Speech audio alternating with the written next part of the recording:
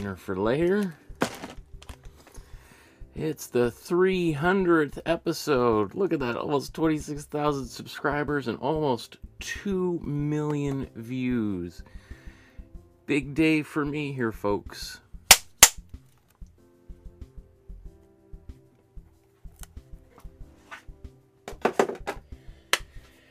Good afternoon, everyone. Welcome to my studio. My name is Michael Markowsky, and today we are going to recreate another painting by another one of my favorite artists. Today we are once again going to be looking at the work of Andriy Kotska, and we're going to be painting this beautiful painting. I love this painting. I wanted to paint this painting a year and a half ago when I began looking, uh, focusing on Ukrainian artists because I'm of Ukrainian descent, and um, and obviously there's a terrible situation going on in the world right now where our neighbor Russia has uh, invaded for literally no reason. Uh, so. Um, uh, works of Ukrainian artists are, are, obviously very important to me, and highlighting them and their contributions to art and culture uh, is something that I feel very passionately about. And this is the 300th episode, painting episode that I've done. And it also happens to coincide with Ukrainian Independence Day. So lots of um, meaningful things for me personally and for the the the the wider world and specifically my my brothers and sisters in Ukraine fighting the good fight against a um, dictatorial, oppressive regime. And so um, I know, yeah. So so anyway, before I go, let's uh, let's just talk about what we're gonna do today. We're, we're going to get the image onto the canvas. I'll show you how to do that. We're going to uh, stain it with some color. We're going to talk about Kotska's biography. Uh, then we're going to paint background, foreground, background, foreground. Ideally, I would be able to get to finish this in about three and a half hours. I would hope um, for that. I should mention that there are two different versions of this painting, probably more than that. Uh, this is apparently the original sketch, and this is the finished piece. Although this piece has been uh, reproduced many, many times, so this looks like potentially the, the lithographic reproduction of the original. Um, anyway, if you want to support the channel with a small donation, that would be great. If you want to support the channel by liking, subscribing, hitting the notification bell, um, that really helps keep this channel going. Um, uh, but I would really appreciate it if today, rather than making a donation to me, if you made a donation to one of the various different nonprofit volunteer organizations that are uh, helping to support families, refugees uh, fleeing the crisis in Ukraine. So here we have a link, and these are in the description below um, for the uh, United Nations Human Rights, uh, or sorry, this is the the Refugee Council. Um, here's the Canadian Ukraine Foundation. Here's the UNICEF, um, which is obviously helping provide um, uh, needed uh, medicine, shelter for children, and you may know that Vladimir Putin is is now a wanted war criminal for his um, crimes against humanity, specifically abducting children from Ukraine, which is a crime against humanity. Um, here is the Doctors Without Borders, a link for that. Here's a link to the Canadian Red Cross. Uh, you can also donate to the Vitaly Klitschko Foundation, um, very famous boxer, but also the mayor of Kiev. And if you want to donate directly to the military in Ukraine, you can send their money directly there. That helps um, them purchase weapons, um, purchase uh, uh, body armor, um, medicine for the soldiers on the ground actively fighting against the oppress this horrible horde of invaders. Uh, many of them are not there um, on uh, on their uh, willingly have been abducted and sent there, um, which is another horrible, unfortunate side to that whole situation. But nevertheless, uh, Ukraine has um, rights to their own land, and um, violating the sovereignty of one country is violating the sovereignty of all countries, as far as I'm concerned. Okay, so let's begin today's painting uh, with the image transfer. So let me show you how to, to get the image onto the canvas. So what we do, there's a link to a Dropbox folder in the description below, and you click on that Dropbox folder. The files at the top are for our beginner painters. And then you scroll down here, the next whole bunch here that are begin with letters, including today's, um, are for are a little bit more simple paintings that I think most beginner painters can do, like today's painting. But if you keep on scrolling, you're going to see there's well, lots of stuff here. We got Rembrandt, Jean-Michel Basquiat, Van Gogh, Picasso, Leonardo da Vinci. I mean, tons of work here. So you can find art by artists from all over the world, from cultures from all over the world, uh, men and women. And, um, but anyway, let's go into today's episode, which I think is a little bit easier for a beginner painter you're going to see that there are seven files in here. The Hutzulka Dancer we did a year and a half ago. That turned out really great. I don't know where it is in my studio. It's here somewhere, but it turned out really great. Um, and then so here's the four files for today's class. You have two versions of the outline. Let me just show you that. So here's the painting we're going to try to make. Here's the original sketch that Kotska did. And here's my outline, which you can trace.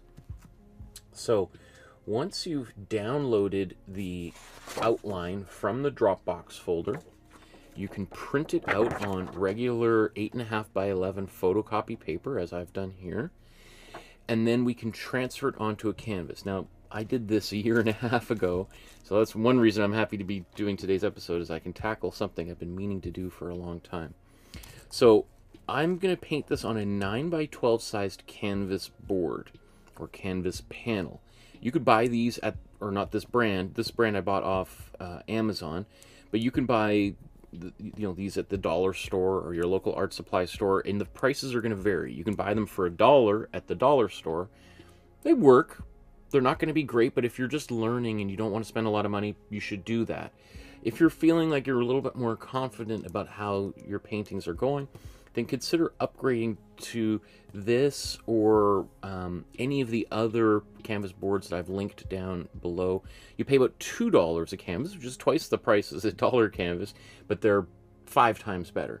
Now you can certainly spend 10 five ten dollars on a canvas board i think that's ridiculous there's no need to spend that much money on these things when you can get them cheaper for the same level of quality so what i do is i take it out of the package and then because it usually comes wrapped in plastic i give it a light sanding then i apply some white acrylic gesso i let that dry overnight and then i sand it down with a 220 grit sandpaper and that gives me a nice smooth surface.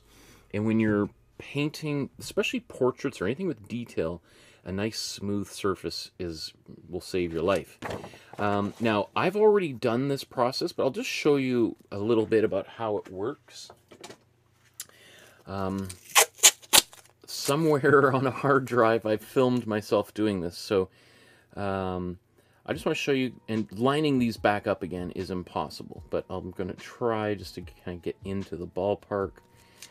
So let's say I put it there, right? Um, then what I can do is take some of this carbon transfer paper, and you can use it many, many times uh, carbon or, or graphite both do the same thing. You can see that this is a, I used originally a double-sided piece of carbon paper. That's why it transferred not only to the canvas, but to the back side of this page.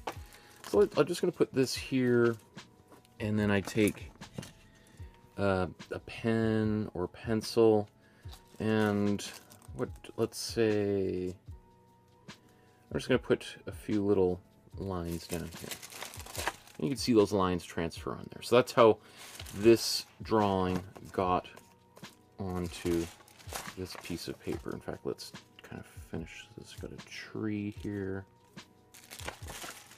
That wraps up that tree.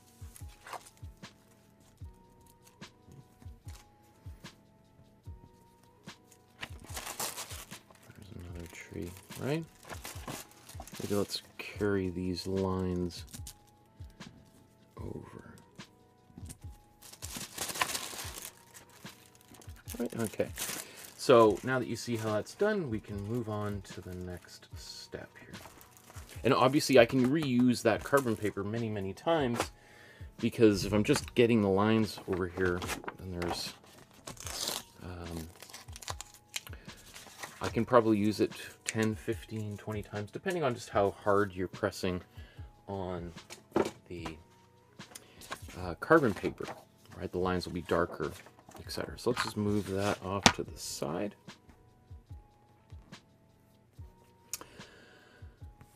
Okay. Oh, look, there's Knox saying, buddy, hope you're doing good. And John says, exclamation point. And Srijit says, hello, love from India. I'm going through your drawing courses. It's so good. Thank you. Awesome. I'm so glad. That makes me so happy. Um, that's, um, I love the support from the community we've created. Join the Facebook group. There's just today now officially over 1,000 members of our Facebook group. People just like yourself who want to learn how to paint and get better and better every day. Now, typically, I squeeze paint um, out of Oops, did I not even... Let's... I need to do an intertitle here, but I'm getting ahead of myself. I don't usually do these at uh, 12 o'clock in the afternoon here. Okay, let's... Okay, so our next step is to stain this painting with a little bit of color, and that process is called the imprimatura. Now, I don't think Kotska did this because he was a, more avant-garde painter, and a lot of artists around um, the past hundred years started to kind of question the way things had been done for a long time. And so one of those kind of effects was some artists stopped doing the imprimatura, and doing this technique is probably less popular than it ever was, but this is a technique that was popularized by great Renaissance painters like Leonardo da Vinci. And, you know, if it's good enough for Leonardo, it's good enough for me, right? So what we're going to do here is I'm going to use what we call a split primary palette. That means I'm going to use eight tubes of paint. Well, really, I don't even use black because I can mix it myself, and I'll show you how to do that today. But I'm going to take two yellows, two reds, and two blues.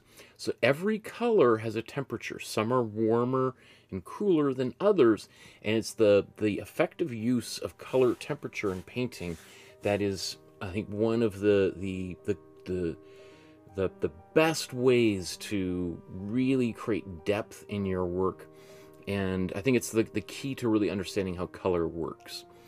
Anyway, so these are the, the, the that's the the system we're going to use, and I'm going to use this Amsterdam paint. So that's what a tube of paint looks like, um, but I've rescued paint from um, paint tubes that appear to be empty, like this one. If I try to squeeze anything, nothing's going to come out. But there's all this paint trapped in there. And you cut eight of those open and you get almost a full jar of paint. So uh, I'm about to use this Azo Yellow Deep, which I've already put on my palette here, um, as my imprimatura. Traditionally, artists would use a warm brown for doing this. Uh, but I like the, the warm yellow. It's just a little bit brighter. Gives me that sort of golden hour look, you know, at when the sun's just about to go down. Very subtle, but I like it, right? And painting's all about subtlety. Now, if you want to use a more expensive, higher grade of paint, there's golden. Uh, a cheaper, Liquitex makes a, a, a, high quality professional grade and a student grade. This is their student grade, my recommendations for theirs. Winsor & Newton, Artist Loft from Michael's Art Supply, Buzz, Holbein, Daler-Rowney, Fevicryl, Nova Color, Chromacolor. But I'm afraid I can't really recommend Museum Color nor Peebo. I have used Peebo particularly. In fact, I've used both of these brands and the, the reason why I can say I don't recommend them is because I've used them. And what they do is they put a lot of titanium white as a filler in these paints, which make it impossible to mix a black. You really just get a, a gray, which is fine because we can always just use our black instead. But I like mixing my blacks as opposed to just taking it out of a tube because I get a lot more nuance in there. Okay, so let's uh, put some paint uh, actually, you know what? Let's. I'm gonna. Let's. Let's do this first, and then I'll I'll put paint on that palette. So this is the only time I also ever use um, water when I'm painting with acrylic. In fact, I'm just gonna put a bit more.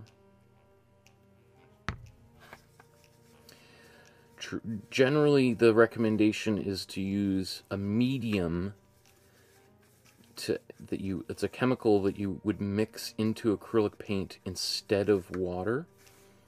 Um, I know a lot of people watching and who've watched me over the years just insist on using water, and that's fine. There's, uh, as far as I know, the paint police have turned a blind eye to that activity.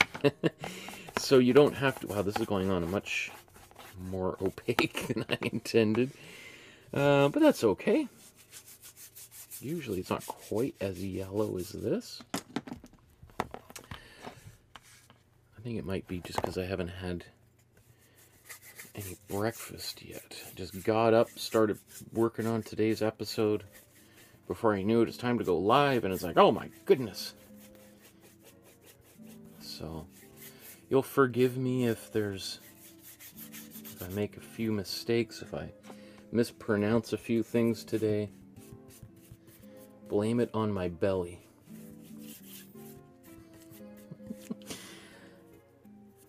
Isn't that a TLC song or something? Blame it on my belly. Yeah, yeah.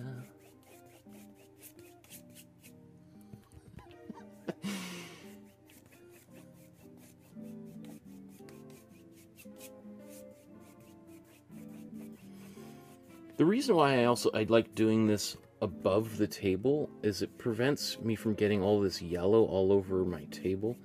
And um, it's not that I'm worried about making a mess. It's just that that color uh, around the edges is going to kind of filter in through my peripheral vision and it might influence the way that I look at the colors and on the painting. And I might feel like it just looks still too yellow. And it's like, no, the painting is fine. There's just all this yellow on the table around it that is tricking me into thinking that my painting is very yellow.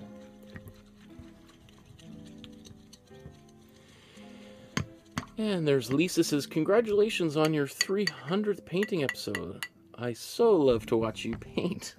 Thank you, Lisa. And uh, Shanyan says, Love from India. Did I pronounce that right? Shan, Shanyat? Thank you for tuning in and for saying hello and spreading love. I love that. Okay. I'm going to blow dry that this really quickly. And while that's I'm blow drying this, I just want to look at the original here.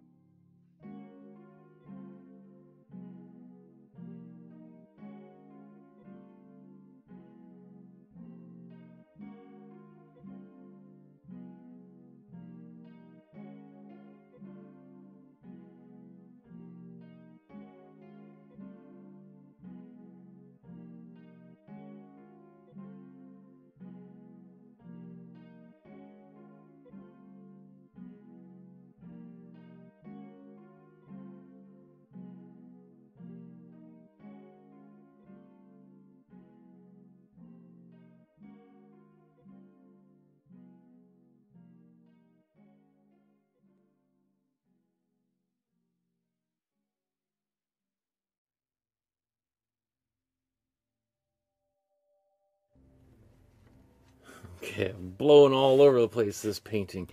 Let's put some more paint on this on the palette here.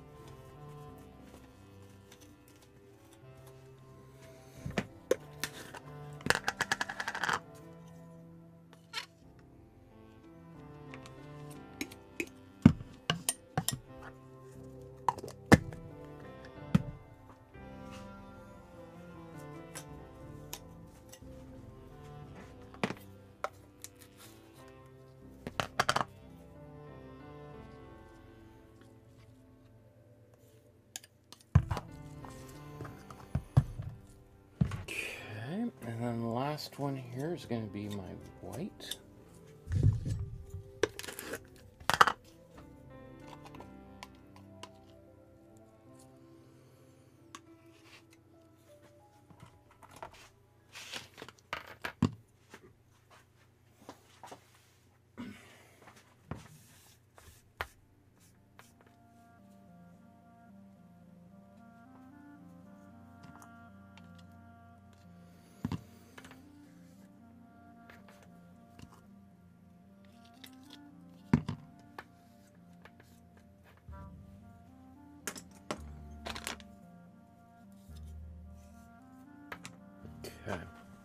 So what I'm doing is getting ready to do another layer of paint on here before I move on.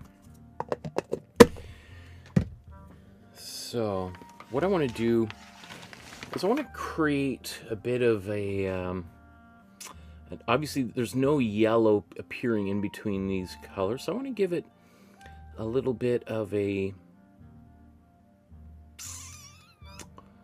What color should that be?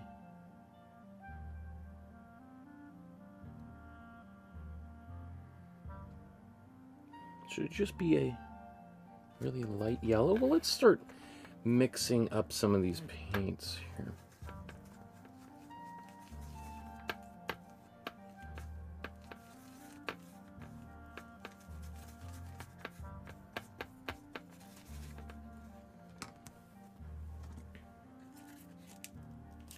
So I'm going to add matte medium here. This is, um, instead of adding water to this to thin it down, I'm adding matte medium. You see I put quite a lot in there. That's going to make this white quite transparent, which is going to allow for some of that yellow to come through, but not as much. Now I could have just started applying this, I could have mixed this color right off the, the bat and applied that directly rather than applying the warm yellow, of course. I was, I just, for me, I love just getting that canvas, putting color on it right off the bat. And it just feels to, me, it's just part of my own working process now. Now, whether you use it or not is up to you. I think just seeing how different artists operate is helpful. I like that. It just feels like, boom, painting started. I didn't have to think about it. I didn't have to, to, to think about how to mix color. It's just begun. And then now I can do add little bits to it to, to modify it. There's a lot of white in there.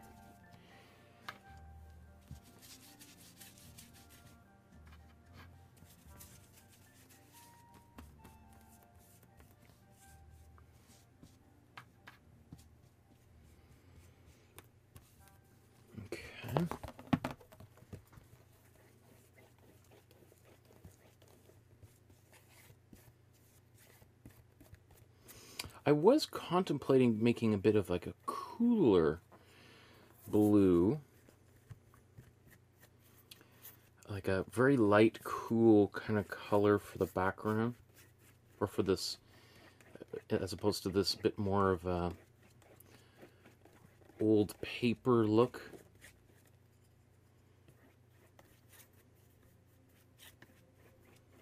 But I think we'll, we'll capture those colors separately. This will just give this painting a really nice uh, warm sunset vibe.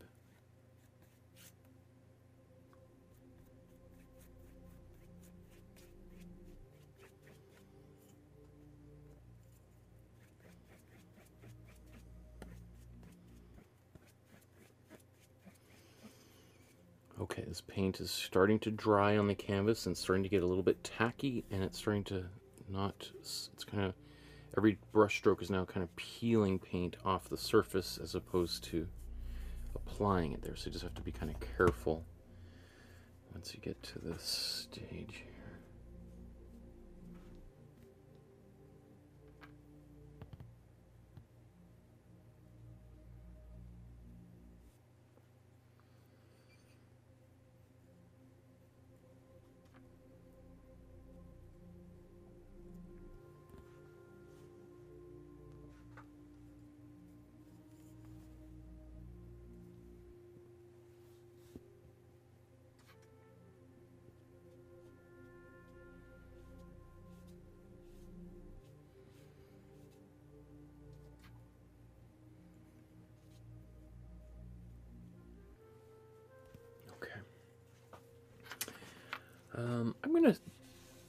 just put this paint together as a little pile here so that if anything should happen, should, this paint should be able to stay mostly wet for the next few hours. Maybe not on the top, but inside it will create a little bubble.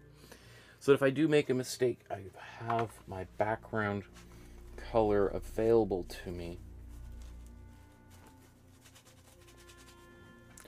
Not that mistakes are something I worry too much about, but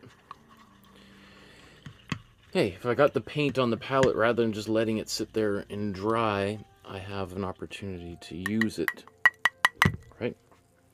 I bought it, might as well keep it there.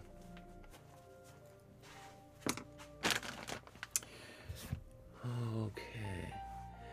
Uh, Aurelia says, I started watching your drawing course some weeks ago and I got inspired to start learning drawing again. Thanks to your series, I'm still going and I didn't give up like the last time. awesome. That's so exciting. Very cool. Good for you. Well done. Yeah, it's, I mean, life gets in the way. It's hard to kind of keep, you know, anything going. But the fact that you stopped and then started again, that's fine, right? Rather than giving up, stopping and starting, no problem.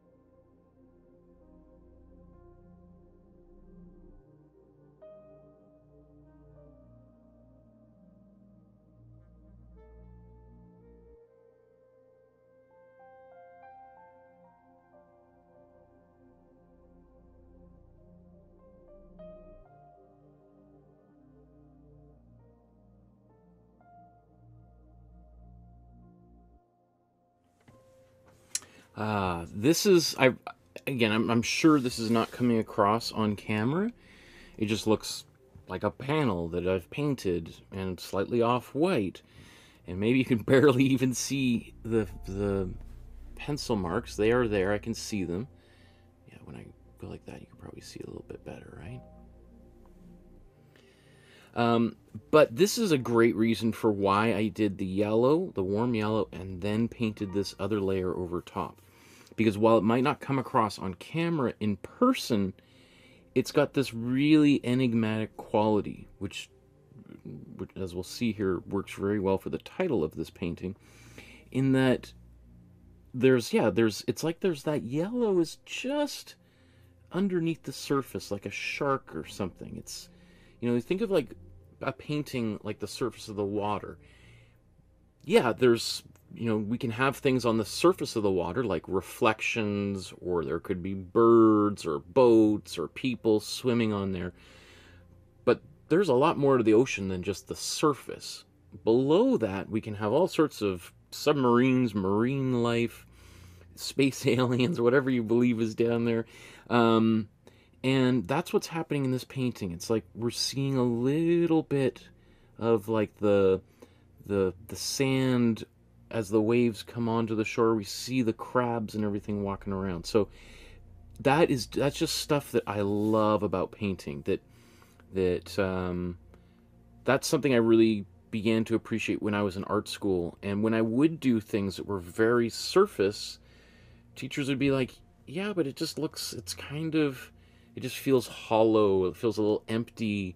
Like we want to have you want to have more in there and one of the examples i also use when it comes to imprimatura is it's like um, pizza sauce on a pizza right maybe you, the, when you open the pizza box up and you look at it like oh look there's cheese and there's you know uh, mushrooms what uh, pineapple ham whatever you might put on your pizza but you don't see the the the um, the tomato sauce. You might see the, the crust around the edge, but you taste it when you bite into it. So it's not like it wasn't, it's it serves a purpose even though we can't see it. Know it's not the perfect analogy, but that's what I'm going with. And I just love how this, this feels.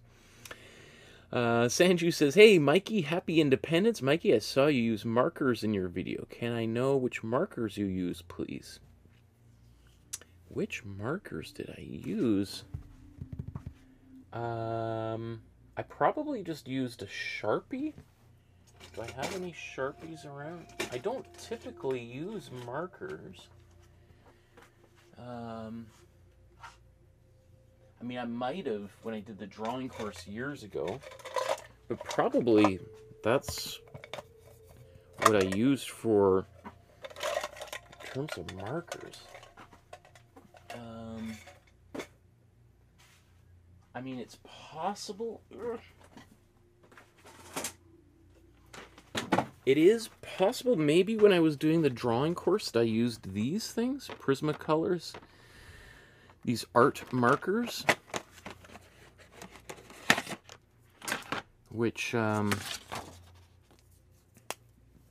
you know, have one tip like that, so you can draw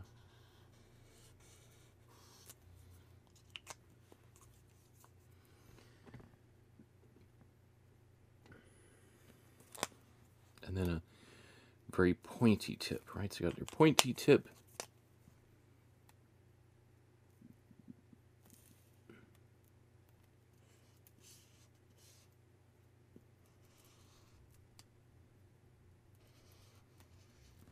Anyway, those are potentially those are the markers I use.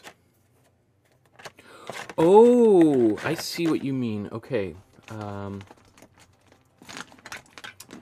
so um, what I was using on the Grandma Moses painting is maybe one of these Posca pens.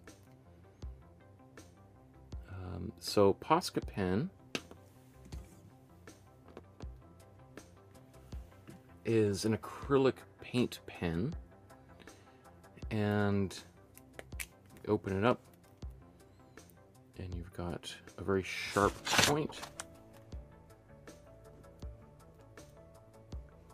which you can use rather than painting with a paintbrush. So it's, it's actually paint in, inside there as opposed to ink. So, um, yeah.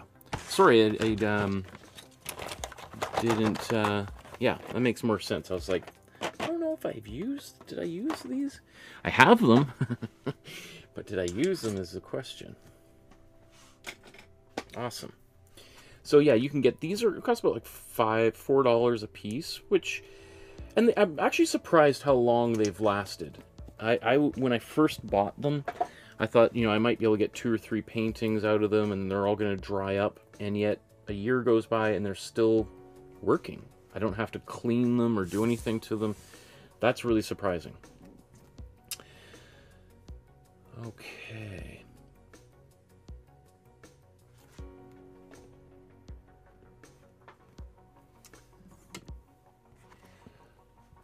What I want to do now is just take a quick little break and talk a little bit about Andriy Kotska and who he was, where he came from, and taking a look at some of the other paintings he's very well known for. So, if we click in, oh, just a quick uh, call suggestion that you consider joining our Facebook group and upload your work to the Facebook group because once a month I go through here and offer free feedback on people's artwork.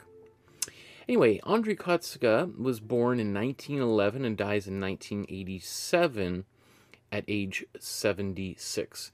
So just shortly before the uh, USSR collapsed and people of Ukraine became free for really only the second or third time, depending on how you look at it, in our, our history after being colonized um, and conquered by uh, pretty much every culture in the neighborhood, whether that be Russia several times, Vikings, Poles, uh, Persians, Greeks. um, Ukraine has been the center of a lot of conflict over the past thousand plus years. Anyway, um, so let's take a look at also where he's from. He's from Uzhgorod, which uh, is very close, like literally right on the um, the the border here with Slovakia.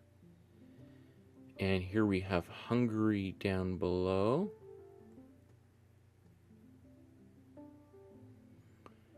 And you've got Romania here and Poland here, right? So maybe here's the country of Ukraine. Um, and here you've got Uzhgorod, where today's artist is from, and you just you can see it's on the basically about you can't get any further west in Ukraine than where today's artist Kotska was originally from. And just uh, let's just zoom in. This the, the, where I'm zooming into is the the house in or the former house and now museum of Andriy Kotska. So um, this is what it looks like inside. You can see they've preserved. Oh, it's not going to let me. Oh, it's just the one photo. Okay. Um, so you can tour into this space. I, I you know, the way everything is at the moment, I, I hope it's open to the public at the moment, but considering there's a war going on, it wouldn't surprise me if it's temporarily closed because obviously there's bigger priorities in Ukraine right now. Um, but uh, also, I just want to show you too, just the this is Uzhgorod is a beautiful um, city like, it's got old fortresses and fortifications. It's got little, you know, streets, uh, cobblestone streets, just like old Paris, you know, these ancient Roman bridges. Um, beautiful town. And of course, you got your uh, Ukrainian churches with the onion domes. But beautiful, beautiful city which is one of the things that often featured in a lot of his work. He was um, Andriy Kotska was was a huge fan of the the countryside of Ukraine and um, the you know these, which is not too dissimilar from Canada, you know where where I'm I'm from and where where I'm broadcasting from right now, there's you have, which is why a lot of Ukrainians came to Canada a uh, hundred years ago, including my family, um, who is also from Western Ukraine, and. Uh, because the landscape was very similar, and a lot of Ukrainians also worked uh, in the fields as farmers. So moving to Canada, specifically like Manitoba, Saskatchewan, made perfect sense because it's it's not like you're going from being a farmer to moving to a different country and becoming a fisherman or something. It's like you can take the same skills that you were using, your family's been using for a thousand years, and apply them towards uh, the same sort of thing in a different country. So, um, you know, these I just love these rolling hills. Like some like that could have been painted by any of the members of the group of seven who were obviously a slightly older generation, but uh, let's just let's zoom in on these. Just a little bit bigger. Uh, so Kotska is famous for his particular style of painting, which is uh, we, we would consider like a, a, modernist approach to painting. It reminds me a lot of um, Matisse um, and who are some other painters whose work is really. I mean, a little bit of Cezanne. It also reminds me of. Um, oh, it's gonna drive me crazy. We did a painting about him. Um, oh.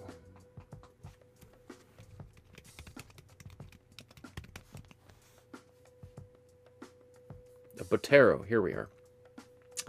Uh, so Botero, South American painter.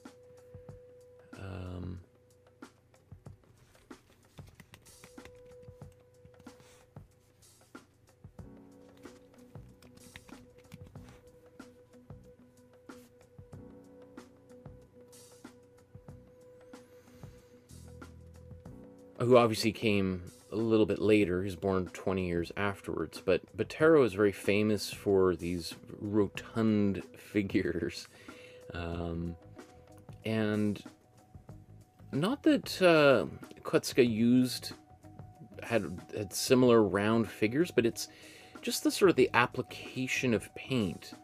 Um, very kind of smooth, uh, Almost another artist that reminds me of would be Renoir.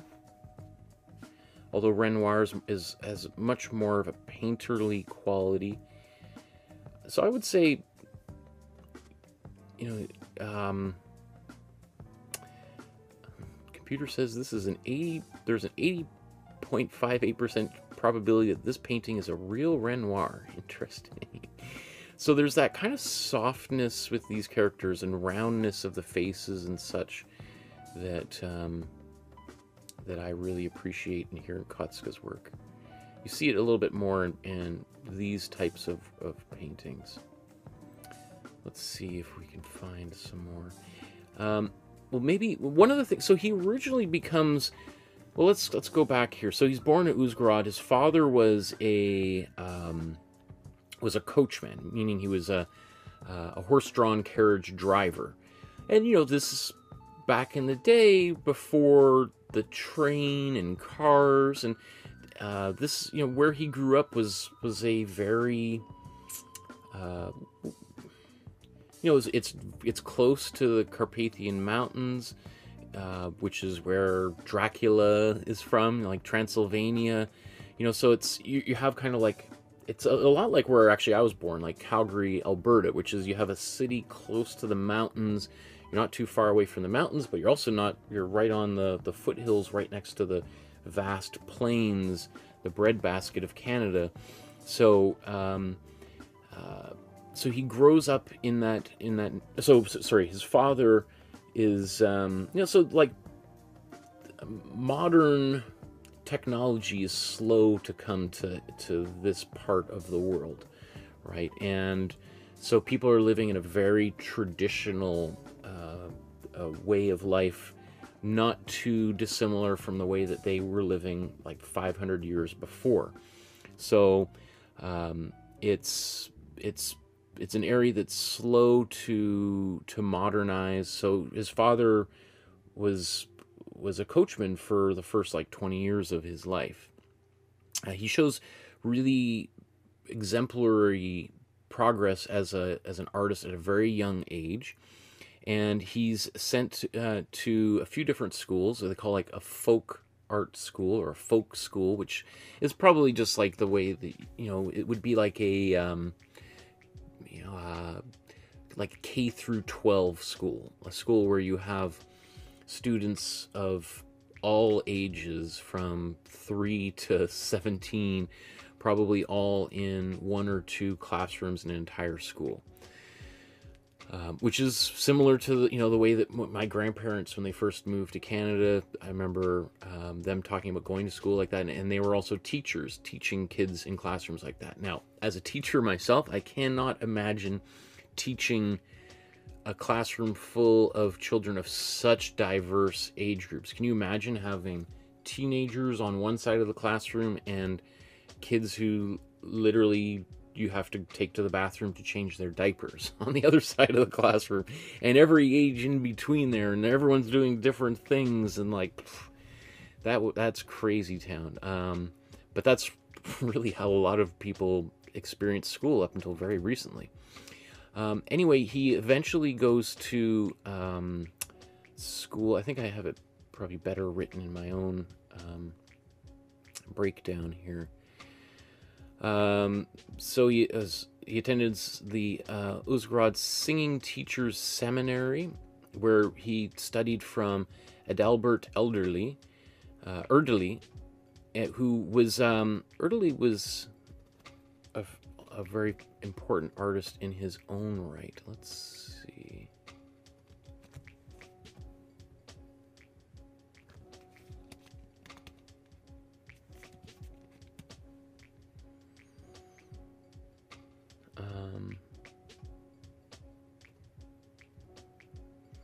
So um, Erdely was was like a, a major innovator in this area, bringing modern painting to uh, Western Ukraine.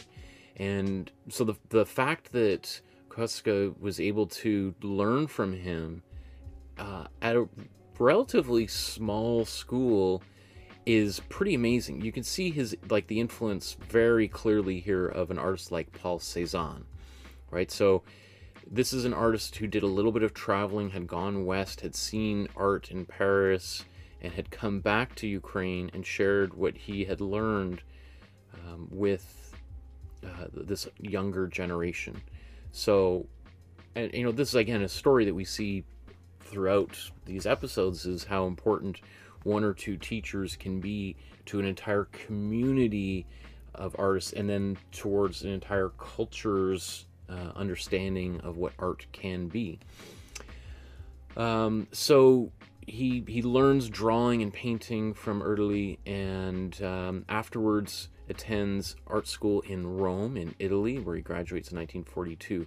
So you know he's for the first 30 years. I mean, by he's like 31 years old when he attends school in Rome and graduates from there.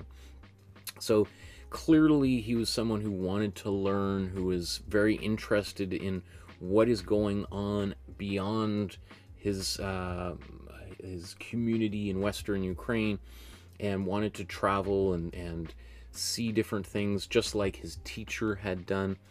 When he returns, he, he becomes quite involved in uh, in the politics in the USSR, as well as uh, joining various different um, arts organizations. You know, everything back in the USSR had all these long names. Like, um, he was, in fact, he was a member of the board of the Union of Artists of the USSR. And then he became member of the Presidium of the Board of the Union of Artists of the Ukrainian SSR. right? Like, um, I, you know, what what these groups would have been, and probably similar to what we would, you know, we would say like the Royal Academy of uh, uh, of Art. Like here in Canada, you can you can get uh, designated like the uh, RCA, like um, which is the Royal Canadian Art. You know, it's, it's you, they put it at the end of your name. What does RCA stand for?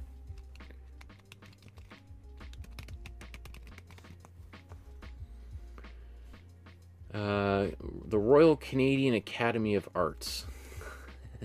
so it's like a kind of a designation that says that you're you've achieved certain things. I mean, it's it certainly carries very little weight, much less weight than it did. Sorry if anybody was thinking of, of uh, honoring me with that. I Don't mean to belittle it, but it's but back in the day that those sort of titles were really really important to set you apart from other people who were just at the beginning of their art careers. Like it was a it was a sign of having achieved a certain amount of of education and um, and uh, critical esteem from your peers, etc. So it's not nothing. Um, but you know, this is we're talking a communist country, and so of course there's going to be all sorts of organizations and bureaucracies uh, involved here. Uh, so, of course, he's exhibiting throughout um, Ukraine and Russia and all and Czechoslovakia and various different uh, Soviet uh, satellite states, um, and he's he becomes like one of the, the most important Ukrainian artists of his time. Uh, he, in fact, some of these paintings like today's painting, are reproduced as postcards and posters which are distributed throughout the USSR. So like today's painting, it was it was very common to find them as little prints that that people could own, which is again goes back to like the the Soviet ethos of, you know, art being for everybody or that, that no one owns anything, everything is shared, and that everyone has access to to um, uh, the same art. Now, obviously, the you know that's sort of it's almost laughable to say that because clearly the politicians at the top took bigger helpings than everybody else and led, led very lavish lifestyles and there was all sorts of corruptions which is one of the reasons why the ussr eventually collapsed. Um, but i just love his painting style. Like just you know another artist that reminds me of a little bit is the canadian artist ted harrison whose work we did a few times. Um, there's just a it's such a distinctive approach. I, you know, maybe one part of it is is um, like almost a little bit of low contrast. Like, see how it's not outlined, or the outlines are actually lighter as opposed to big black outlines, which would have been something like we see some of these big black outlines, but they almost like stand out in opposition to um, the softer outlines. So this is a, the Hotsoka dancer we did uh, last year and a half ago. This is one of his other paintings, which I love. That turned out really, really well. I, I just love these artworks. Let's just see if we can see.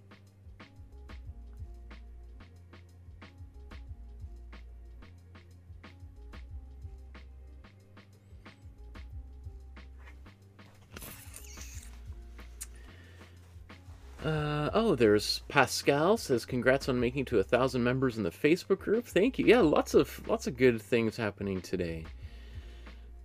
My 300th episode, a thousand uh, members on the Facebook group, almost two million views on here on YouTube. Uh, the uh, independence of Ukraine today we're celebrating. These are beautiful it is interesting. You could see like he he kind of um, vacillated between a little bit looser style and a little bit more traditional, and really that occurs um, because there's during Stalin's regime, Joseph Stalin, the the the, the tyrant and dictator, genocidal maniac, um, who enacted the uh, Holodomor. Which was the the death of of millions and millions of Ukrainians, starved them to death in the 30s and 40s. Anyway, um, during Stalin's reign over the USSR, and of course that meant over Ukraine, the the the styles of art that were acceptable um, were very traditional, like. Uh, uh, uh, realism was was promoted, favored, or mandatory, versus a much looser style of painting, like Kotska, was deemed um, to be uh, kind of degenerate, essentially, or opportunities that, that would normally have been afforded to him were not available. So he's he did kind of you could see here in the in the like 40s and 50s he he goes back he's obviously a capable artist and so he um, he sort of breaks out those old skills and that he that he has um, but his but one of the things that is kind of remarkable is despite the restrictions that were placed upon him he still you know kept doing what he did.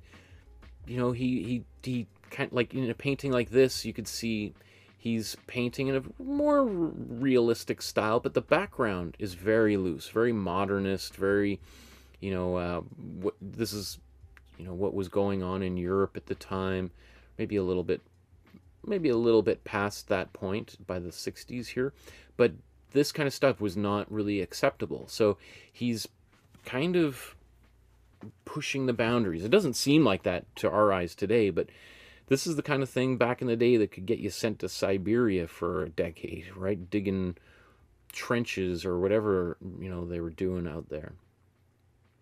Um, when Nikita Khrushchev comes into power, there's a loosening of uh, of the of what artists can do in the USSR, and so you could see that Kotska once again returns back to a much looser style of painting. And you can see by the 1970s here, he's really kind of taking major liberties, which I think is great. I, I love that. I mean, and then you know, never fully goes away. You see, like I mean, here's a painting where we have, you know, look how loose this his this jacket is, um, and then the face much much more refined.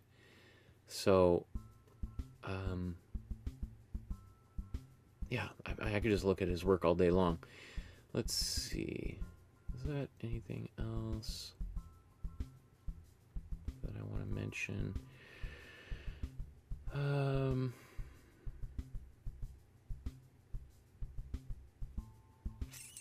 I think, you know, now what he's most known for are his portraits of women. So early in his career, he was known for quite large monumental landscape paintings um, which was you know something that would have been ascribed uh, prescribed to him to do commissioned by you know the uh, communist party big decorative murals for community centers and schools and um, you know workplaces etc but after he had achieved a certain amount of renown um, he began really more focusing on portraiture which is what we're going to look at today so, um, anything else do I want to talk about his school?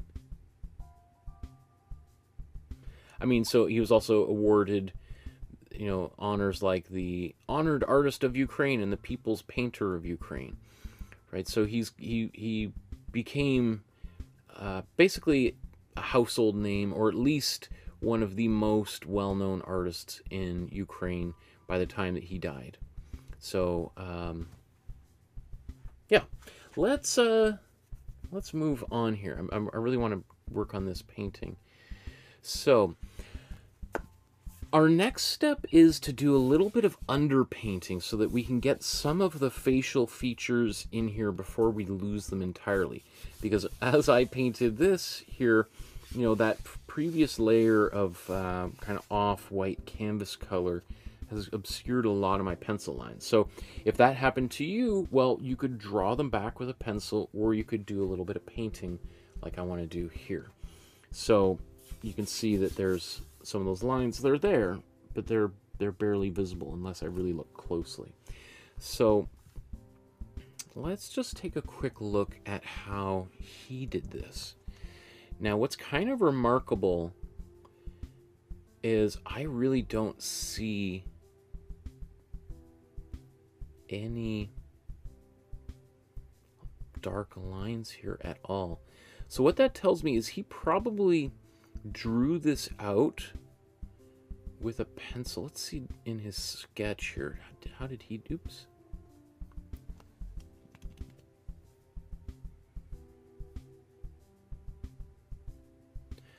I bet you these types of lines there are part of that process. That he quickly brushed them in. But I'm just wondering about trying to do something a little bit different today. Maybe maybe I won't do an underpainting.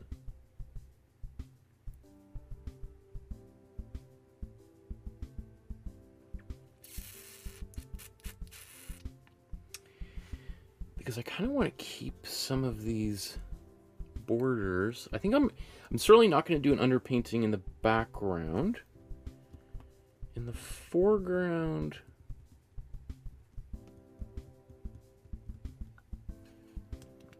what if we use this kind of greenish color here?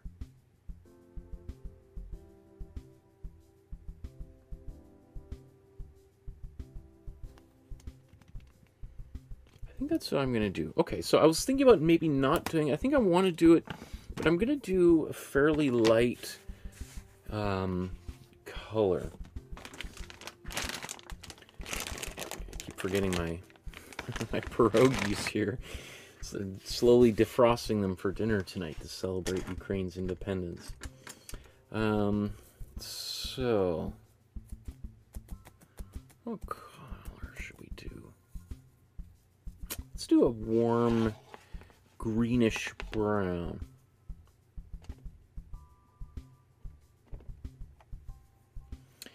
So I'm going to take my warm yellow. Let's put this over here. Some warm blue.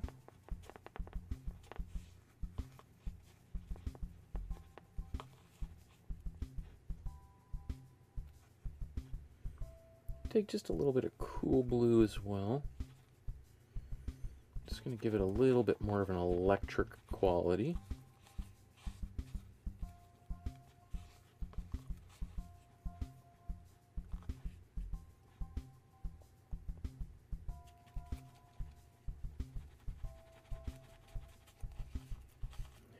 I like that.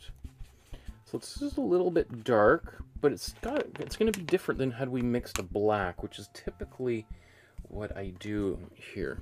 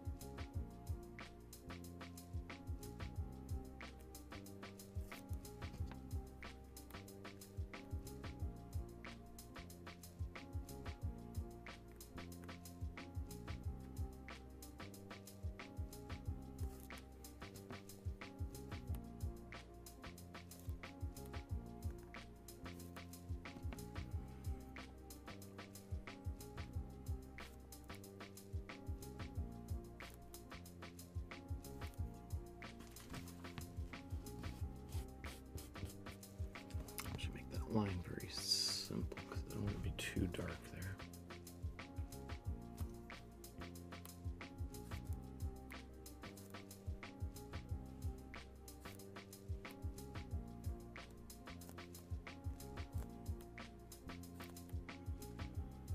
Because especially if I put red over top of this green, it's going to go really, it's going to basically go black.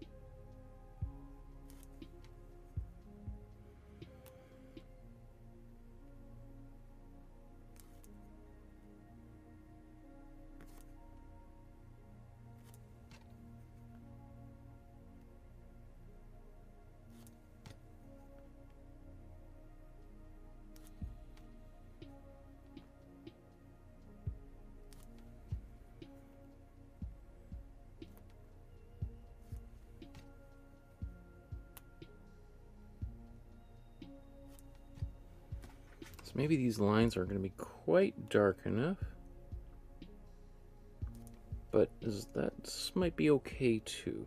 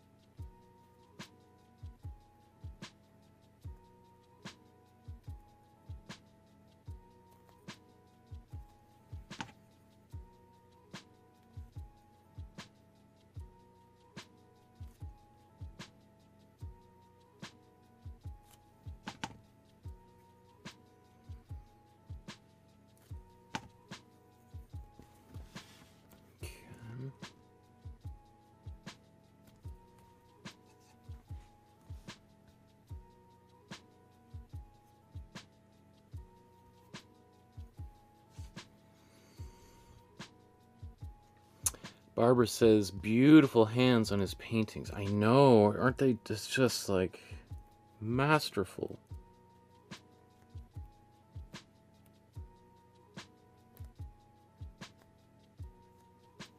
Absolutely gorgeous.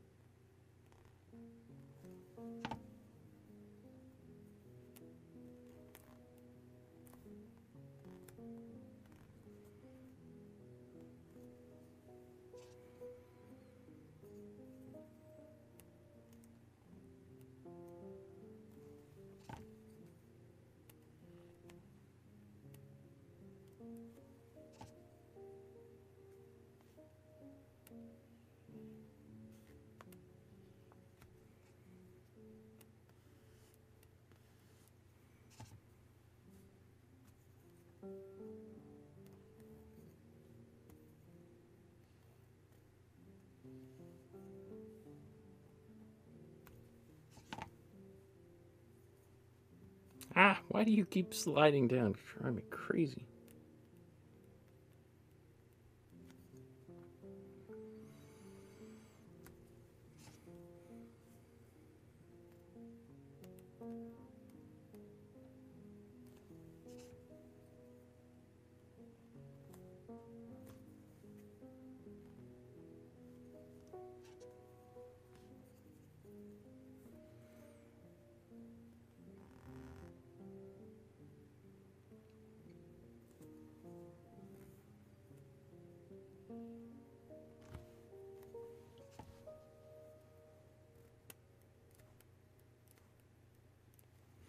So these are just little placeholders for when I put the red over top. These will look like black lines, so...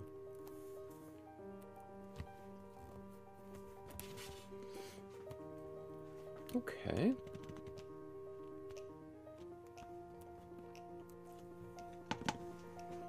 Let's put these... Actually, you know what? We'll do that with a different all those uh, trees back there.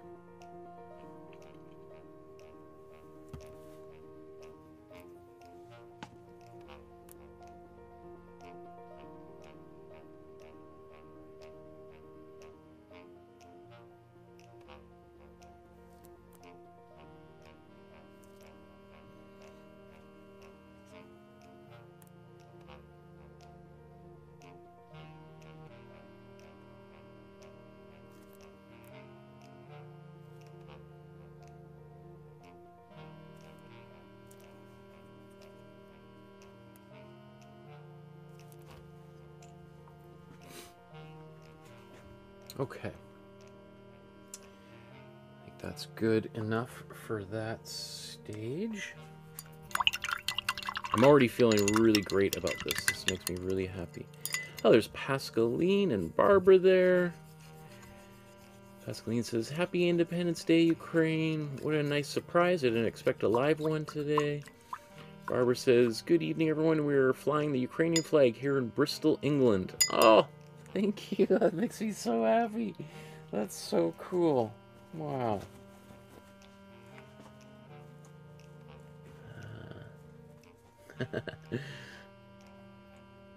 awesome.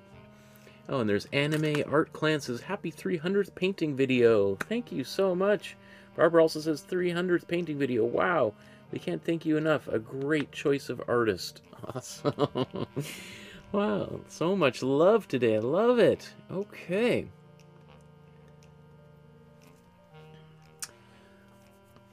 So, now that we've got the painting well established, we know where the colors are going to go and all that kind of stuff, let's start putting some color into the background. And I deliberately left the background. I did not paint any of the uh, underpainting lines here so that I can really kind of capture the this kind of the the lightness of that background. Now, he did do, as I said, this is the original sketch for this painting, and you can see it's much darker versus this much lighter.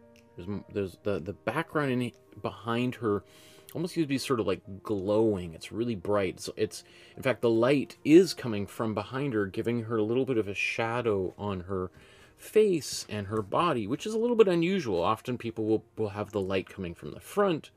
So in this instance, he's sort of showing like the how how bright and fertile uh, the land of Ukraine is, and you know it's it's like um, it's uh, you know, and then this woman is standing in front of this glowing landscape, right? So it's it's highlighting like the the the the, the positive qualities of the Ukrainian landscape doing this with this young, beautiful woman in the front who's like, you know, um, in the in the light of the the glowing landscape.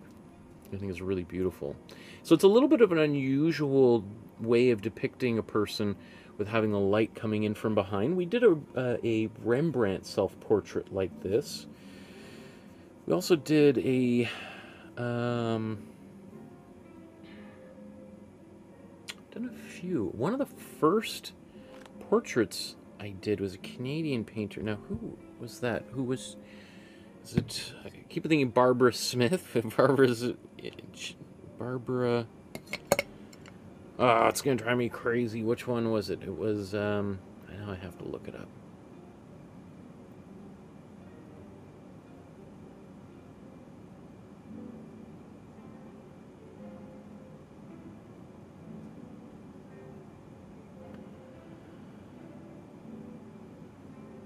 Betty Goodwin.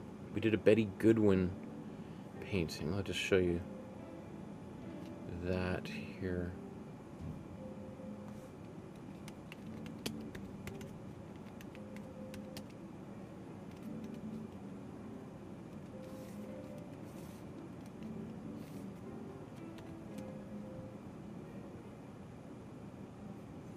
So this is the painting we did uh, back on December 8th, 2020, almost three years ago, right? So uh, you can see again a very dramatic lighting in this situation, theatrical lighting, where we have most of the face is obscured by shadow and just this little sliver of a highlight on her face.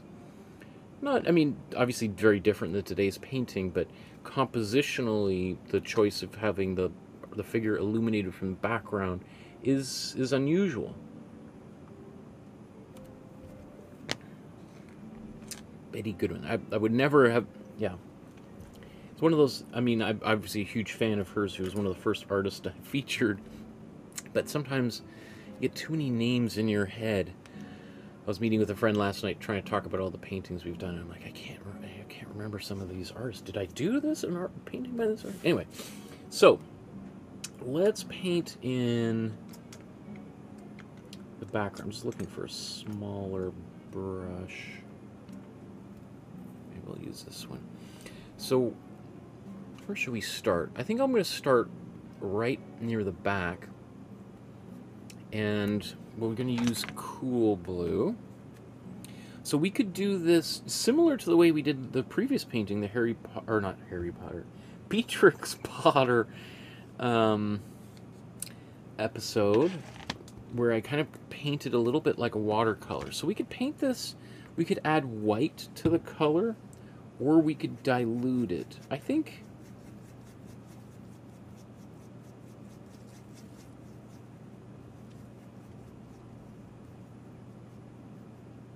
Well, let's see what this looks like.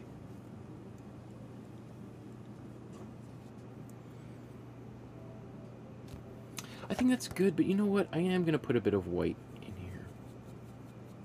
Because that's going to make this painting just a little bit brighter.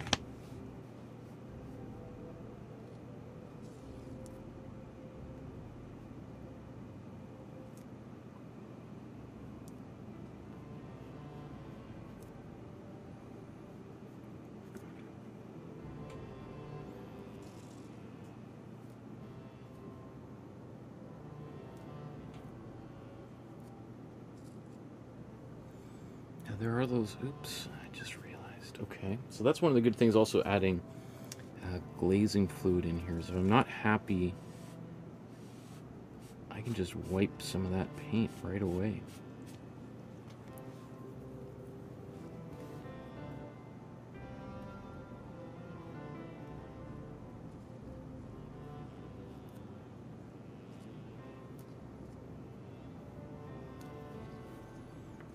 Can take another brush and just sort of softly blend that out a bit.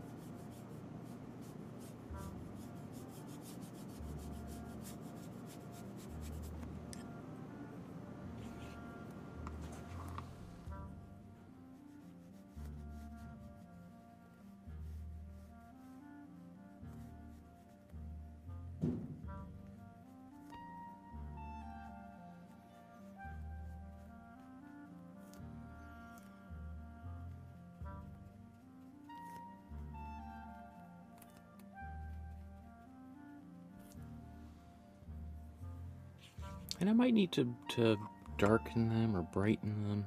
I can always do that in another layer. Just by going right back over what I've just done.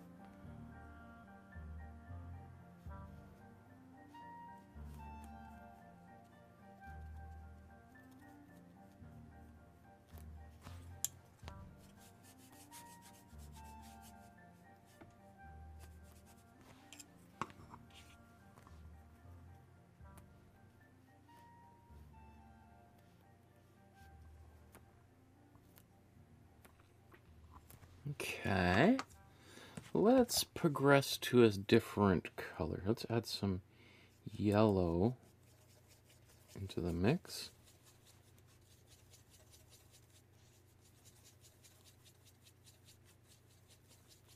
I should put a little bit more yellow in there than I was anticipating, but that's okay because we'll just use it in a different place than I was planning on.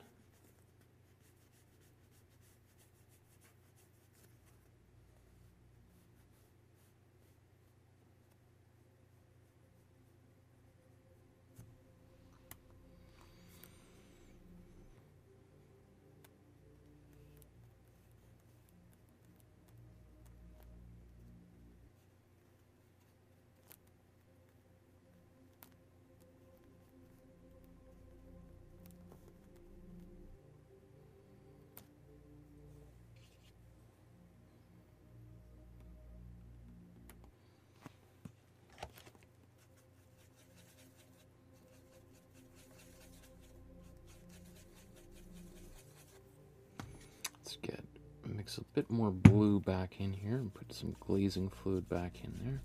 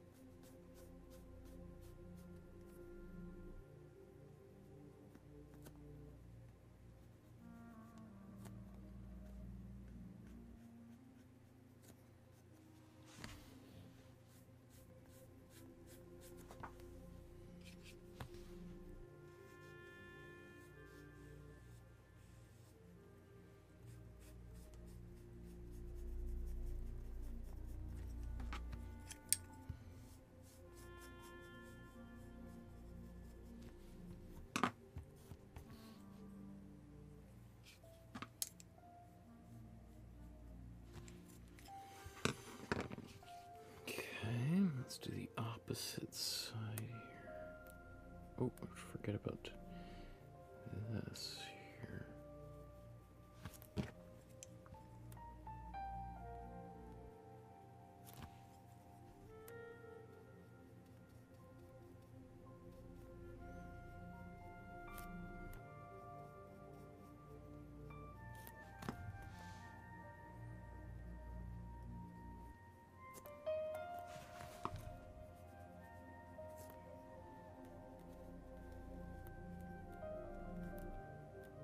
Also leaving just a little sliver of, uh, of a space between her body and the background color.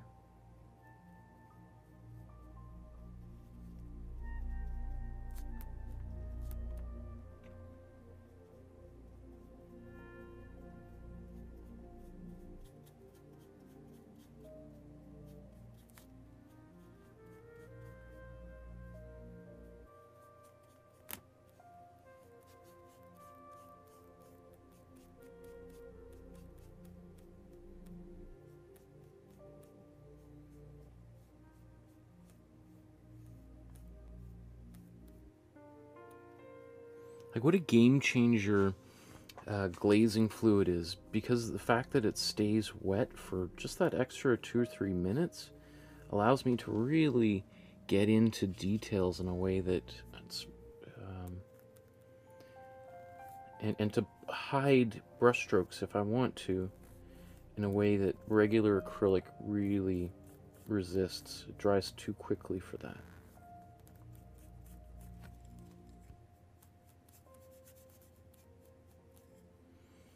Right, and then I can just take this brush, I can go back over and just sort of blend out any brush strokes that are too visible.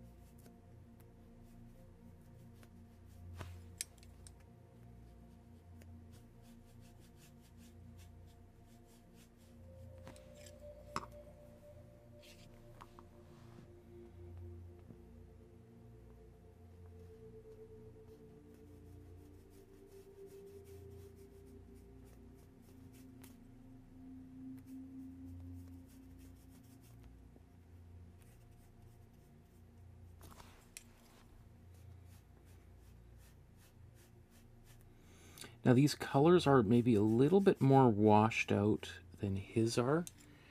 His are a little bit more vibrant, and that's because he's got a little bit more white in there than I do, or he was painting on a pure white surface, whereas mine's a little bit more muted. Now, I think it actually looks pretty good in person at the moment, so I'm not going to be too hard on myself just yet. Kind of want to see where this goes.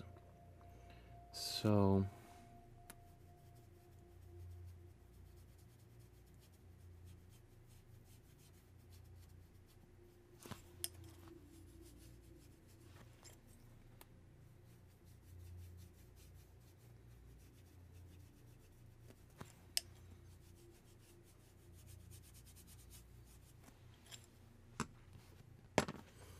Let's get some more yellow.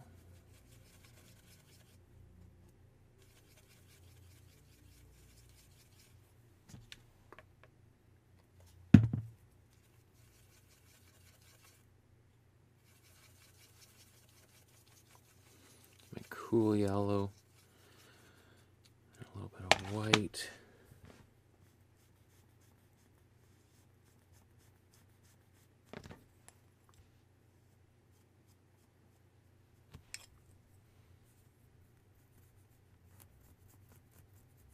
Obviously there's green because there was green on my paintbrush already.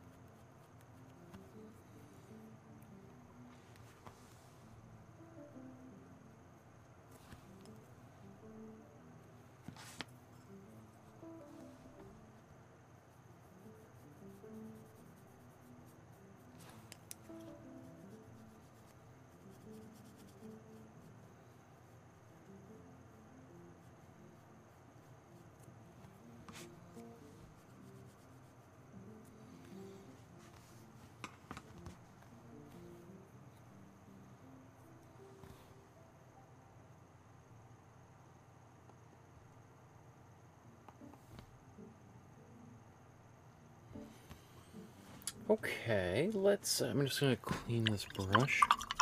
Let's get the purples in there.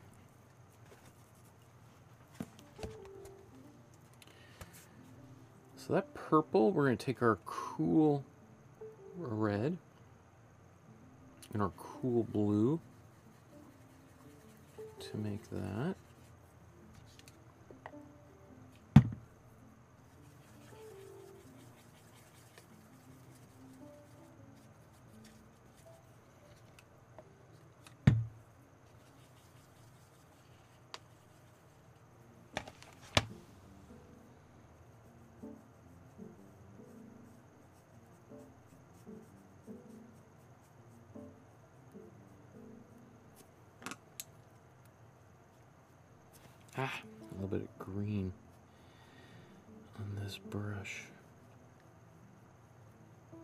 That's okay.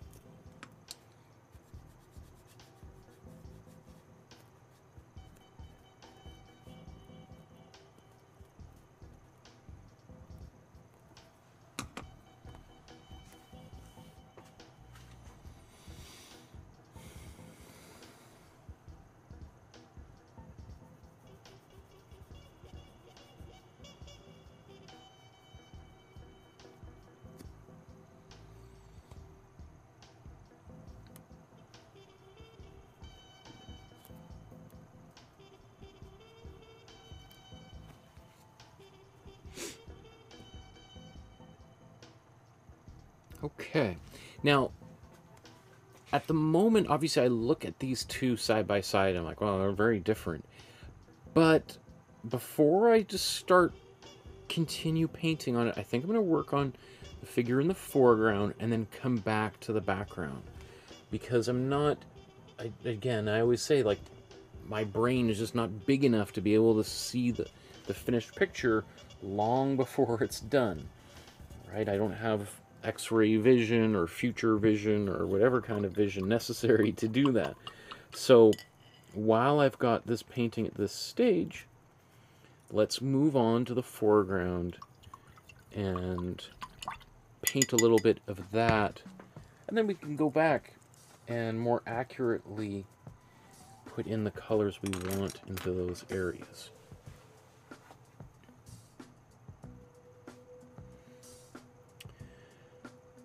Um, well, look at all of the comments. Deborah's there in the chat. Uh, Hi, everyone. This is so amazing. The 300th episode. Thank you, Michael. I have the grandkids today and was painting. I just finished, and now I can watch you. Awesome. Deborah says, Betty Goodwin from Montreal. Yes, you are right. Leon says, Hi, everyone. Congrats on 300 videos on these paintings, Michael. 100%, 100%, 100%. Um, Kathy says, I just sat down for lunch and what do I see? Yet another painting. Congrats on 300 episodes. Hello, hello everyone. I can't stay long, but I will watch later. I still have my flag up too. Awesome. Kathy says, it's a lovely surprise. These live streams usually start at midnight my time, so this is a real treat.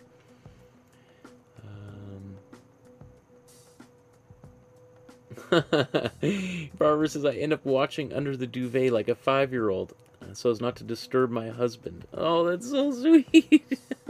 That's so beautiful. I love that. Thank you, Barbara. Wow, you are a trooper. Deborah says, Yes, I love watching wrapped up in my duvet and sipping tea. Hey, right there with you. There's, let's sip a tea to that. Mmm. Okay. So, that's awesome. Let's go to the next step here. Now that we've painted the first pass on the background, as I said, I'm not done, but I've got something I'm happy with for this stage of the painting. and again, I, I, it's important to know that that's maybe a, a different way of painting than some people are used to. I know a lot of people would just sit here for the next two hours getting that background perfect before they would move on to the figure, right? That if it works for you, you should keep doing it. Personally, I, I just am not smart enough to be able to do that. I need to get something in here before I can accurately see what those colors are, because maybe I want to modify them. Maybe I get enough color, I'm like, these colors are too bright as they are. Ooh, I gotta, I gotta mute them a bit. So I want to know, I don't want to have to do any unnecessary work, is the long story, right? So let's look at the original. What should we do here first that might be satisfying? There's a lot of red. Why don't we get some of those really bright colors in? I think that would be satisfying. Uh, if we get some of the, the, the red on her shirt, uh, maybe even the blue on her skirt down here, the red on her belt, in her hair. There's a lot of bright red in there, like right out of the tube. So that's a strong, strong color. And it's really going to change things. So let's see how that works. I'm even, you know, I'm, I was debating, do I want to put a little bit of glazing fluid? No, no, I don't actually. let's uh also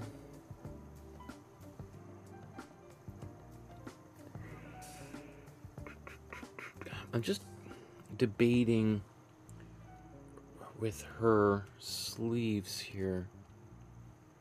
I was just going to paint big red right over top of that.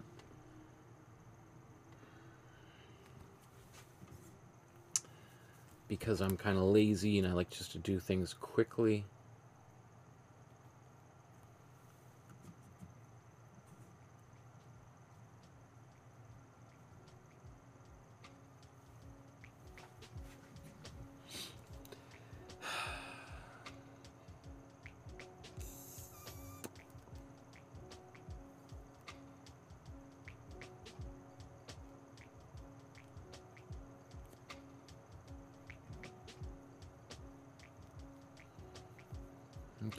I won't paint the insides of them.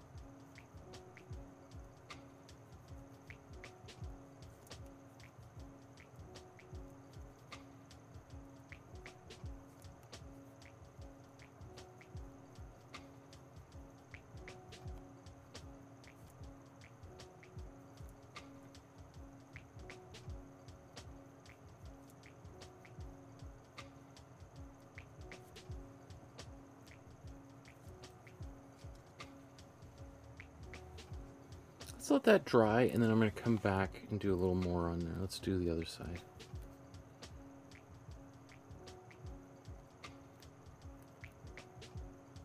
You know, it's like doing, like, um, applying paint on furniture or on your wall, or, you know, you, you don't want to do, like, a big, thick um, layer of paint. You want to do several layers of thinner paint so that we don't see such dramatic visible brushstrokes. Unless you want to see uh, thicker brushstrokes, right? Obviously.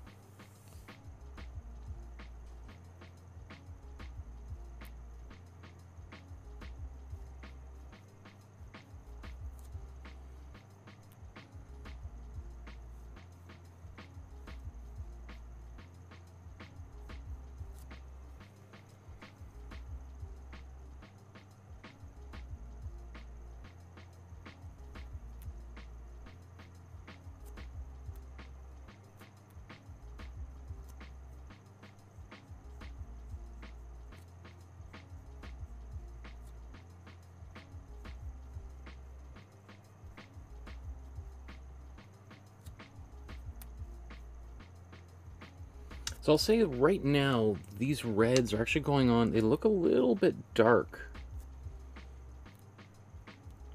And, but there, there, there's nothing different with this red at all. The thing is, is it's surrounded by all of these very lightly painted colors.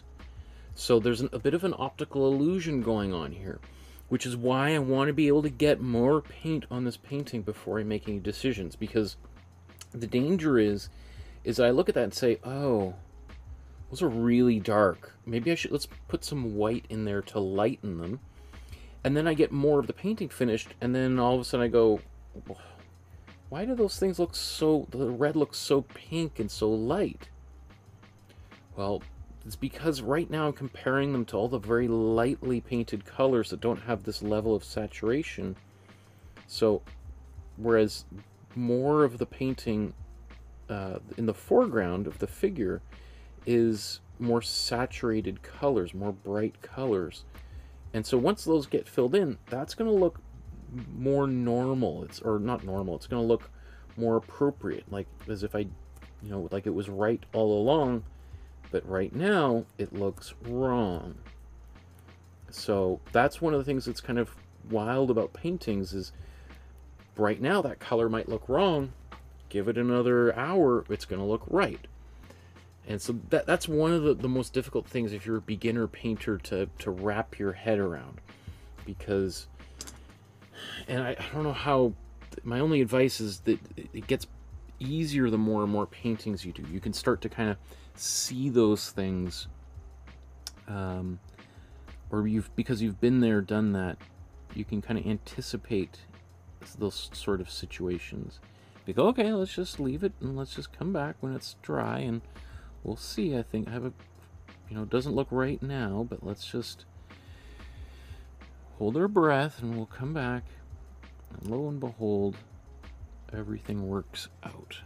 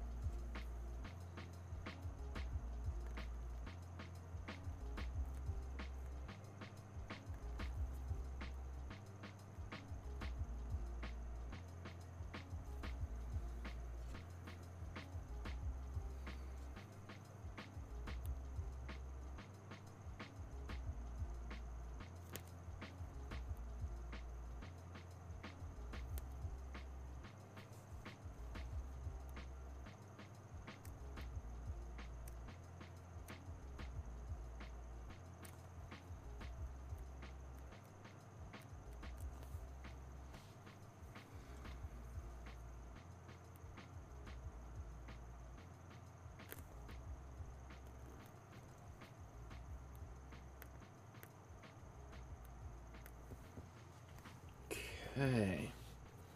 Now, let's- how about her belt here? It's kind of an orange, right? So let's mix a bit of that orange. Let's take some of our warm yellow, warm red.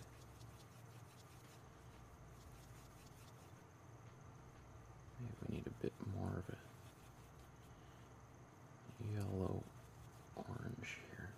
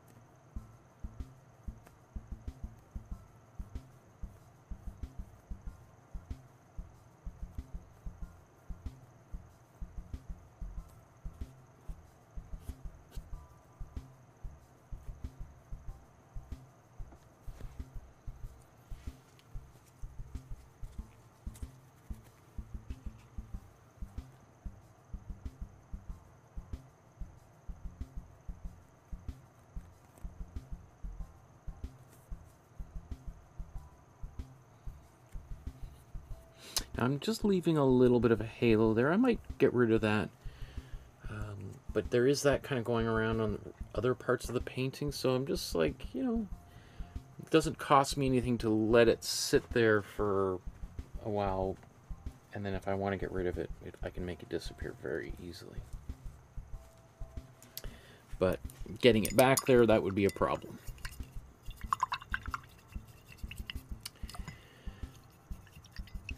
Uh, creating says, Hi, a long time since I came to watch a live stream. You're early today. I sure am, yeah. Um, Barbara says, The green shading in her blouse will balance the red.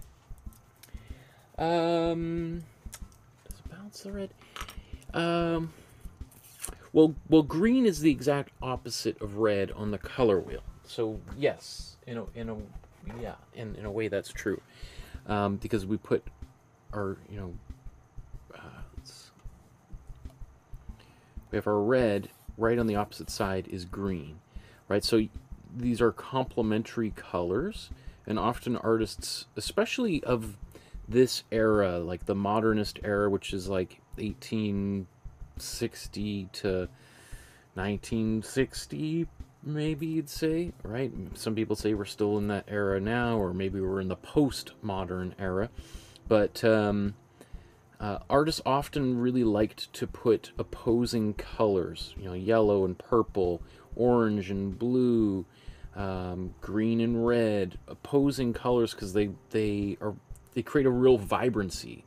Um, I mean, that's impressionism is all about that. It uses that that um, color theory to kind of create really intense saturated paintings because putting let's say a red and a green side by side makes the red appear more red makes the green appear more green right? So they, they it it uh, it's like um, if you've ever been in a hot tub and then you got out of the hot tub and then went into the swimming pool and you're like whoa this is cold right? Like because if you're if you're warm, right, and then you jump into something cold, that cold just seems so much colder, and the and or versus vice versa. You get out of the cold swimming pool or the ocean and you jump into a hot tub. You're like, whoa, this is so hot, right? Or you, you're in the ocean and you're you're happy swimming around the ocean. Then as soon as you kind of stand up, you get some cool breeze, and you're like, whoa, it's freezing right? So it's the opposition of those colors which creates a very dynamic quality. So um, the green shade in your blouse, it balances the red. Um, balances it. Interesting. Um, yeah, balance, counterbalance. Um, well, I mean, let's I mean, let's just look at the original here instead of me just how how is that green working in this painting? I mean, there's actually there's quite a lot of green actually when you think about it. It's not just these outlines in her blouse, but it's in the background. Yeah, I mean, there's some blue and there's a little bit of purple, but really there's a lot of green in this painting. Like even on her blouse, it's not just the lines, but you know, like the the shadows in here. Um, so yeah, I mean, in a way, he's using those two colors to create a really dynamic feeling here. Um, like I guess you could say he's using the green to counterbalance the red, and that the red is very strong. So he might have thought to himself, "Hmm, well, if I want to use really bright, saturated red, how do I how do I um, like what what could I do to so this it's this this painting doesn't appear well so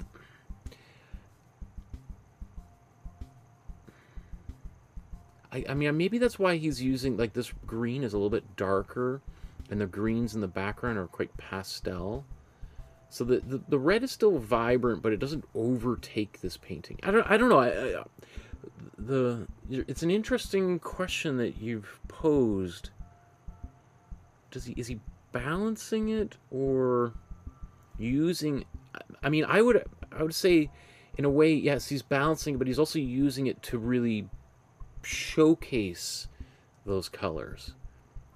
In the same way that artists might use black to make white um, appear like so for instance you might like uh, chiaroscuro which is a, a method um, really like well here in Betty Goodwin's painting but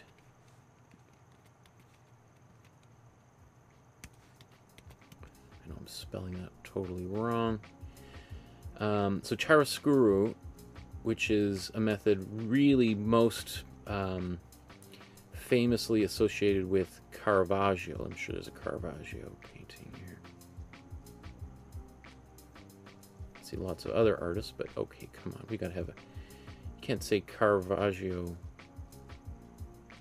Okay. You can't talk about chiaroscuro without Caravaggio. So here's a Caravaggio painting, and you know, it's a very essentially the easy way to think of it is very theatrical lighting. Like you imagine a person standing on a stage, stages or the stage is all black, and then one person comes out on the stage, and then the spotlight turns on to them.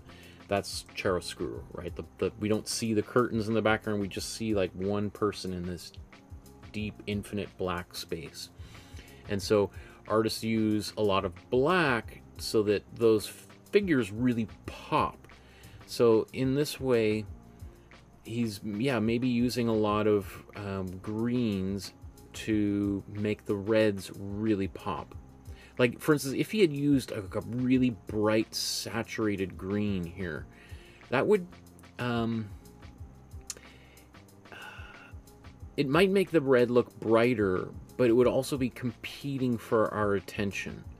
So instead, he's using these greens as a little bit you know, like I was saying, like you have like this red hot tub and green pool. The the colder that pool is, the more intense it's going to make that red look. So by using like a lukewarm green pool water, follow my analogy here, that the the red still seems bright, but it's not like like like uh, overwhelmingly red. Does that make sense? It, took me five minutes to kind of get around there, to, to work my, my brain around there. I yeah, I appreciate the pointing that out, and it's I, I enjoy thinking about these kinds of things. Like how what are artists doing here? Like what are we like what can we really take away from each one of these episodes, these lessons? Let's move on to painting. Let's since we're talking about let's the blouse. Let's do the we're just talking about the blouse. So the let's take I was going to suggest we mix a black, but you know, I look at this, I don't see any black really on this painting. So, uh, which is probably another thing that he would have learned from his teacher about um, Erdely, um, Albert Erdely, uh, who was one of his earliest teachers, who was a really important um, early Ukrainian modernist painter who really brought uh, work by like Cezanne, Picasso, Matisse to Ukraine. Um, that um, and in the Impressionists before them, who also rarely used black. So I was gonna mix a black, but I think I'm instead gonna mix just. It'll be kind of like a black, but it'll be. Let's see. Let's. That's a big brush.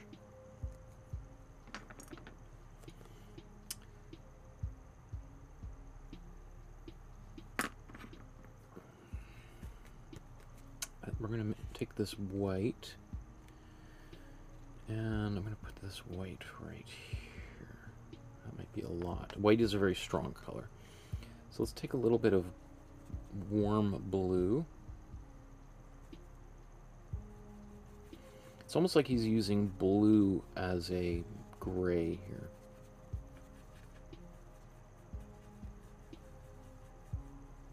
Oops, let me share this.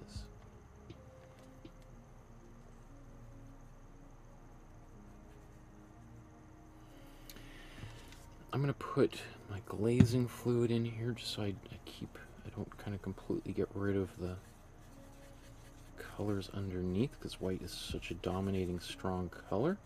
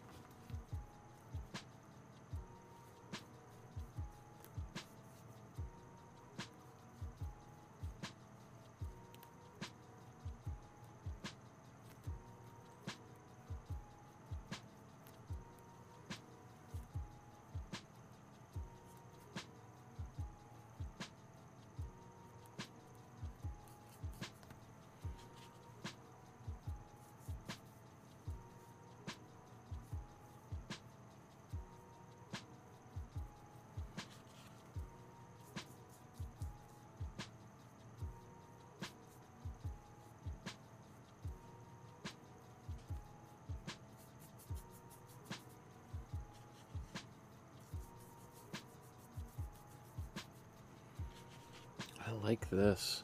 This is nice. And in fact, I can see maybe a little bit of this appearing on her face later on.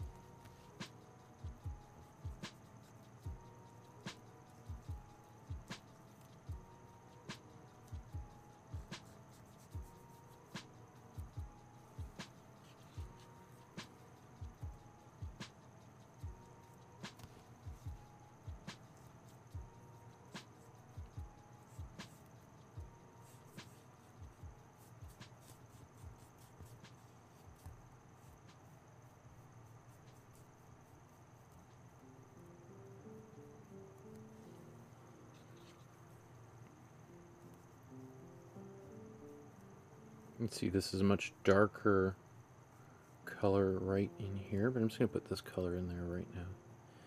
Anyway, despite the fact that I'm going to paint over it the darker one later.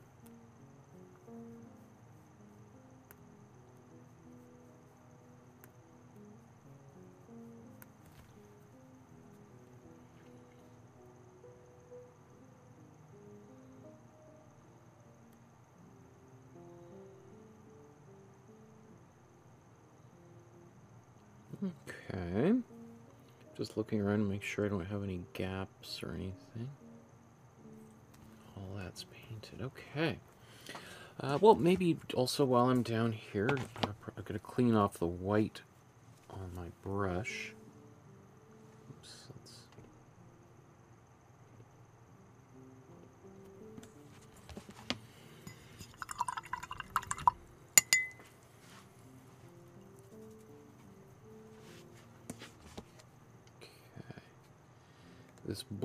This blue is, I'm going to put a little bit of um,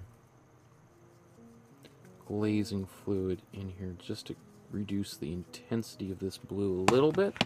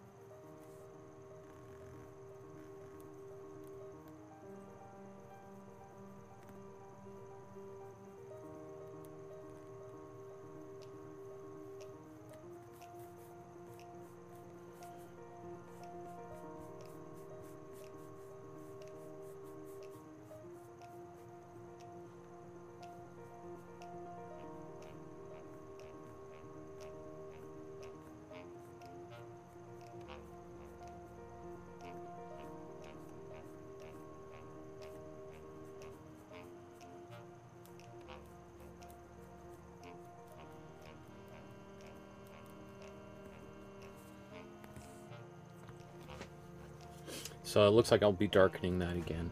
But that's okay. Um, never know until you do it, so I did it, and then I found out that that needs to be a little bit darker. That's okay. Uh, what else? Is that good enough to, so I can move on to her hair and hands? I think so.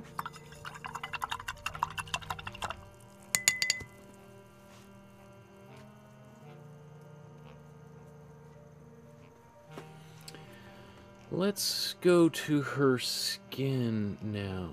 Now that's that's tricky because she's got he's he's using a bunch of different colors in here.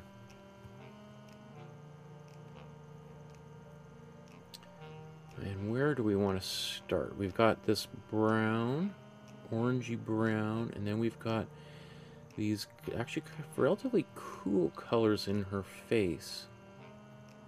I guess there's Okay, so let's mix this brown first.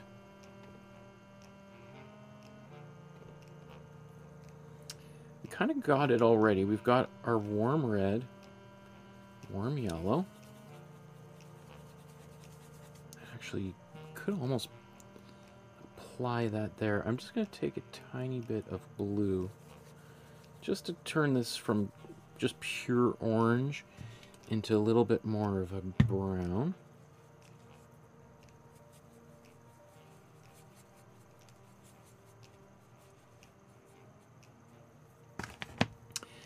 And also, before I go into that, I think I'm going to go work on her hands first.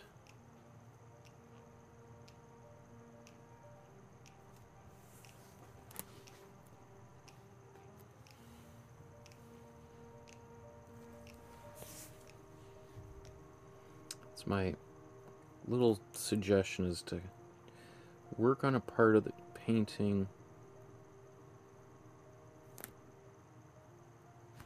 that uh, you know is maybe less immediately visible so that if you're really not happy with it it's maybe not the first thing people see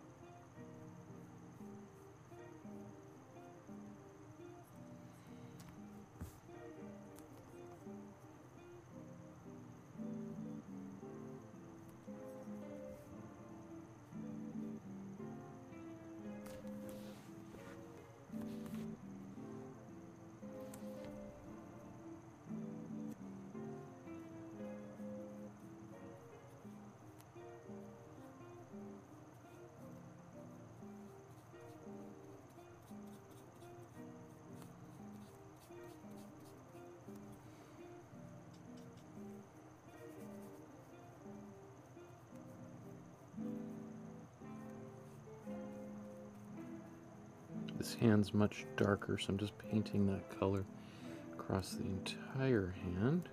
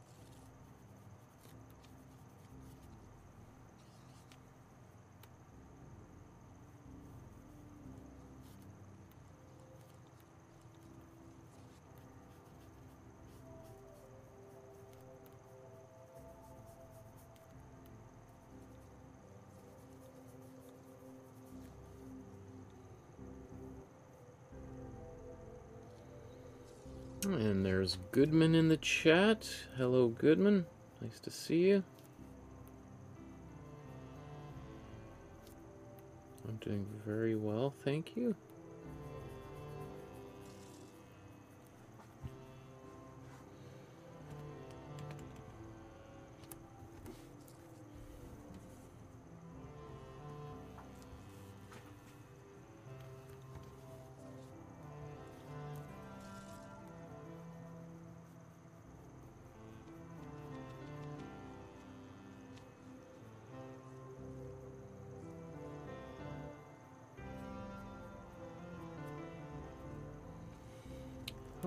Now you might be like, well, I don't see all that color. Well, it's it's there. It's just underneath some other colors. There's little bits of it poking through. I'm always trying to think of like what is the the fastest way to make a painting, most efficient way. And so now I can build those colors on top. And now that those little this little bit of yellow is going to come through greens and browns and anything else as well. Um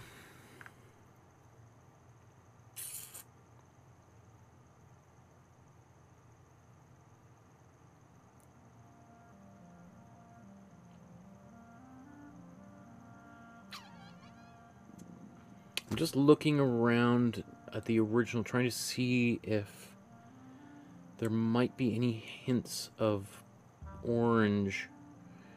I mean, potentially down here, but that's a bit more of a cool yellow that he's got going, so we'll save that.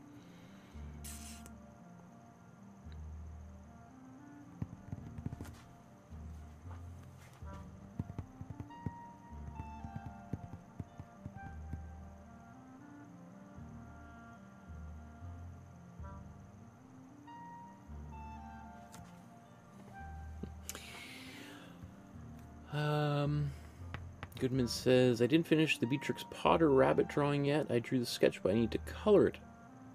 I See, the painting today is more difficult. A little bit more difficult. A, uh, a bit, yeah, for sure. But not not that much more difficult. I wouldn't. I mean, in, in many ways, I'm painting it the same way we did the Harry Potter, Harry Potter, Beatrix Potter. Because I think he this is probably an oil painting, but he's using oil a lot like watercolor. Um, so that's so we're sort of painting this in acrylic like watercolor. I'm gonna blow dry this real quick here.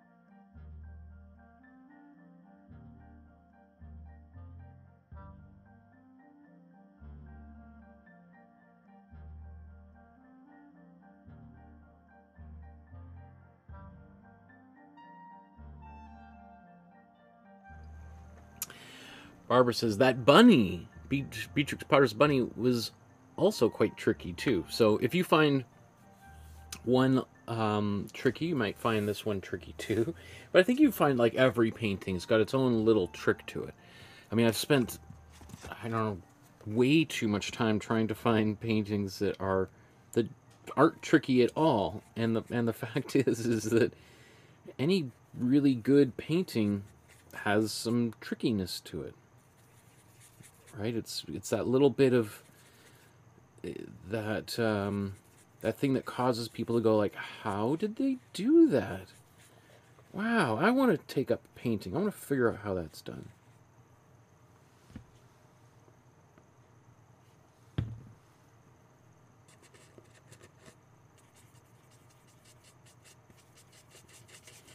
So I mixed a a brown here and we'll apply that brown onto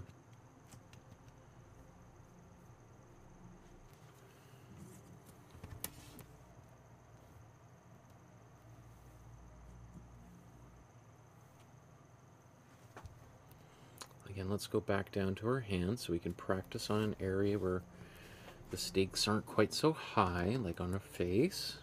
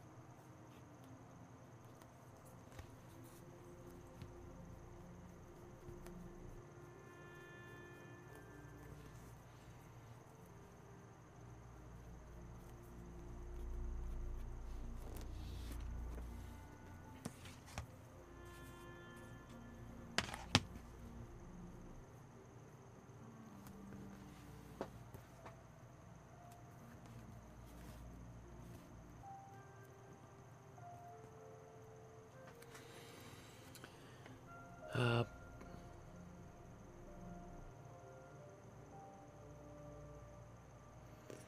uh, Goodman says, I chose drawing the rabbit because it's easier for me. That's total. Yeah, drawing the rabbit might be easier than drawing a face for sure. That makes sense. Um, the drawing and painting I see, you should be in the mood or you will draw something else. Um, yeah, I mean, draw what makes you happy. Paint whatever makes you happy. The, the, if you're, it's very hard to make art about things you're not interested in, right? Um, which you could see with today's artists. Kotska, like when Stalin said, "This is, we don't like this kind of painting. Stop making this kind of painting. Paint heroic figures of soldiers and people working in the field that are all strong." He's and make them look like they're photographs. Kotska's like, oh, really? Oh man. I just, I'm okay. I'll do a little bit of it, but I'm not going to go all the way. I'm still going to do what I like to do because I just, i would ra- I'd, I'd rather just go out and plow the fields than make paintings of stuff I'm not interested in. Right? Uh, Barbara says, I'm loving the use of glazing fluid, mixing the soft tones with vibrant color. Totally. Um, I think uh, glazing fluid, if you've never used it in your acrylic painter, it's going to just totally change the way you paint.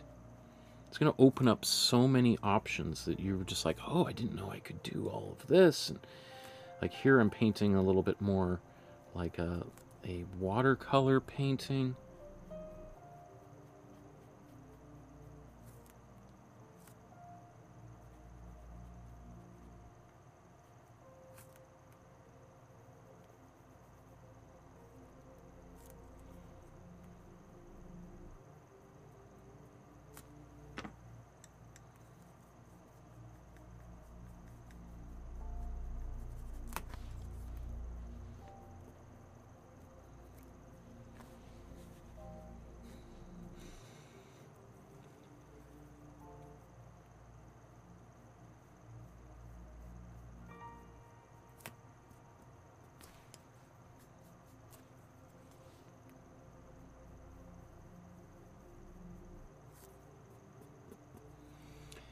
Ability to just get that little bit of that um, reflected light by just darkening in certain areas.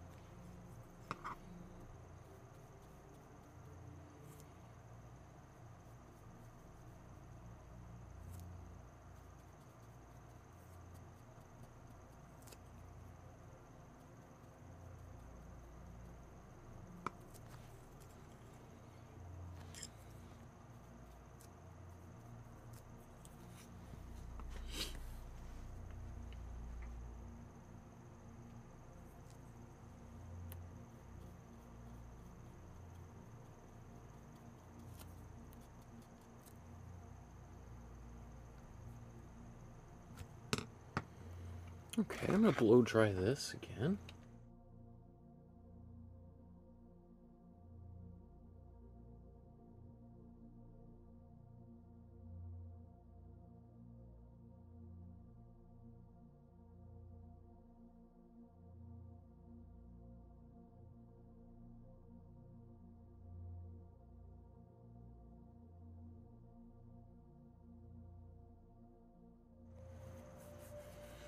You make a great point, Goodman. You say uh, I say that because I tried it before. I tried to draw when I wasn't in the mood, and then I drew another one when I was in the mood with the same photo, and I saw a big difference between the two.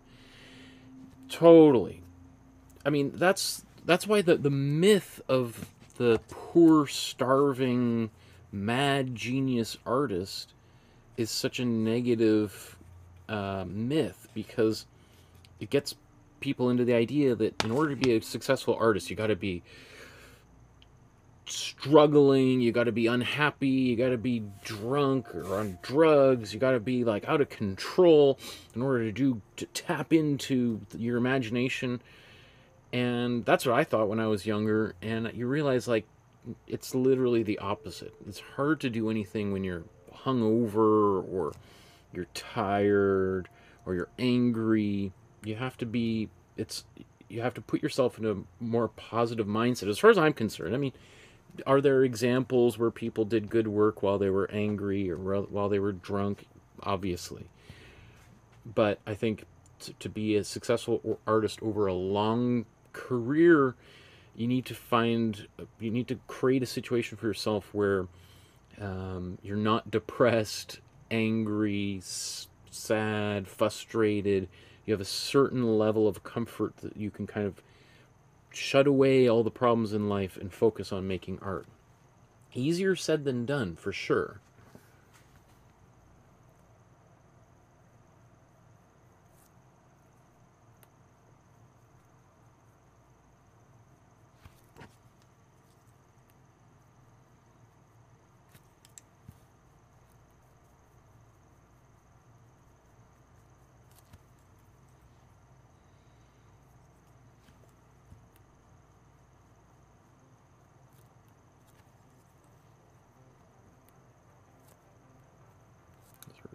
Collarbone here.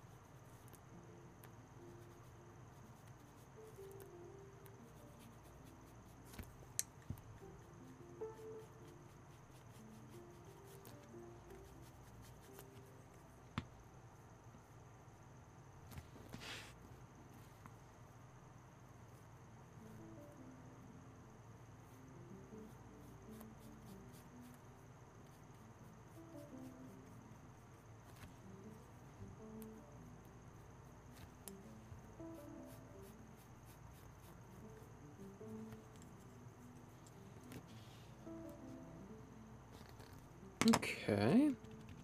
That might be enough for the brown this time.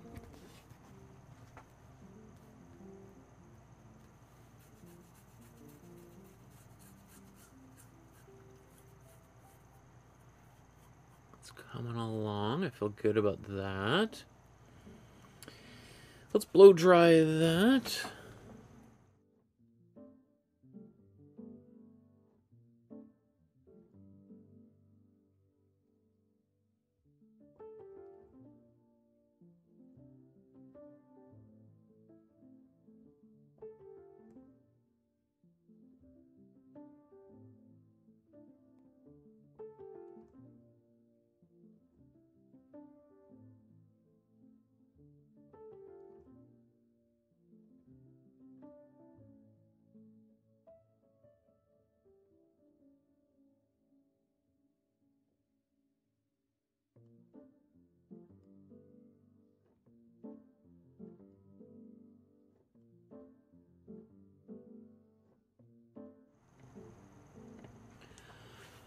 Says, That's what I mean. We are trying to fix our mood when we are facing the success. We will facing problems and depression and, and anger and anxiety.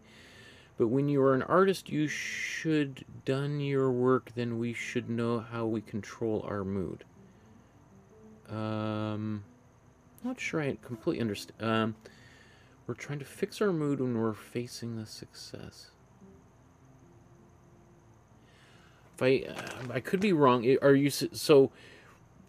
Um, when you, when you, when your work looks good, when you're happy with your work, it will also make you feel better, um, and help lift you out of depression. And so, yeah, there is a little bit of, um, it, it I if I understand what you're saying, there there is it's a bit of a chicken and the egg thing as to like what comes first. The um like what helps lift one like how do you how do you get to a place where you're you're not depressed? I think maybe we're all a little bit depressed in the contemporary world. Uh, making art is one way to help lift ourselves out of depression. So, yes, you can start making art when you're depressed, and that can help alleviate some some feelings of anxiety and sadness. And then you, the ball can start rolling, like, and then you then you start to feel better, and you want to make more art, and then it more art makes you feel better and better and better, and things. So that's why, you know, um, art can be such a useful tool for people that are depressed or anxious because it really takes your mind off of all of the anxieties of regular life. Hmm. what I mean is when you're uh, when your work is fantastic, you will get much more works and arts. Yeah, definitely yeah, it's a lot easier. To, it's a lot easier to to make work when you're feeling good, and you will probably make better work when you're feeling better and less stressed and anxious. But also, making art can be a way to help make you feel better. That's one of the magic things about making art. Is it possible that you make you'll make art and you're not going to be happy with it and it can make you feel depressed? Sure. And I think that's one of the biggest hurdles when it comes to, to making art that's one of the things like it's but that's common when we learn any new technique whether you know the first time you ever tried to ride a bicycle probably fell off a few times scraped your knees and you're just like why am i doing this? I hate this. I don't want to i guess i don't want to learn how to ride a bike. I keep falling off and hurting myself. And then you try it again and people like oh, you see your friends biking around like oh, i'd love, really love to do that but ah okay i'll try again. And then you're able to stay on your bicycle for like 10 seconds without falling off. And it's like, oh, I can do this. I can really do this. And then you're like, okay, okay. But then you fall down again. Oh, but I did do it for a short period. Okay, let's try it again. And you, then you start being able to bicycle, use your bicycle without falling off for two minutes. And then you get more and more excited the more and more you want to do. So, you know, whereas I think sometimes people, when they start trying to, to make art, they get depressed because it's not turning out the way they want, and they get very frustrated. Um, it's just remember, just like anything else, there's going to be those inevitable struggles, and just have to power through that a little bit. Okay, just realized I think I need a bit more brown.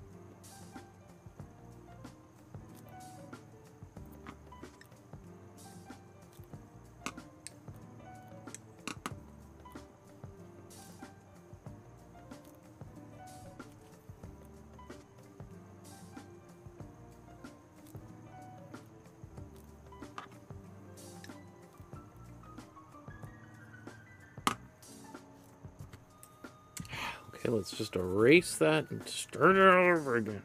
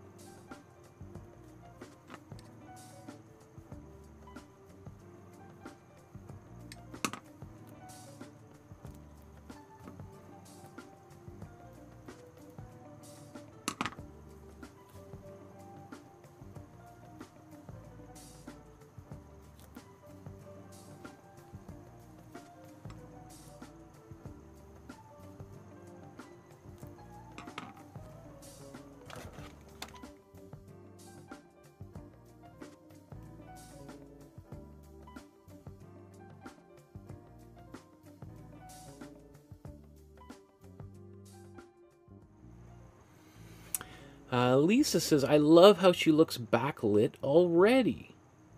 Awesome. Deborah says, the this looks really good, Michael. Her face is amazing. Aw, you guys are so sweet. Still some work to do here, but yeah, we're, we're making progress. Um, to the point. Let's do her hair. I was going to say let's go to the background again, but let's do her hair first. Um, so her hair is like a, a basically a green, like a brownish green, a warm brownish green.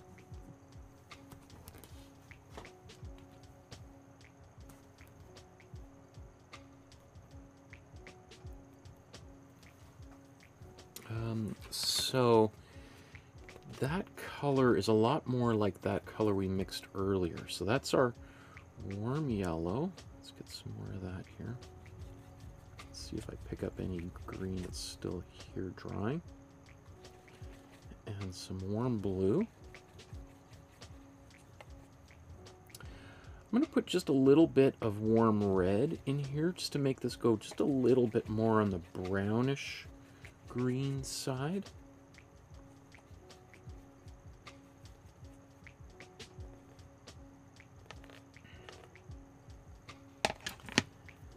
Use a smaller brush here.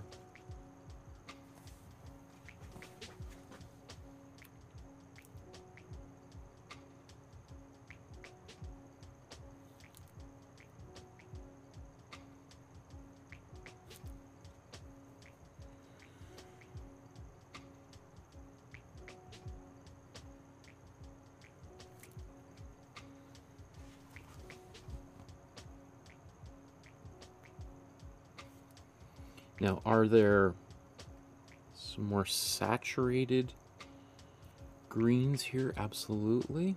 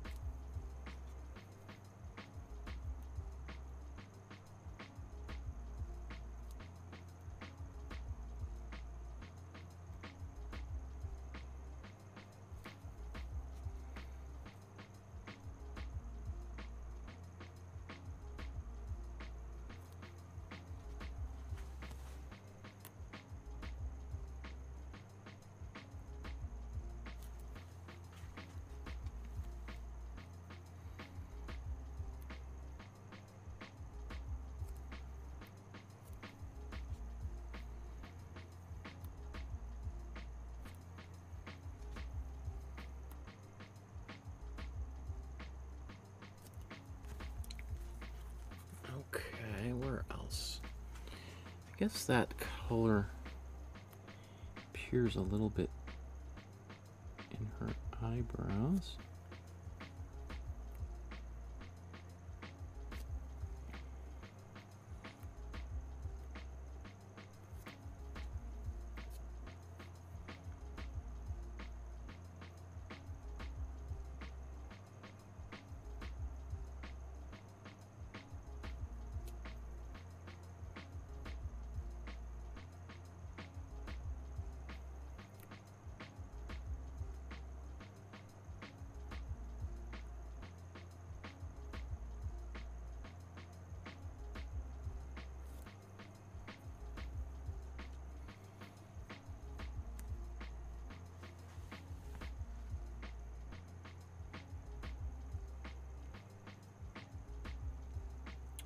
Okay, maybe that's good enough for that color.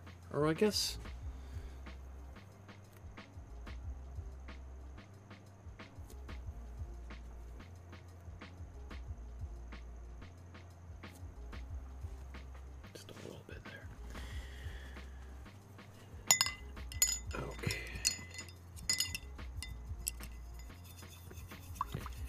Barbara's signing off today. That was wonderful to watch so far. Thanks, Michael.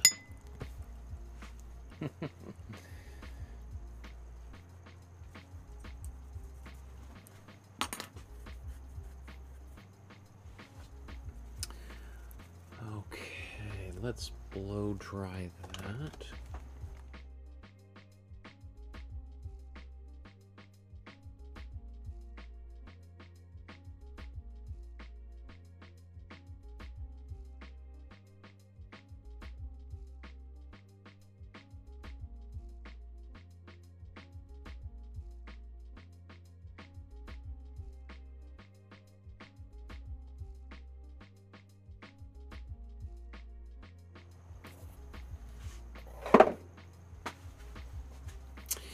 Now let's go for a more saturated green using cool green in her hair.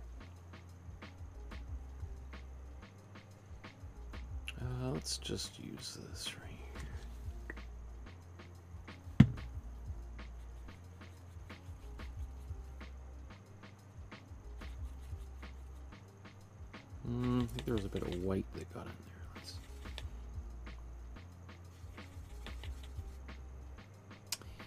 maybe that's a cool. There we go. Cool blue and warm yellow. That's the color we want.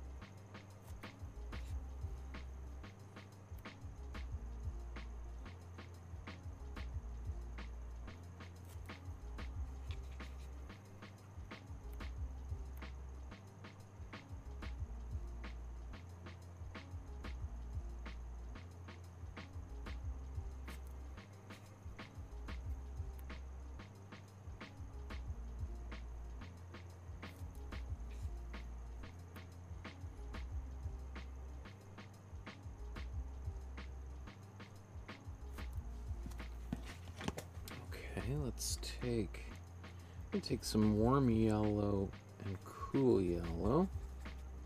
A little bit of green.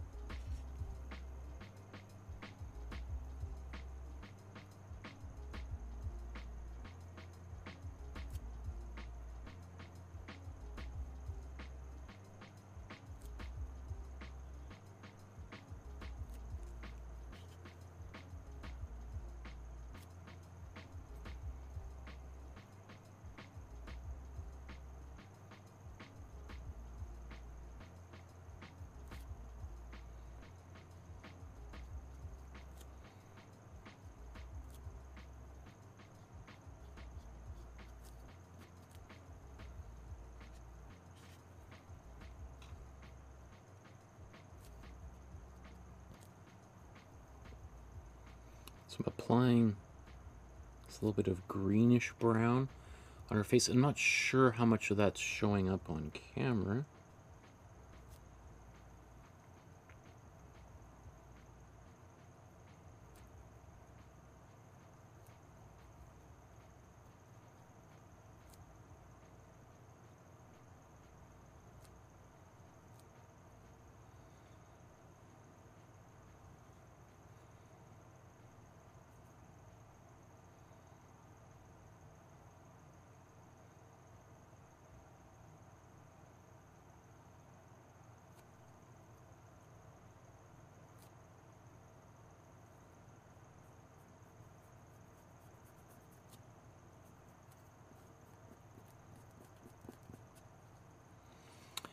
just putting a little bit of this into her skin.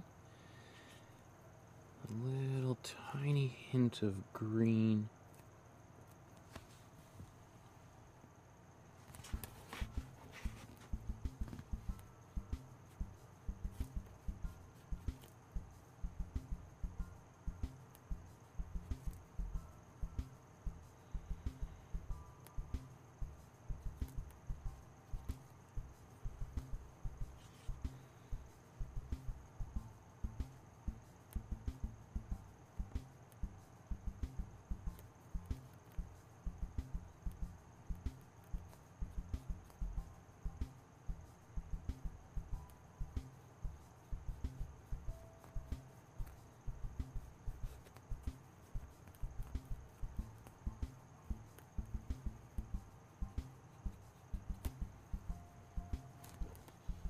Those little variations are very satisfying for the viewer to see that kind of stuff. So, uh, let's. What if we do this?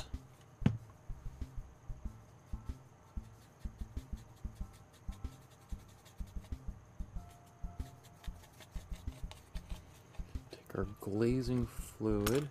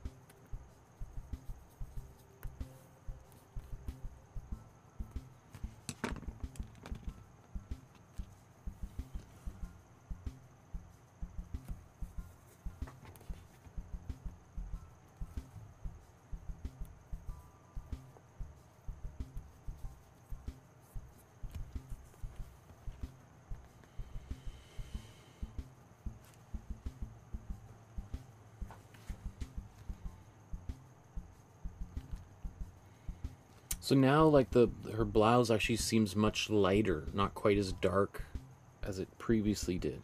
So all those things, everything's working out exactly the way I want it to. We're not we're not quite done yet, but uh, we're, we're getting closer. I think I just want to put a little bit of lipstick on her. And then I'm going to move back to the background.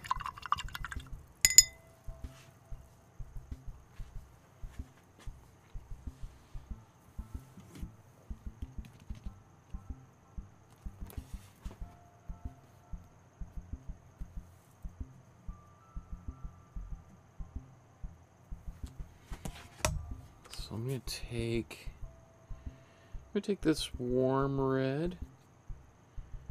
I'm going to take just a little bit of, sorry, warm red, just a little bit of glazing fluid to thin it down just a tad.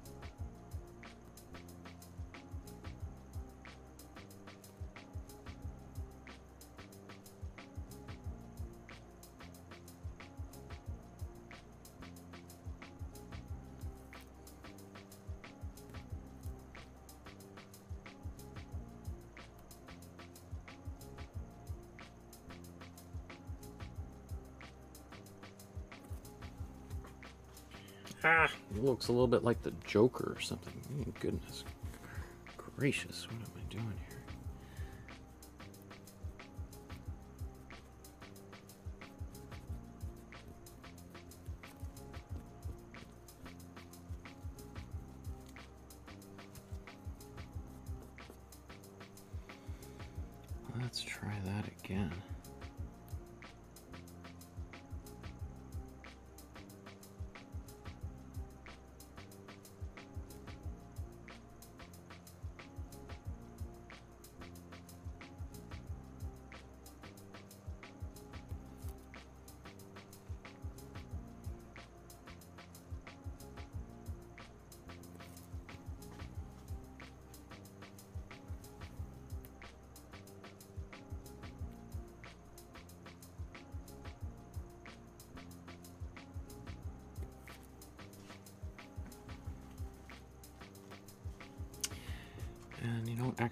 A little bit of red.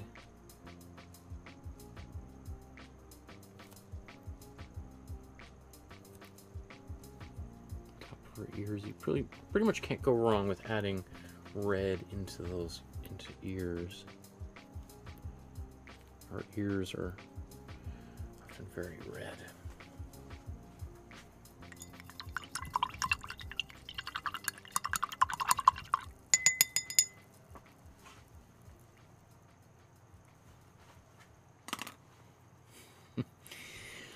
Um, okay. Let's, yeah, let's go to the background now.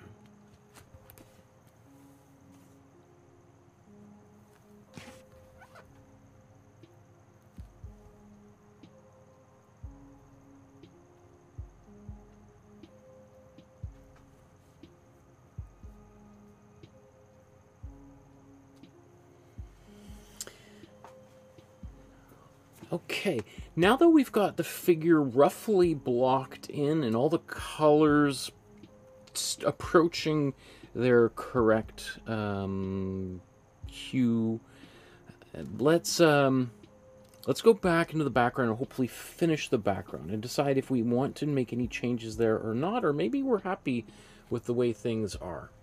So there's the original, or sorry, there's mine. And then let's look at them side by side for a moment. Okay, so he's got more saturated blues and teals and even purples back here. Um, do I want to do that? That's the first question. Is it, does it, will it help in any way? Well, I kind of like the pastel back here, but I do think I need to to dial up the saturation like another 20%. So let's put some glazing fluid here. I'm going to start with my greens. So I'm going to take that cool yellow. And I'm also going to add a little bit of white. Tiny bit of it.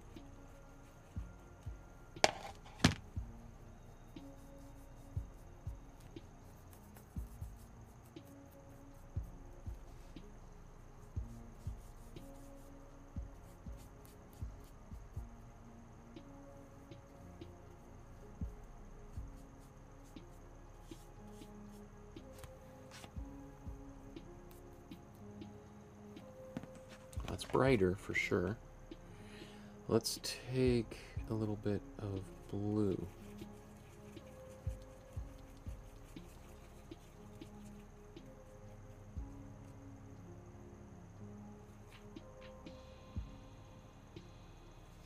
Let's first I'll see the room where I want to use. This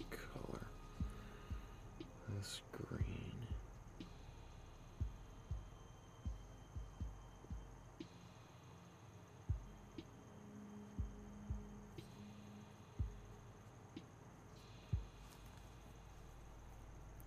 darker. Just careful. I I need just more blue.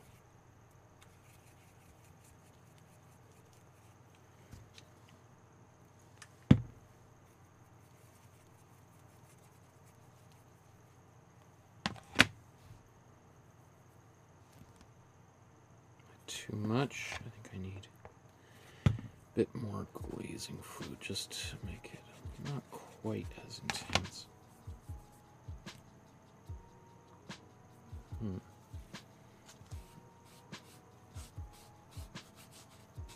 And that is more bluish, so let's add more blue into that mixture.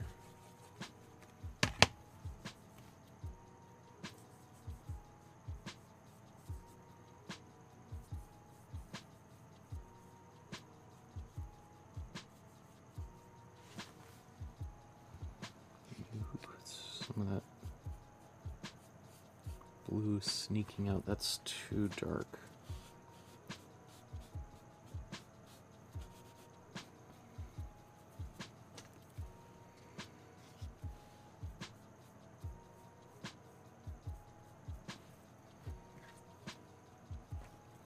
Well, she's not bad.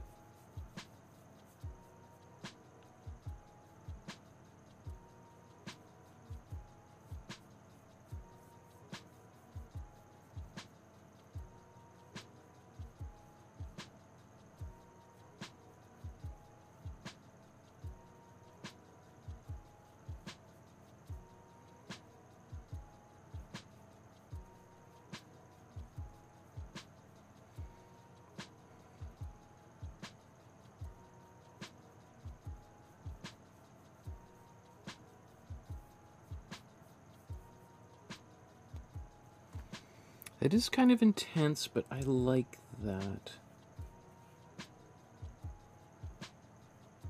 Especially for these hills that are a little bit closer to her.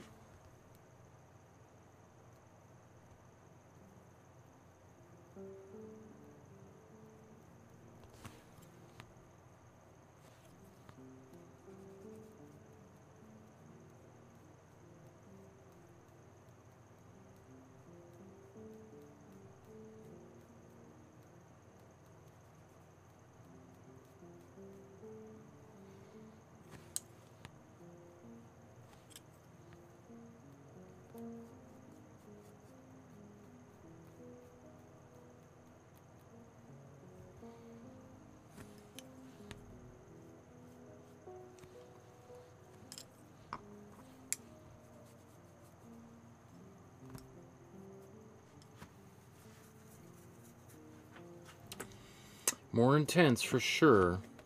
I think it's okay. It's okay. Uh, I'm going to do a little bit more of that, but I'm just going to take glazing fluid, put that my brush, maybe take a little bit of color.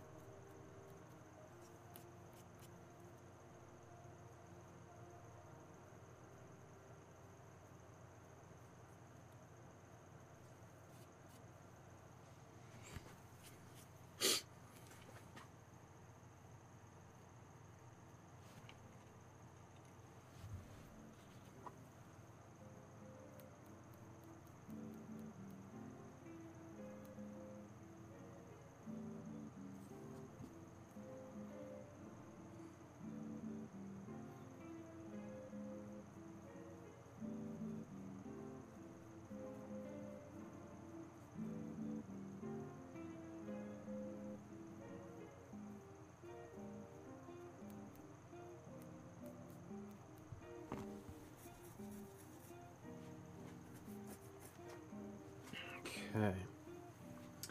Now I'm going to do that purple again.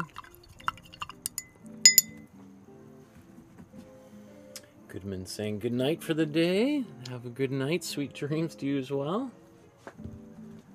Let's get our purple back in place. I think I'm going to do a little bit of a more slightly saturated purple.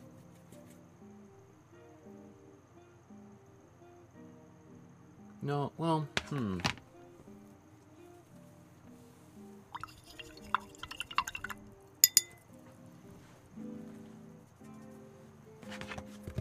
Never mind. I think I'm going to keep it the same way. Well, It's like a little bit of,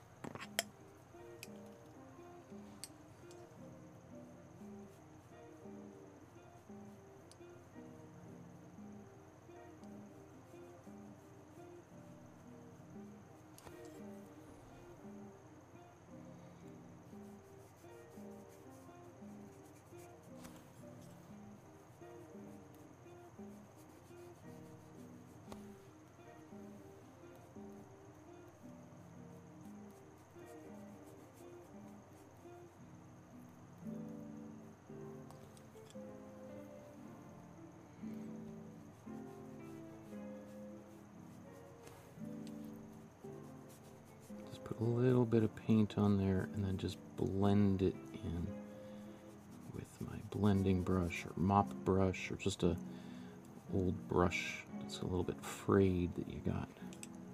Not afraid, but a frayed brush, right? It's kind of a little bit frayed on the edges.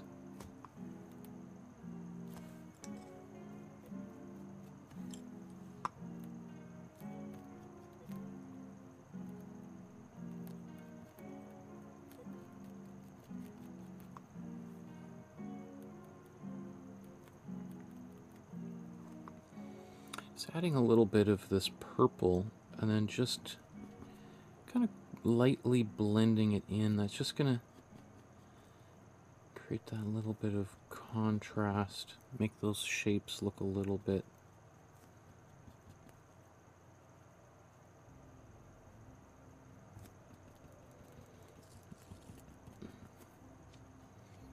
pop just a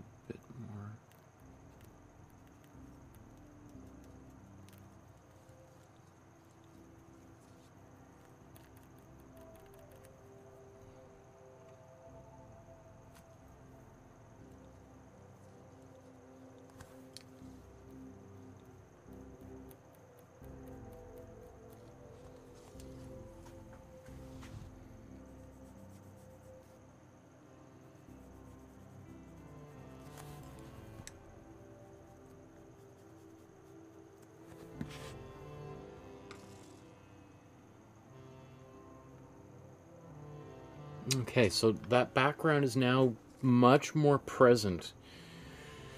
So um, maybe even a little bit too much. Maybe a bit too much. I might have overdone it a bit. Um,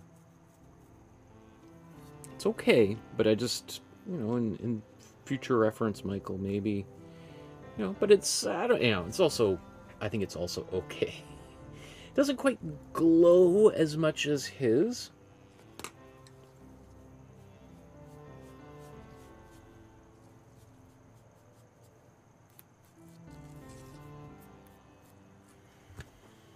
But I think once I, I kind of darken a few things down, because I still have more darker stuff to put in the hair and in the skirt, etc. I think it's going to be good. I'm not going to get too worried about it. Because some of the, when we start putting lines into the foreground, that's going to really propel the foreground, the elements, the figure it's going to launch forward, right? So I'm not going to worry too much about, about what's going on back there. Let's do a brown, a cool brown, cool red, cool yellow, cool blue.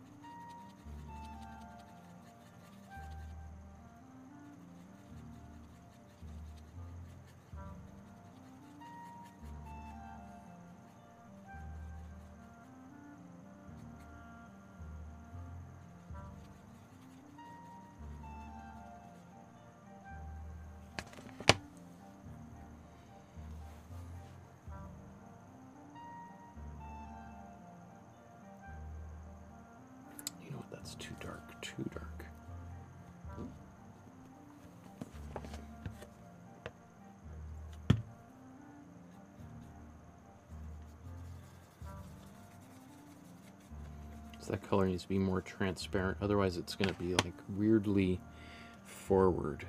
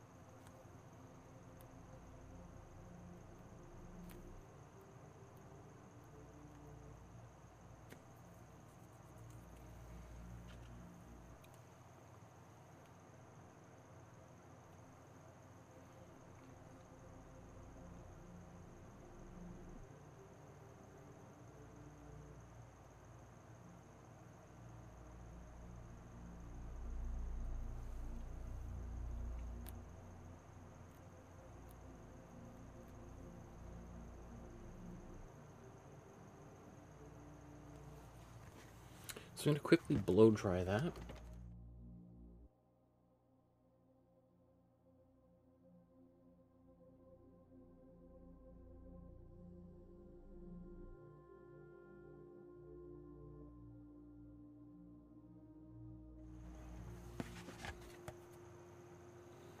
Let's just make this a bit more of a brown.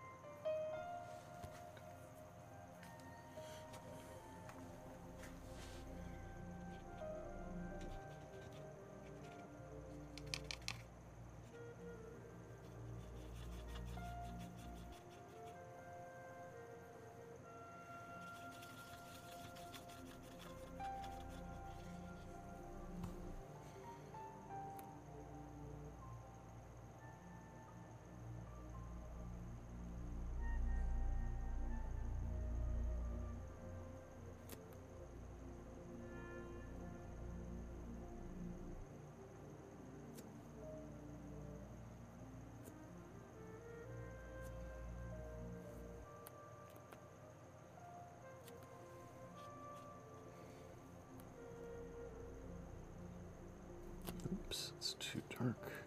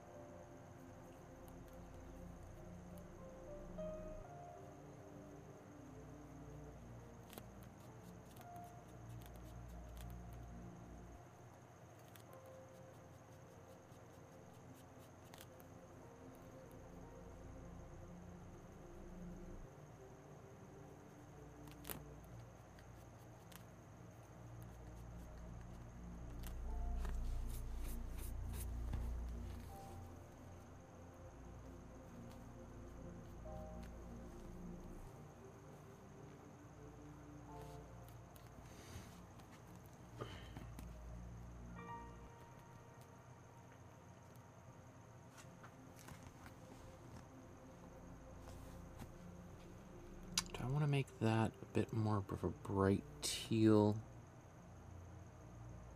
Or even make it a lighter green?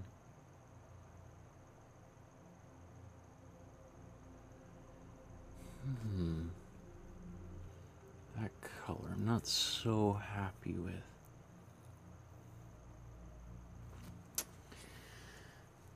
Let's see.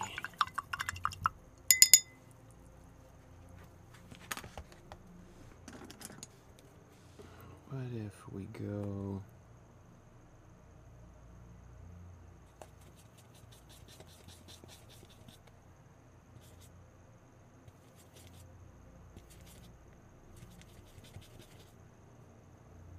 It's a lot of white, Michael.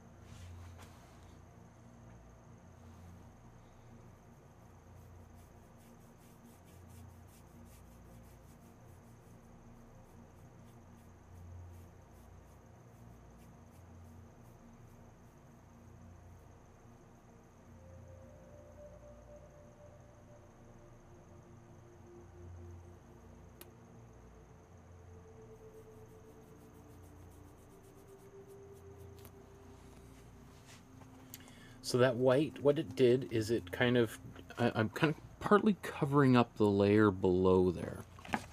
So that, and I'm going to blow dry this.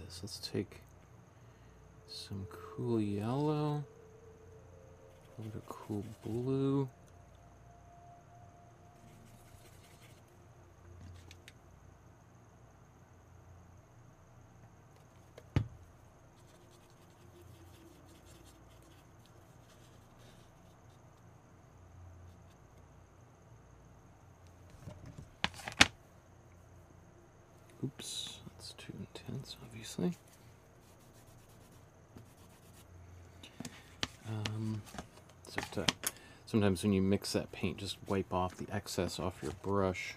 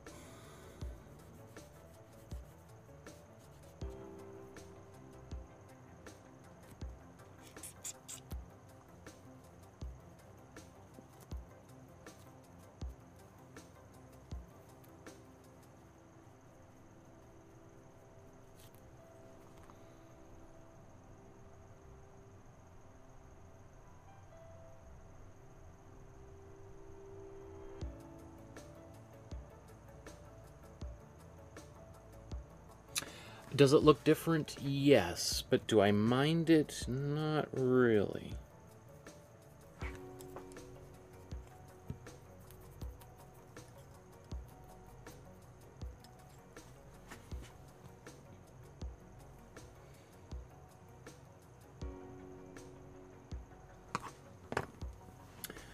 I think last little bit that I want to do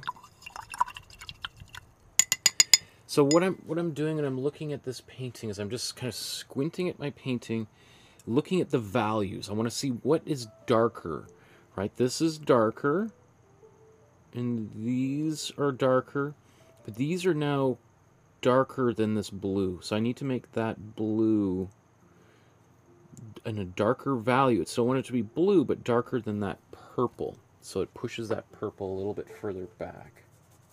Conversely, I could make the purple a little bit lighter, but uh, let's see if we can do this with just blue.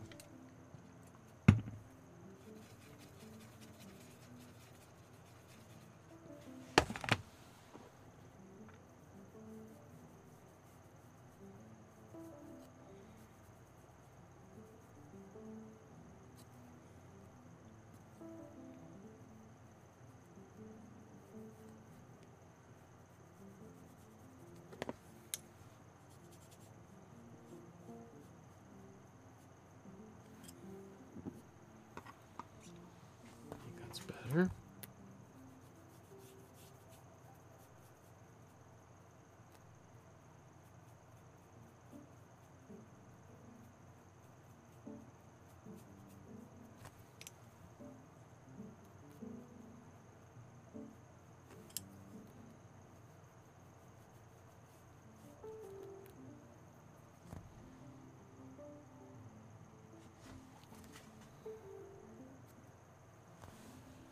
Ah. Drip of water there.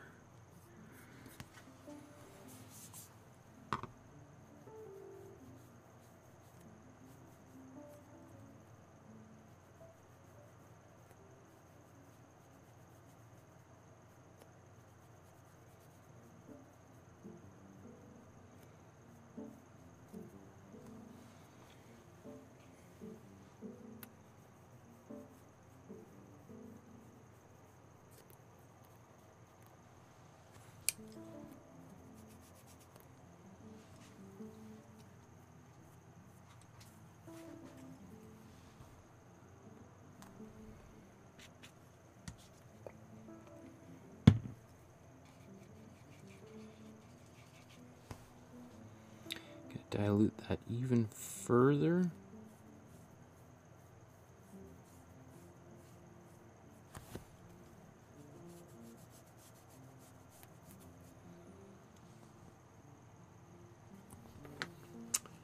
I think that's okay.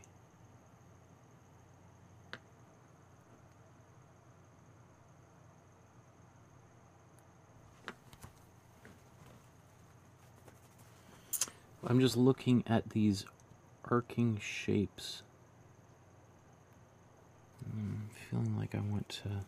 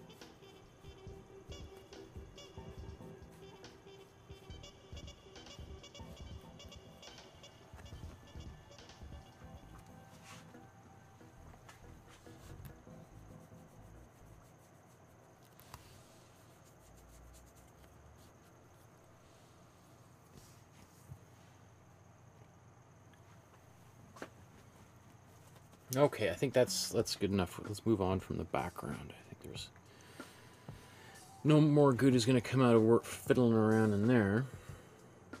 I'm happy with it, uh, but uh, time to move on, right? Let's. So now what I want to do, I feel like I'm happy enough with the background that I can move on and complete the foreground. So uh, let's do that right now. We want to do um, her skirt, her blouse, her hair, even color in her face. There's a, a little bit of work we got to do here, but it's all little detailing stuff. So the majority of it is well established, I think.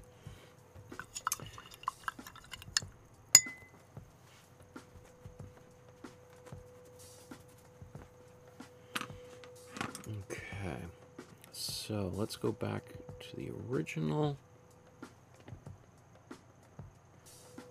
Side by side. What we need to do is darken hands and face. Maybe let's do that straight away here.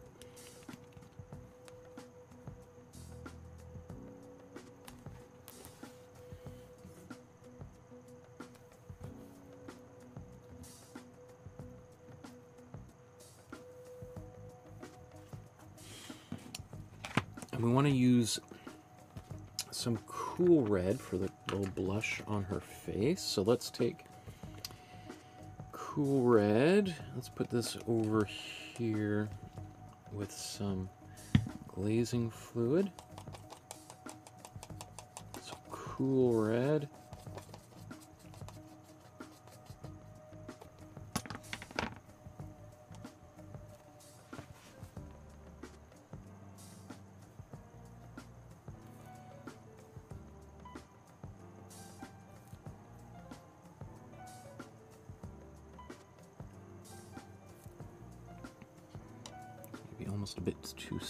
But that's okay. We can keep, I mean, sometimes that's really nice. It gives us lots of wiggle room here.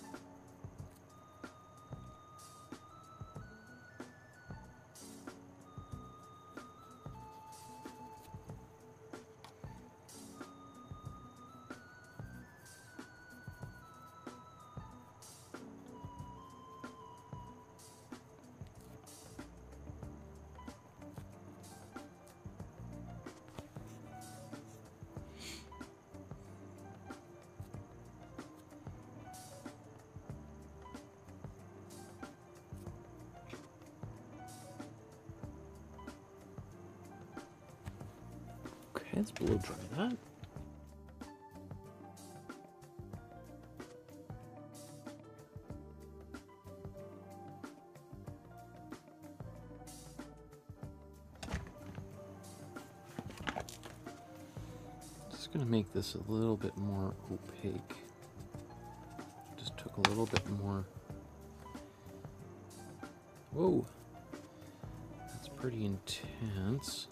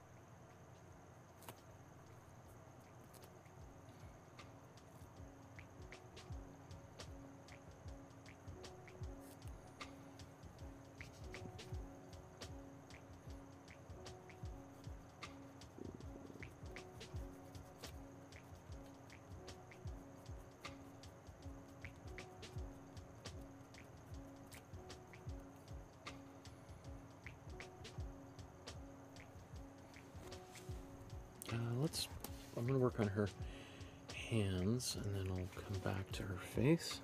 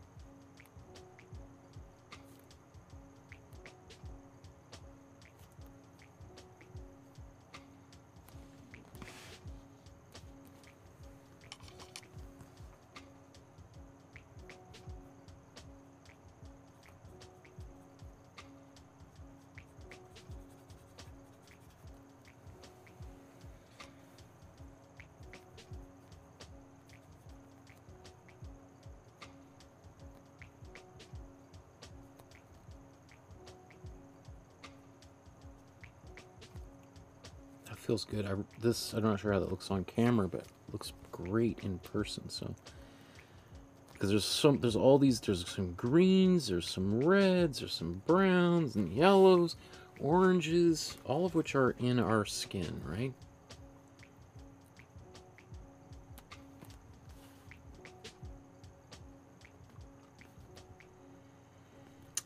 Uh, I do feel like I want to add just a little bit of bluish white into her face underneath her nose there.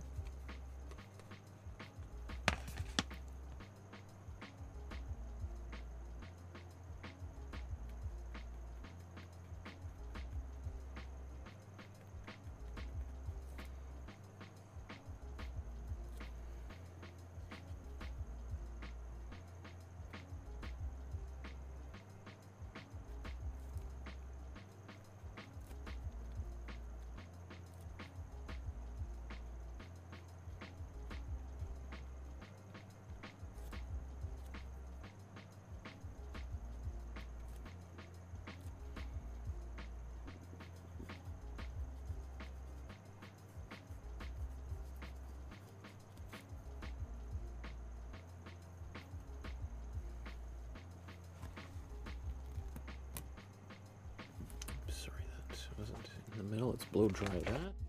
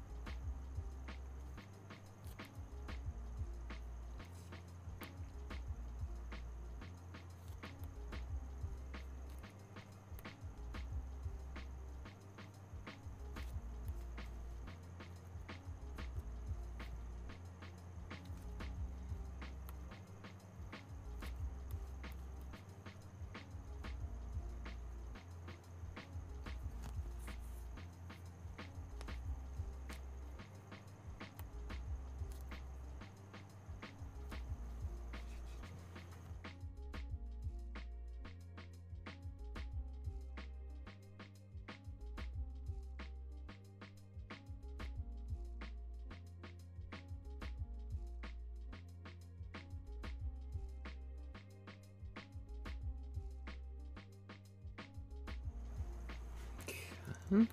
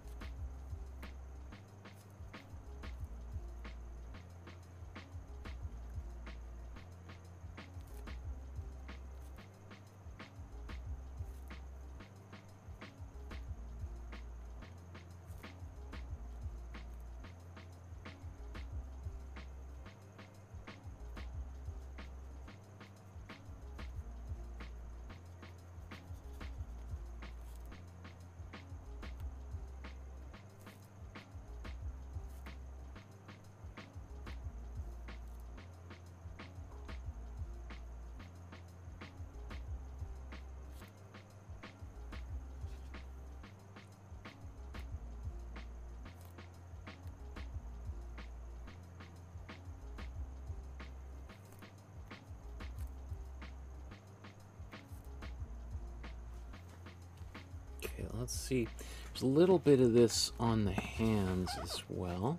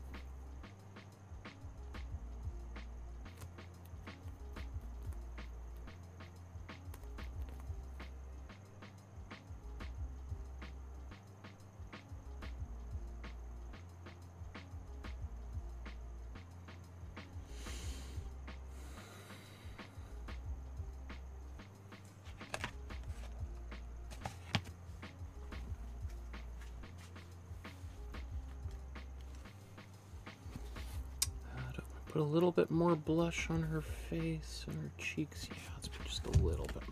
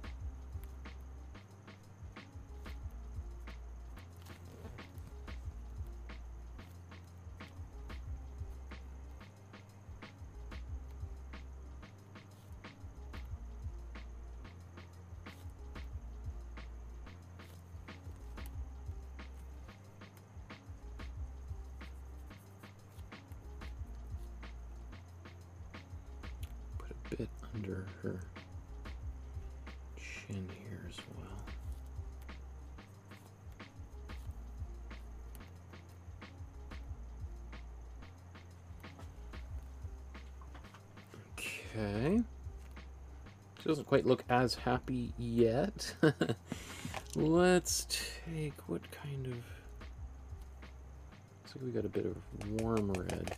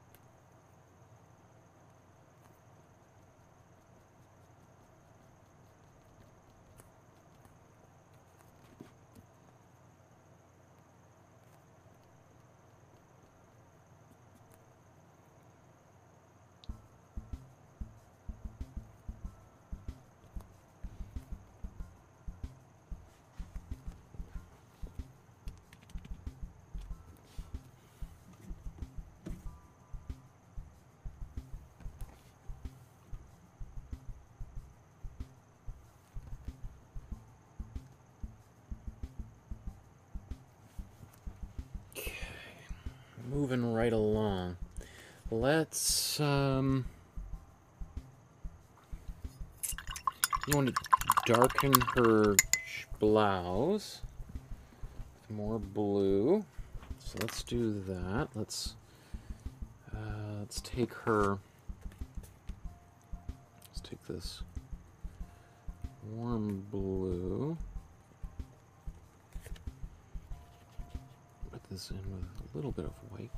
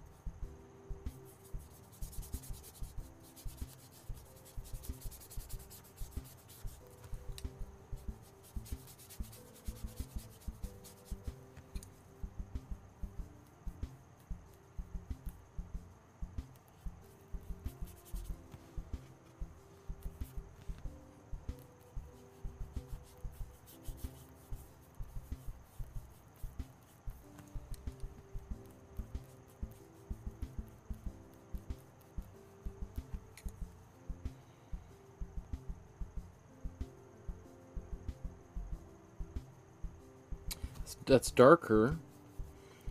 Um, I again, I'm always a little bit reluctant to go too far because it's possible that um,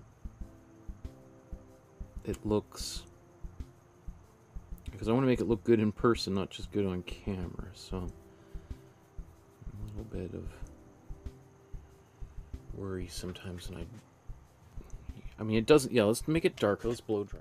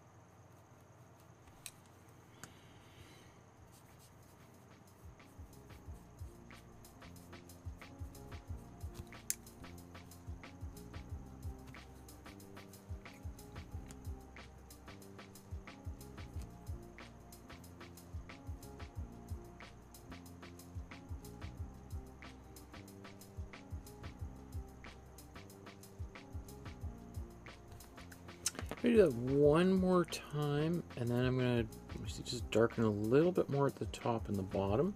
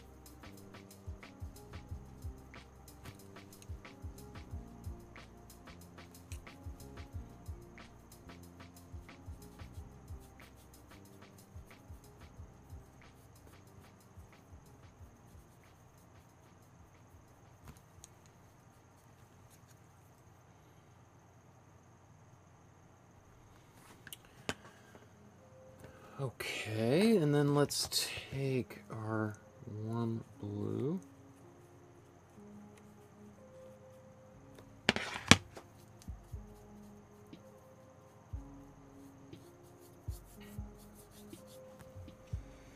So this is just the warm blue out of the tube. There was, I did mix it in with a little bit of glazing fluid that I just had on the palette.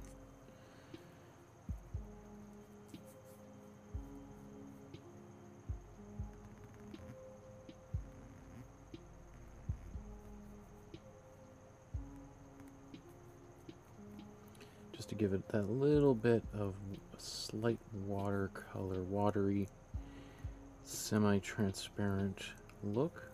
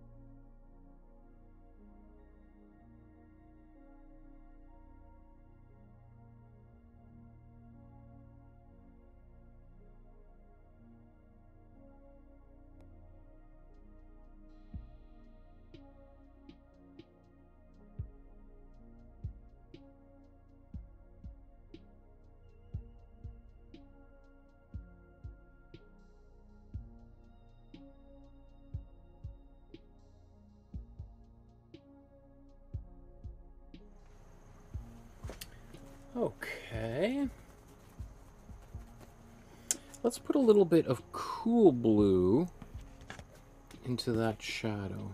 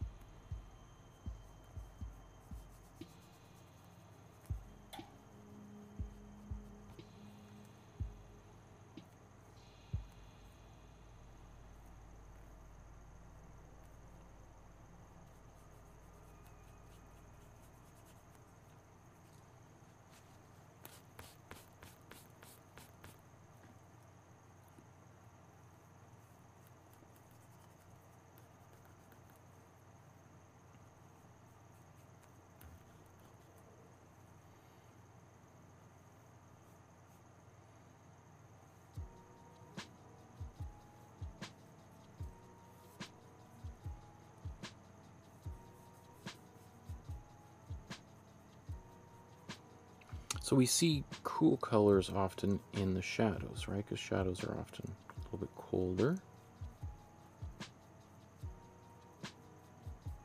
But not always. Depending, it's always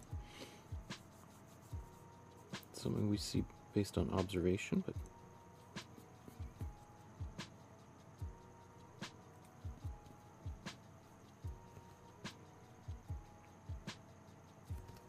sometimes depending on like the reflected light, your cool your shadows might be actually kind of warm.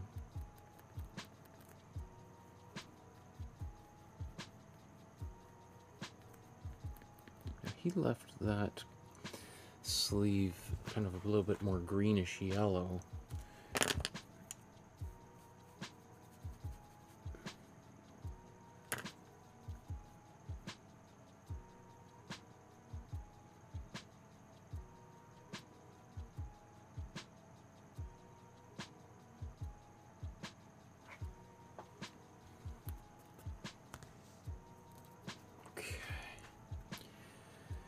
think I'm.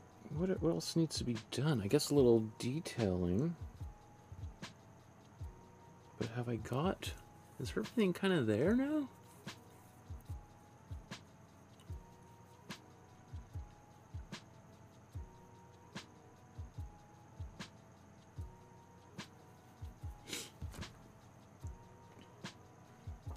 I think we're, we're, we're doing really well, so let's just put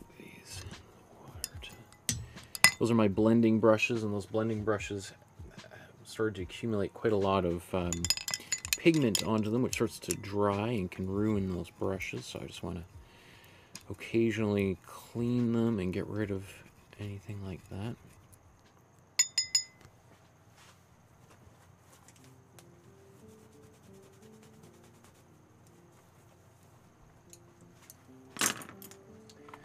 Now remember I saved part of my original paint from that first layer. Let's see if there's any paint still uh, in here that hasn't dried, and there sure is. The reason why I do that, I want to go back into this hair and get rid of that dark outline.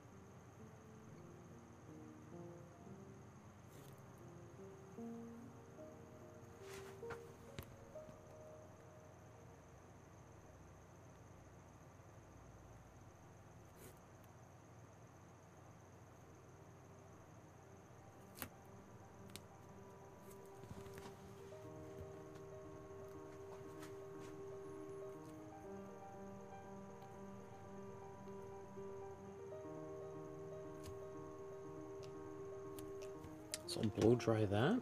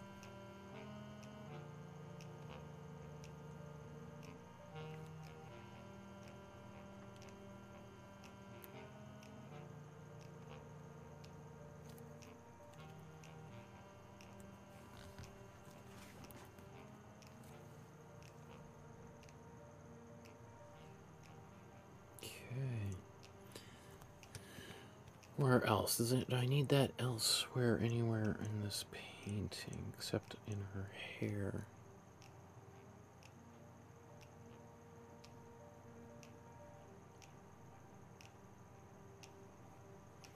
How about do we want to add, there isn't one, but maybe do we want to add a extra little square down here on her dress? Let's do that.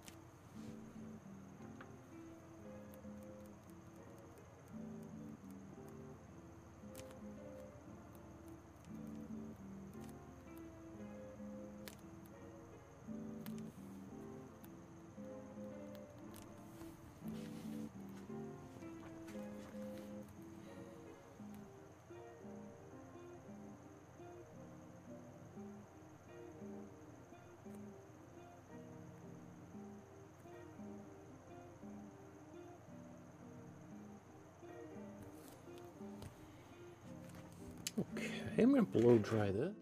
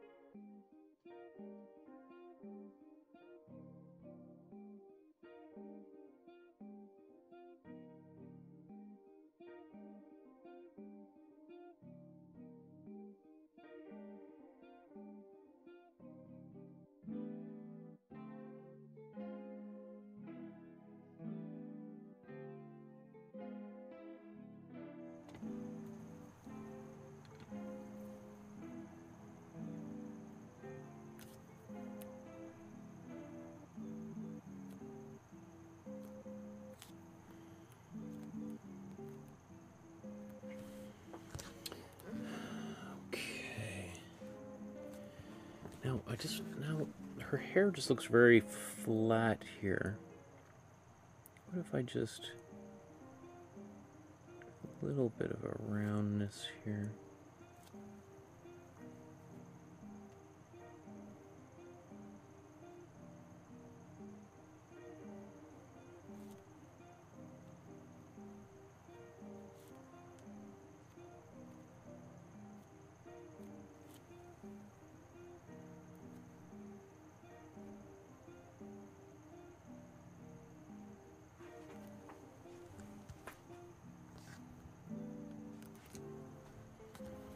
Okay, I think that's that's good.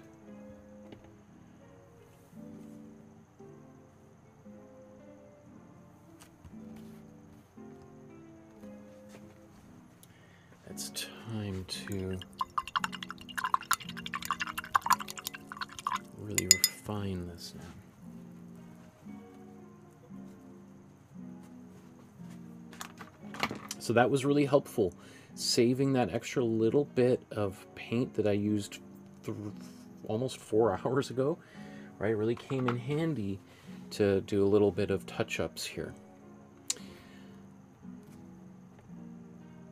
Now let's...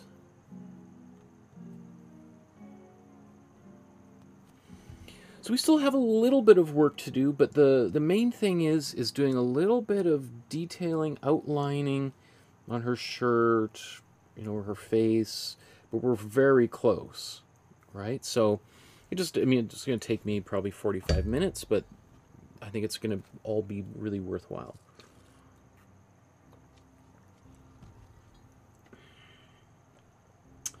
So there's the painting as it stands. Good point. Uh, Lisa says, does she have freckles? And if you look at the painting, let's let's uh, zoom in here. I don't know how many freckles do you actually see there. It's pretty. I mean, maybe on her cheeks. Maybe we could add a few extra little freckles there that are aren't quite so visible.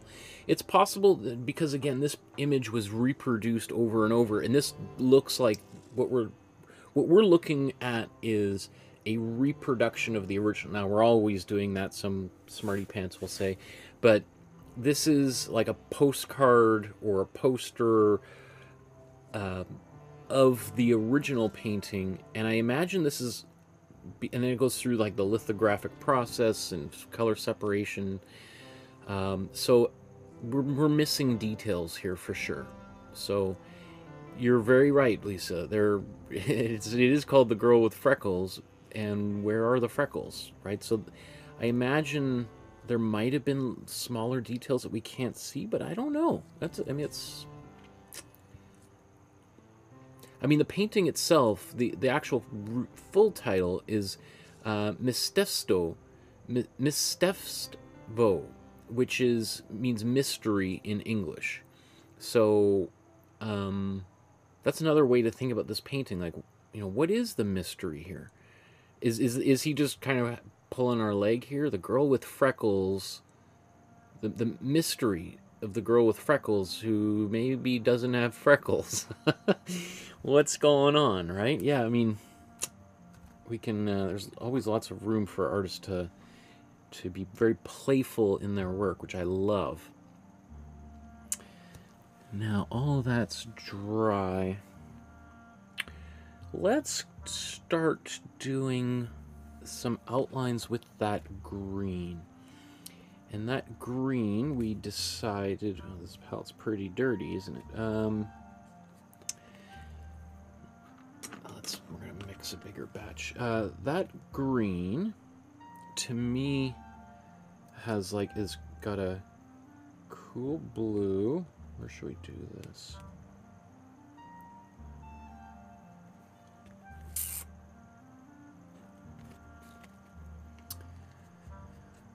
Cool blue and warm yellow. Gives us a fairly vibrant green, but it's still, sorry, but it's still um, kind of muted a bit. It's not as, as saturated as, let's say, an electric had we used the, the cool yellow.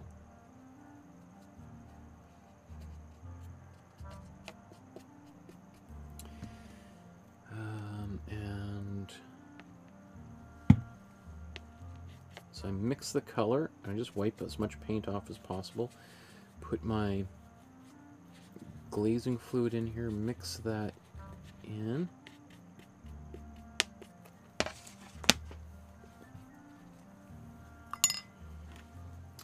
And then let's go to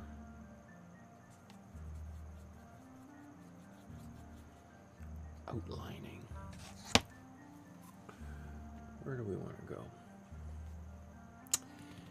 Let's build up our confidence in an area where we're pretty confident people aren't going to be spending too much time looking too closely, which might be this pattern on her dress or blouse here.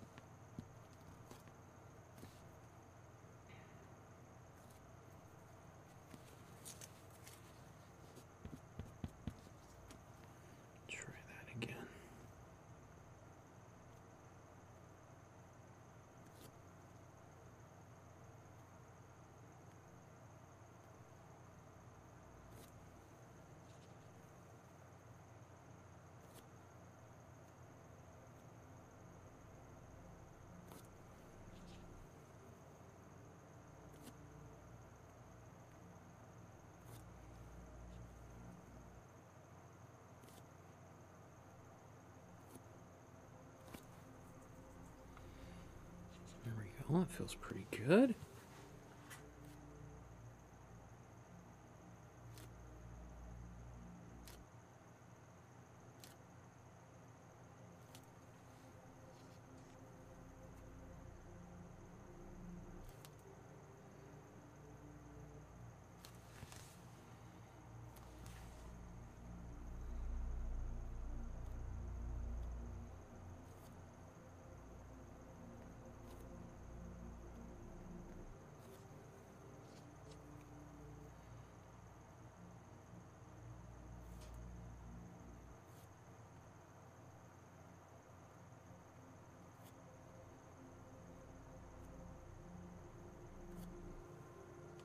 Right now I'm doing some bolder outlines. We'll come back to um, a little bit deep, more desaturated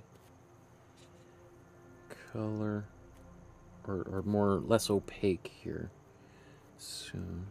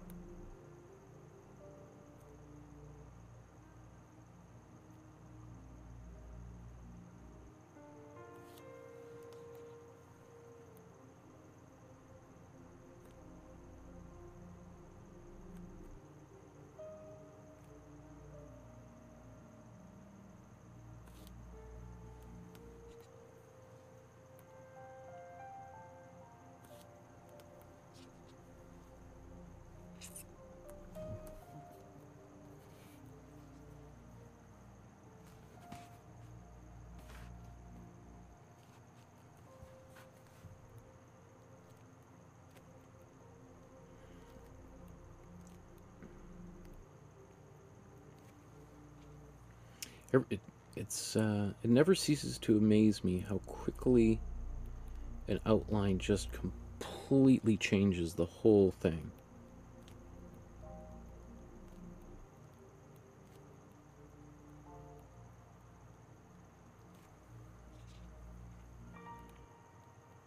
I've been doing this for decades and it always surprises me. It's like, wow, it really needed an outline there.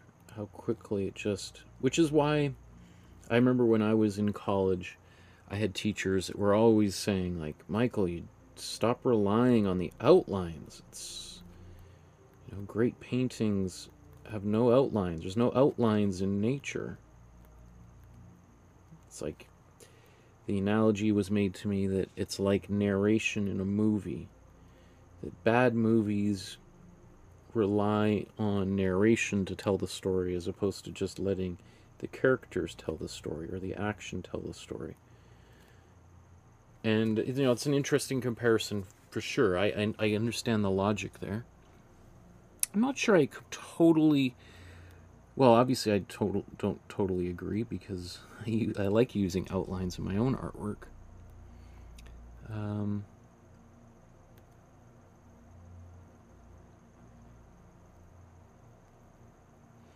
but I can understand the the criticism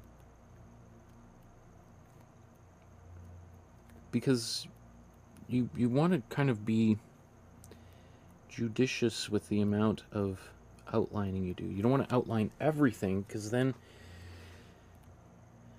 it looks it it, it uh, everything will especially if you outline everything like the stuff in the background it's going to really flatten the space. So you only want to you want to do a minimum of outlining.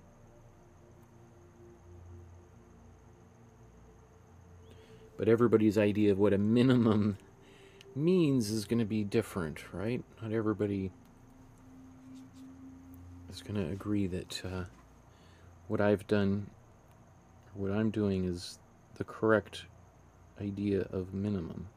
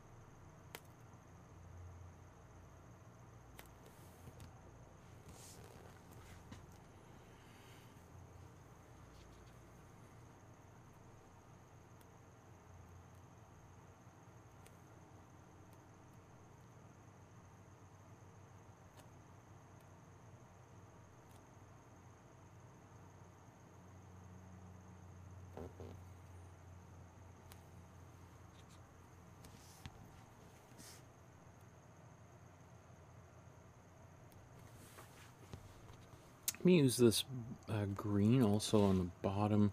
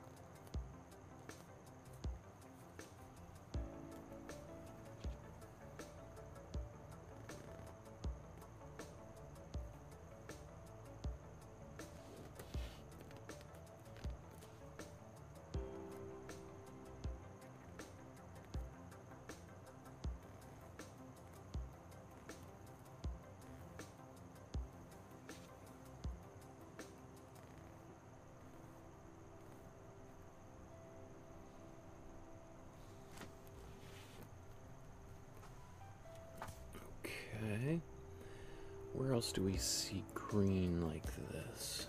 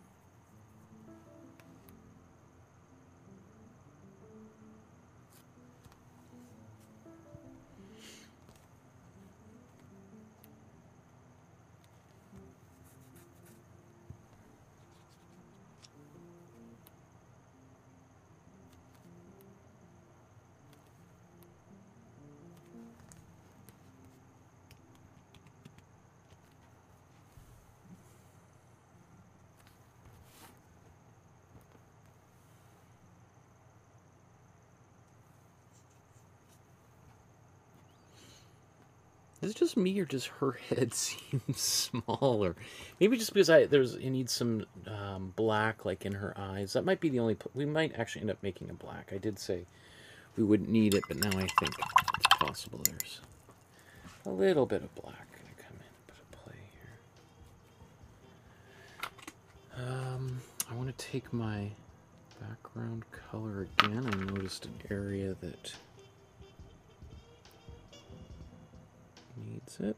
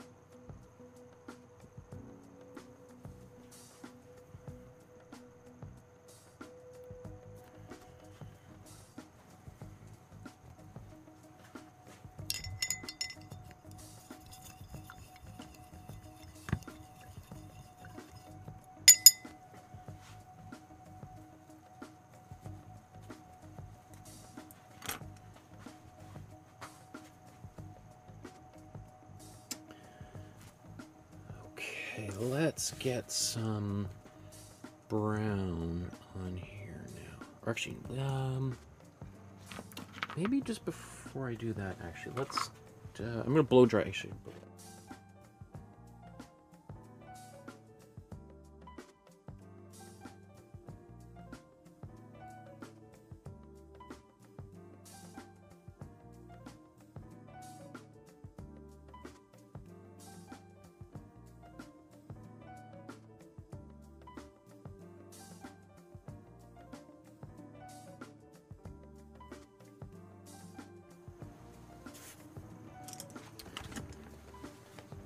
Let's mix a warm brown. Let's take our warm yellow. Let's take a little bit of this green. Actually,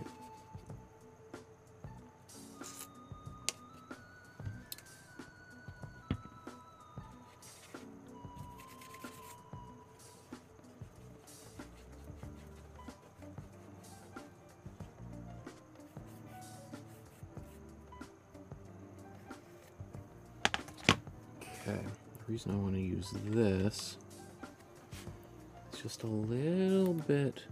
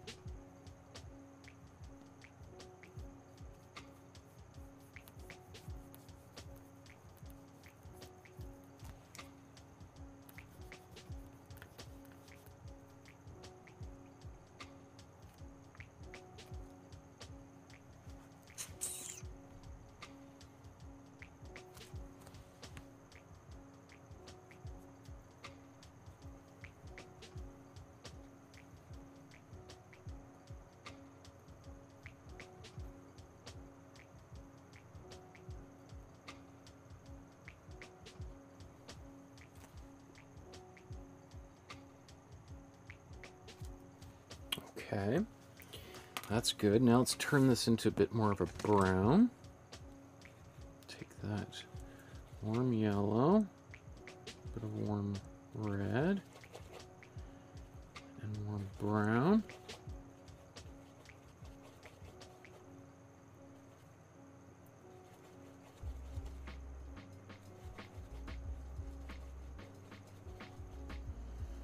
Take a little bit of cool blue to put in here. Make this a bit of a darker uh, brown.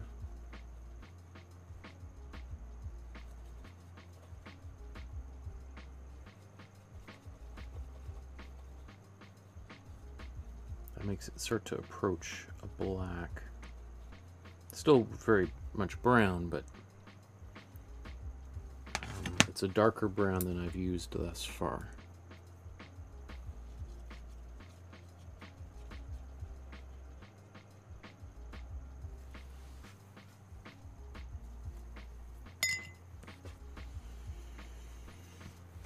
let's put a little bit of glazing fluid in there too, just give it some fluidity.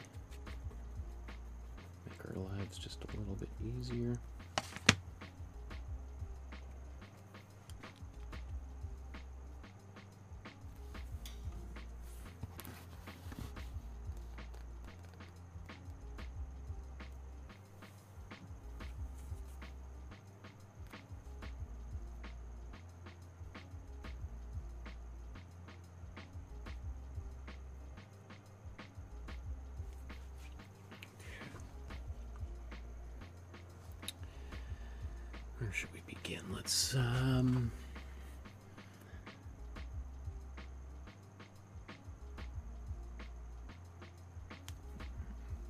put a bit of that in her hair.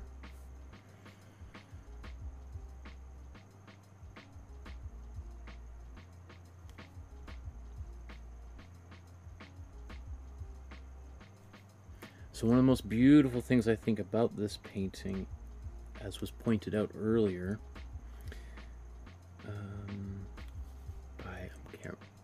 sorry, can't quite remember who, um, but that one of the most beautiful parts of this painting is the hands. So as we start to do this, we want to kind of be careful about how much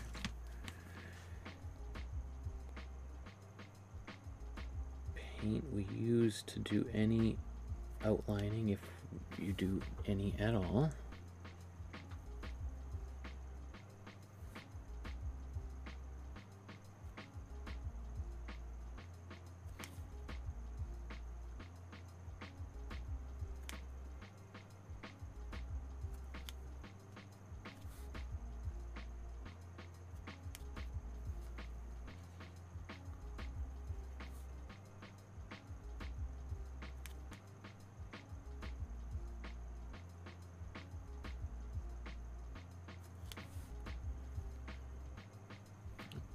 Big head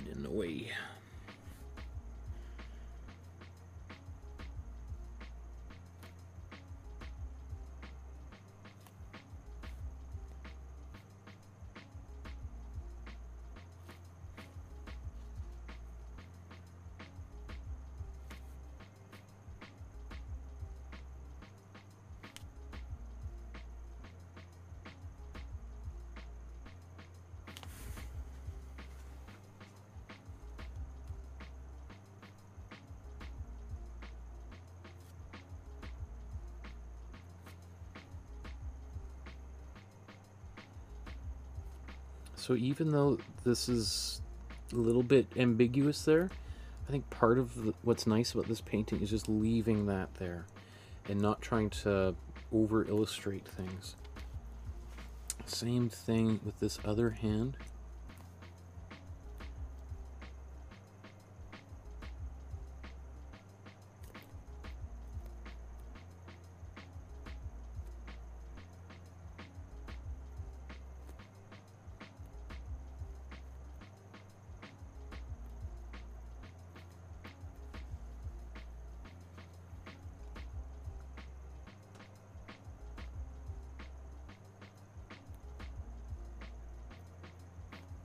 I just over exaggerated her thumb there.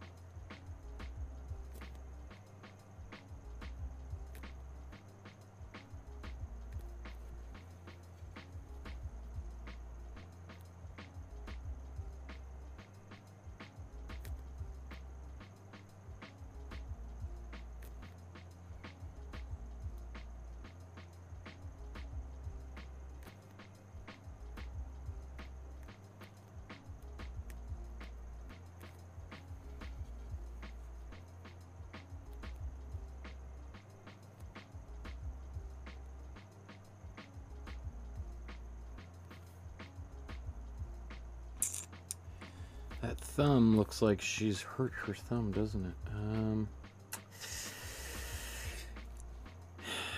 looks a little swollen.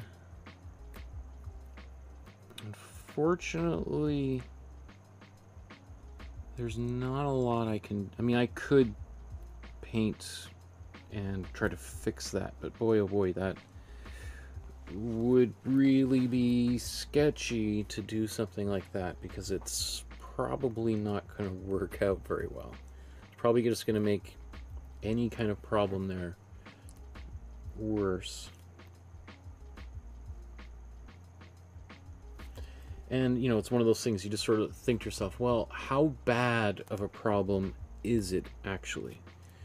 Is it so bad that, that urgent care needs to be to be paid there? Yeah, I don't think so.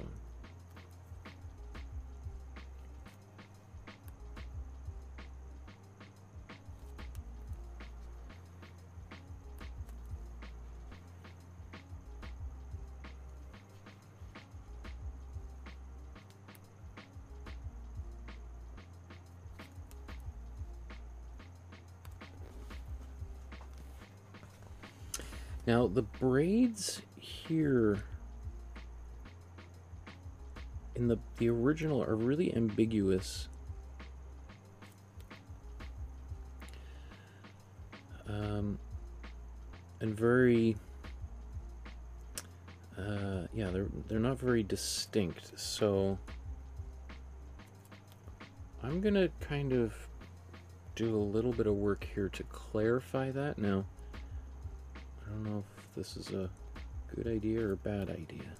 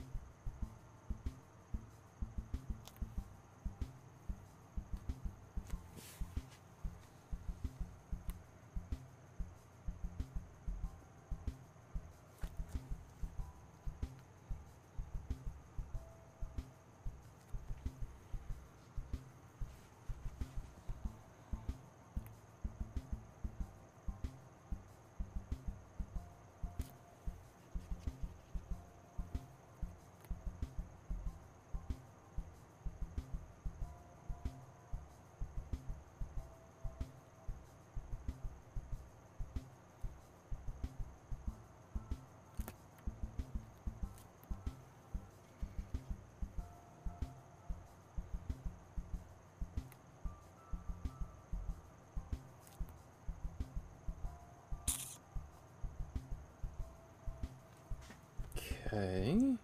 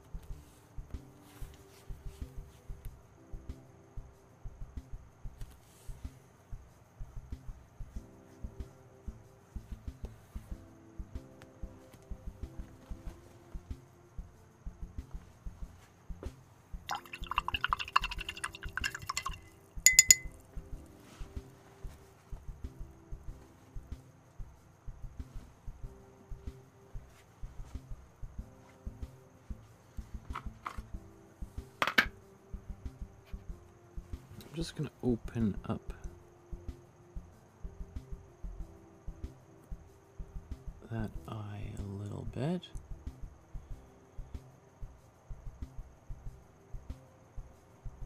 Just a, that little bit of of paint there just makes her eye look like a little bit more open.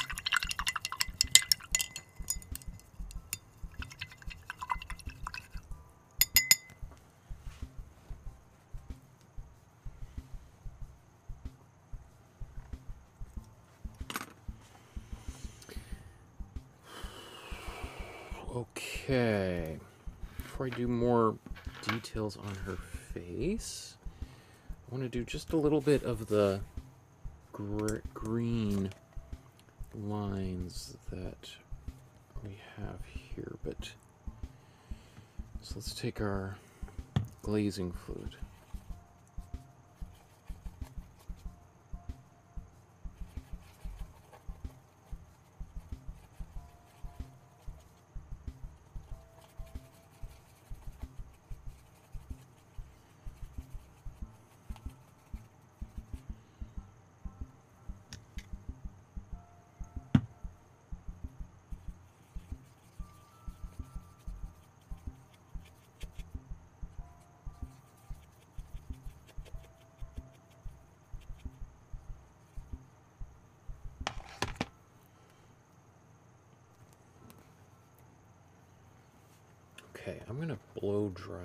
This actually before I go any further.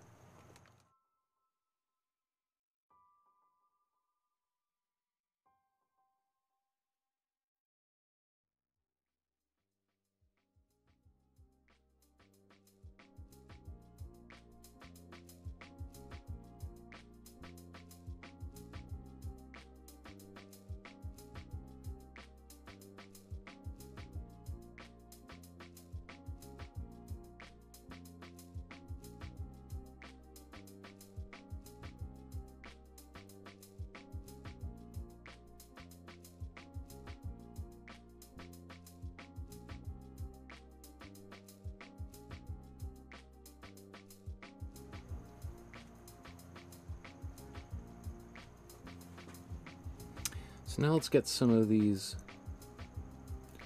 lines that uh,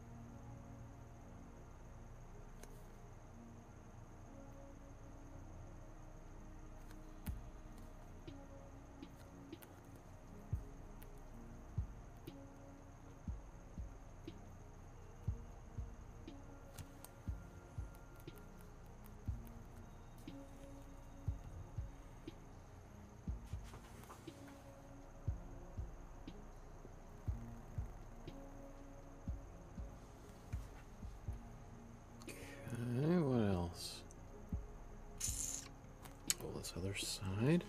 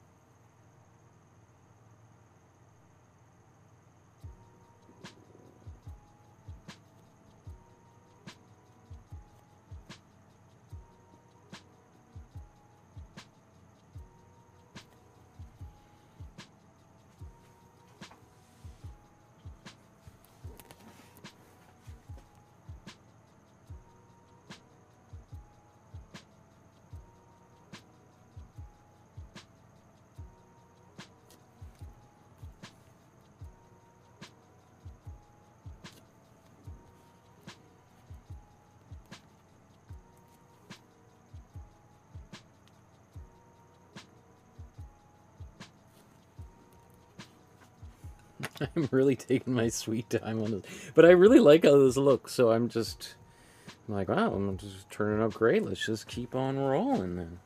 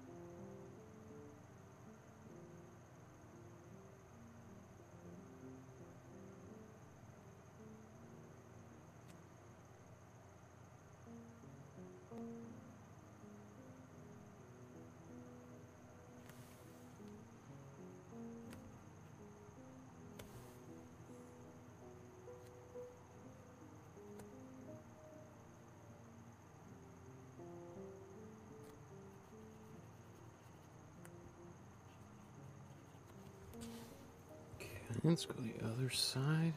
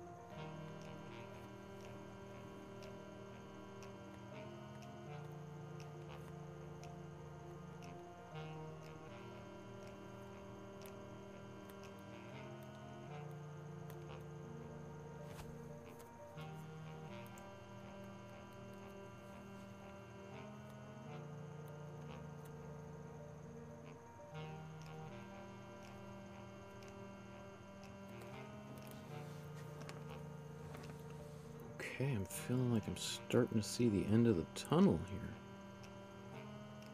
Or very close to the end of the tunnel, not just see it, but approaching it.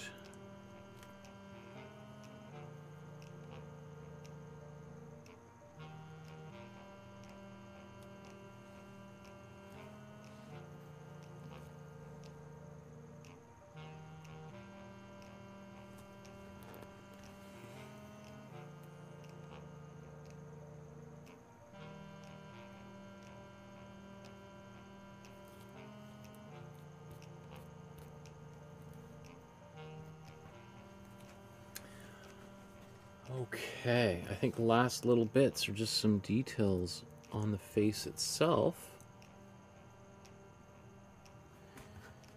Maybe let's let's blow dry this and then I want to think I want to try doing a little something.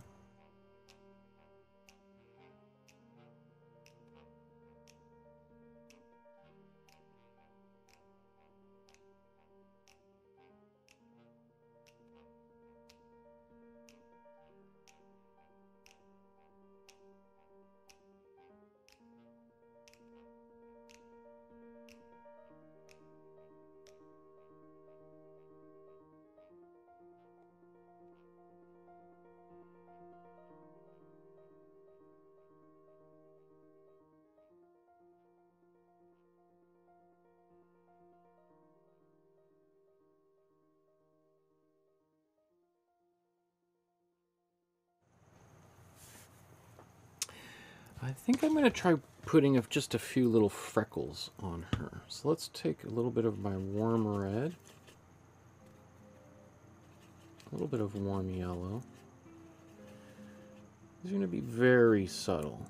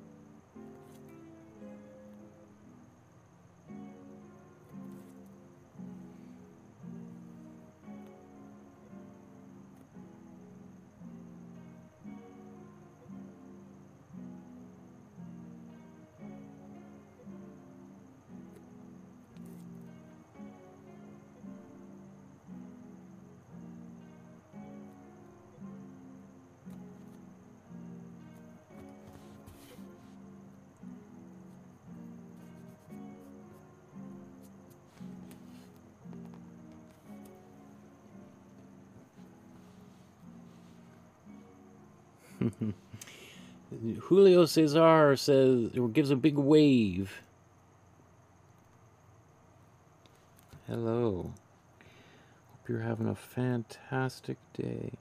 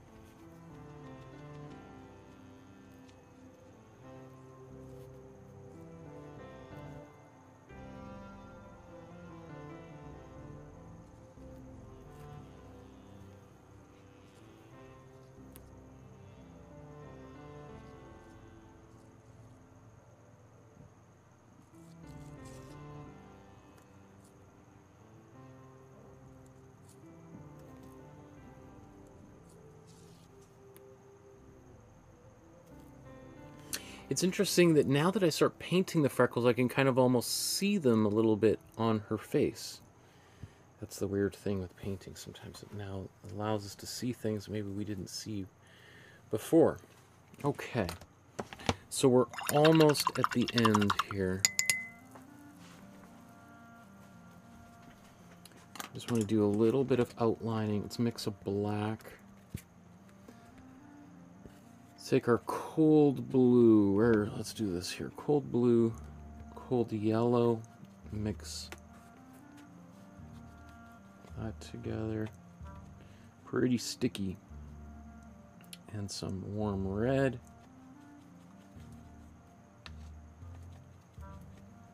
It's kind of gone purple. Well, a little bit purpley. Let's just put a bit more cool yellow in it go.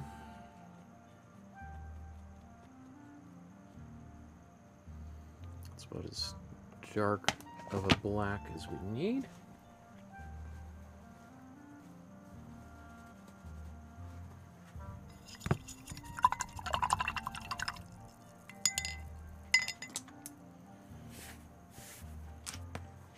Let's take glazing fluid. With our black.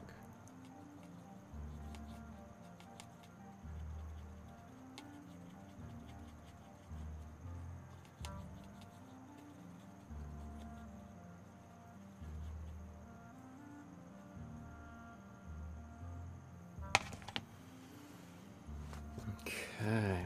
Actually, let's just blow dry.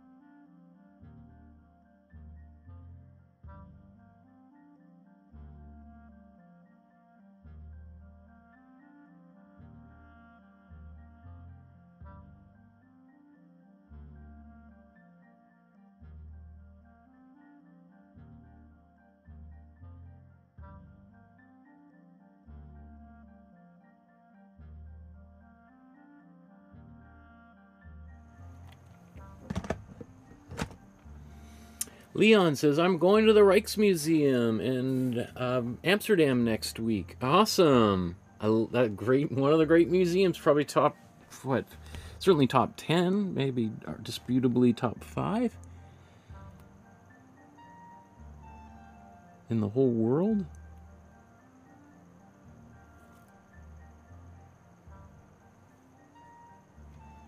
Can't go wrong there. You could spend a week in the Rijksmuseum.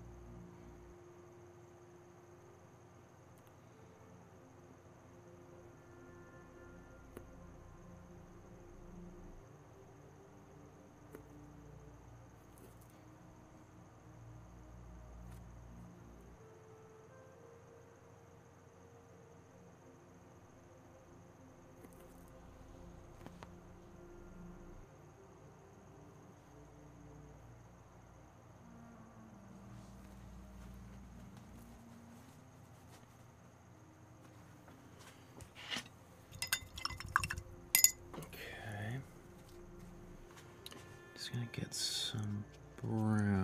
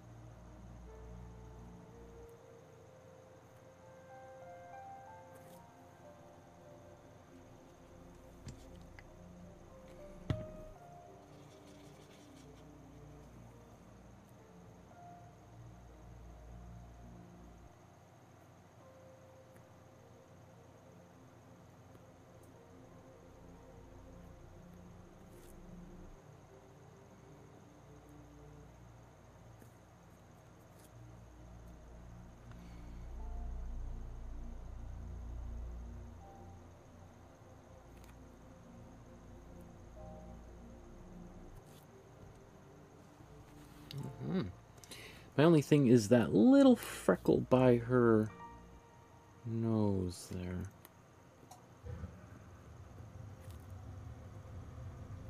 Just scratch it away.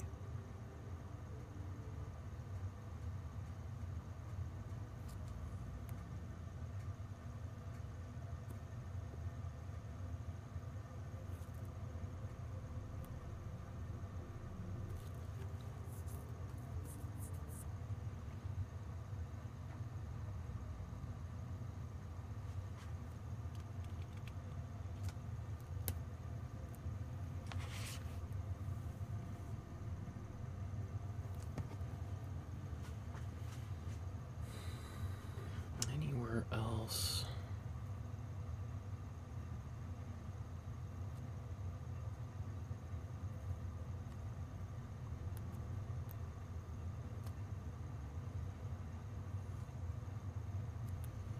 Oh, I wanted to put another fold in here.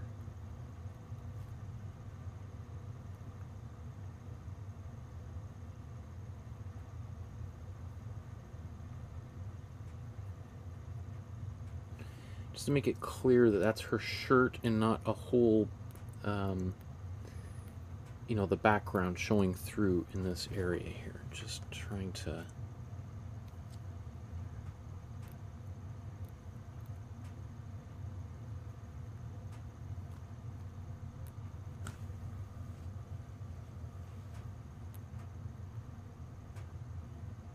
emphasize that point there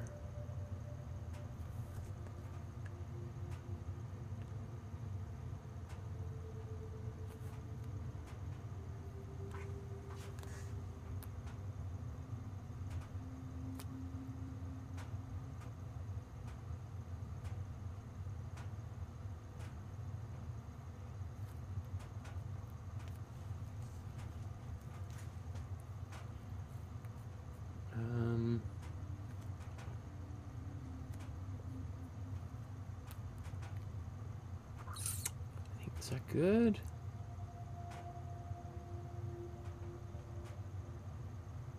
Can I walk away? Anything missing? Why do I feel like there's something missing? It's always one of those things. Trees. Trees. Everyone's happy with the trees. I think that's good enough.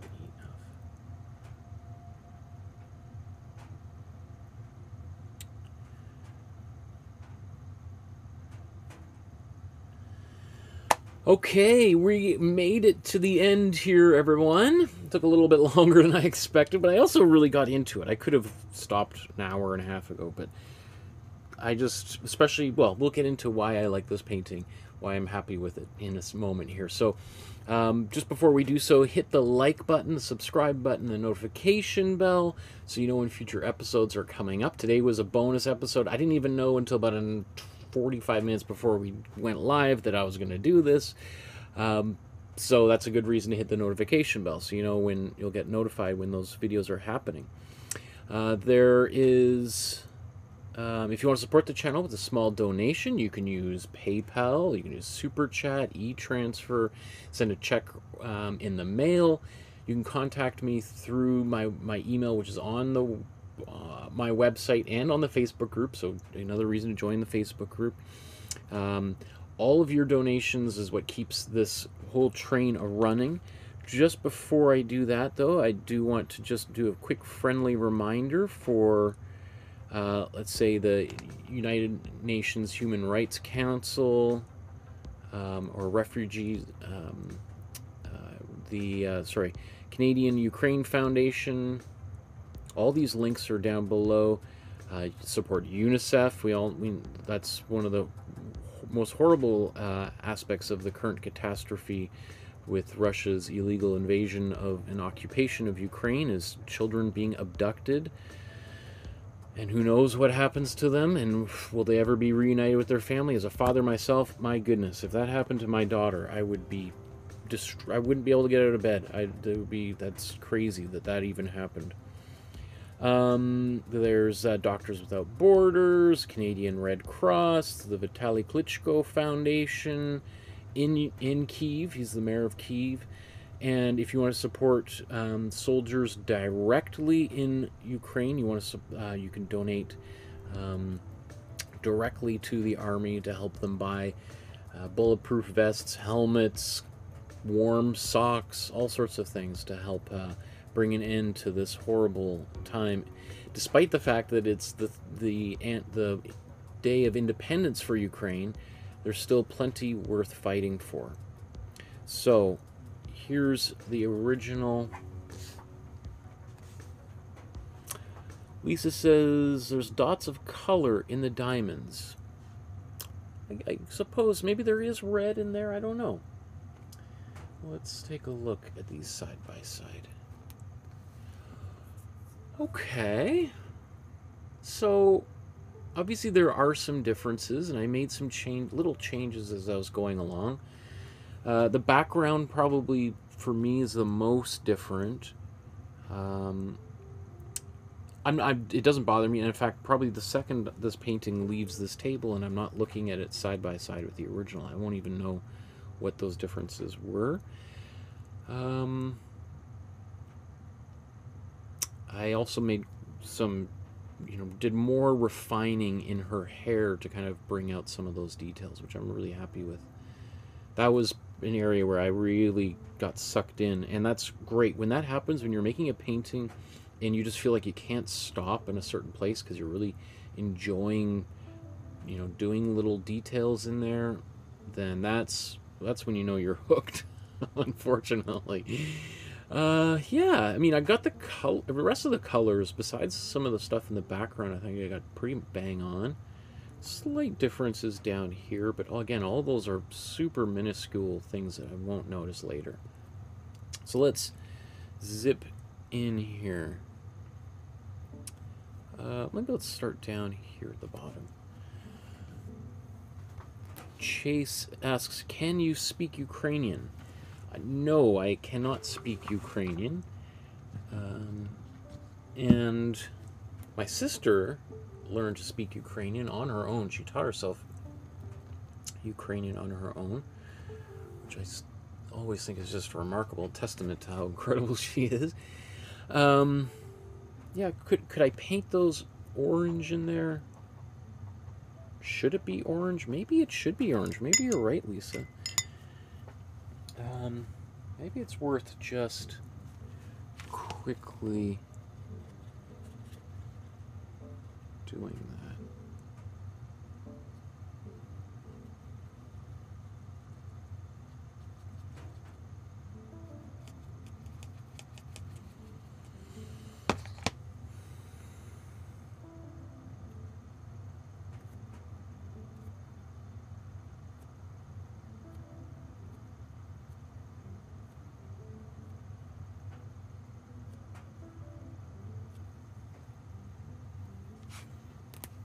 maybe that's kind of nice. to break up that white a little bit.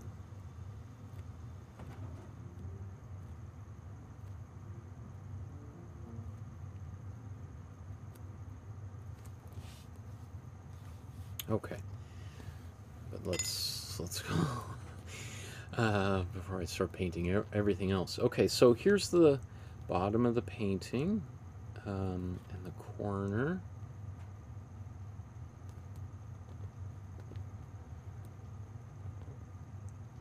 Think those colors are pretty close. Maybe this could have been a cooler, excuse me, a cooler green, but I think that's okay. Her sleeve, everything, I think that's pretty good. Let's look at the right here where her hand is.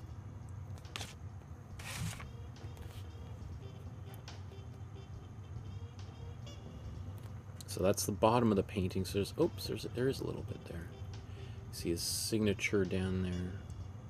Um, I didn't feel like there was enough room to really do it justice. Um, yeah. Again, I added a little bit of extra in there just to make it clear that that's not, it's part of her dress just sort of billowing in there, not the background. The hand, um, yeah, that thumb, not my best work there.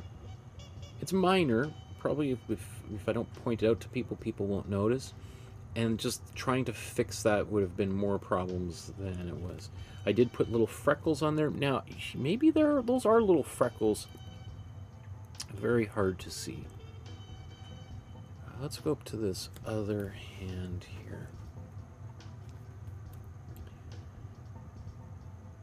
Um, I think it turned out pretty good it takes a lot of restraint to not do that outline on the inside of the hand. Maybe there, I could have done maybe a yellow outline, but I think it's more than fine. Uh, he did do put a little bit more red on the back side of that hand. I'm just going to leave it like that. Though. Maybe let's just look at the background here just before I focus on the face. You know, there was little you know buildings or trees or things there that I just omitted just for to keep it simple. I put a couple little lines for those trees. My my trees, you know, I might have put a little bit extra branches and stuff on there. Let's go to the other side there.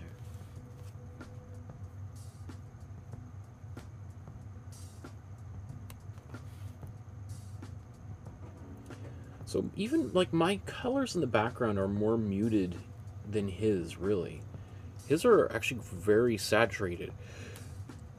There's uh, there's no white in there. It looks like he's just um, thinned the paint down substantially, whereas mine have got slightly more pastel quality, and that's just because I kind of I really want to make sure that there's no confusion between foreground and background. So that, that is going to mean that the color's less bright less saturated.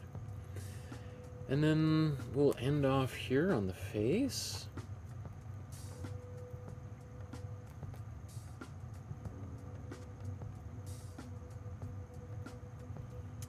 And it is, you know, it's it's remarkable that a, that hair where there's really very little brown in there. In fact, I put more brown than there is in his and it's mostly green, how our brain just sort of accepts that as normal.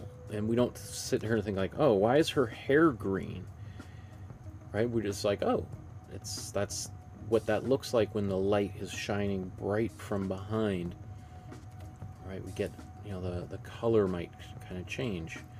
Might It's also reflected light bouncing off trees and grass, which is what I think is happening here with these sleeves by her elbows, right? That's the, the light coming back from the grass below her. I'm assuming she's standing probably in a field or on some grass and that's making all that green appear all over the painting. I'm also happy with all those little freckles I put in there. I think that turned out really well. in fact, I think it added something to the painting, just gave it an extra little bit of life. Um,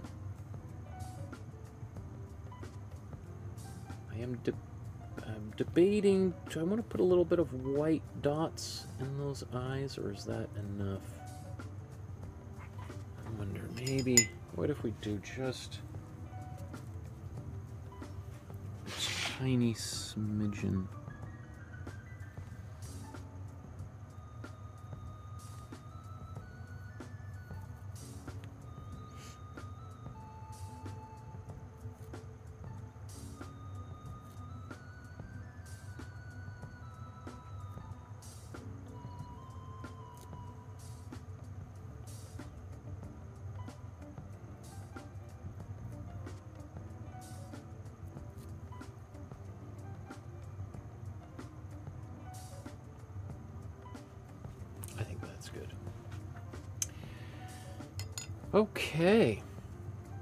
Let's zoom back out and see the painting in its totality.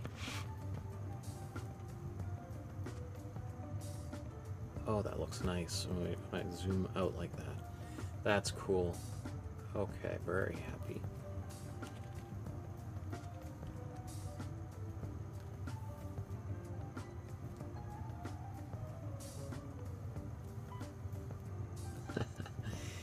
Great! Wow, that makes me feel really good. What a good way to spend this important day.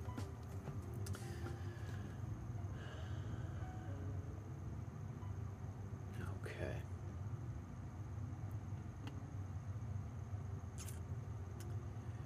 Well, that brings us to another, the end of another episode.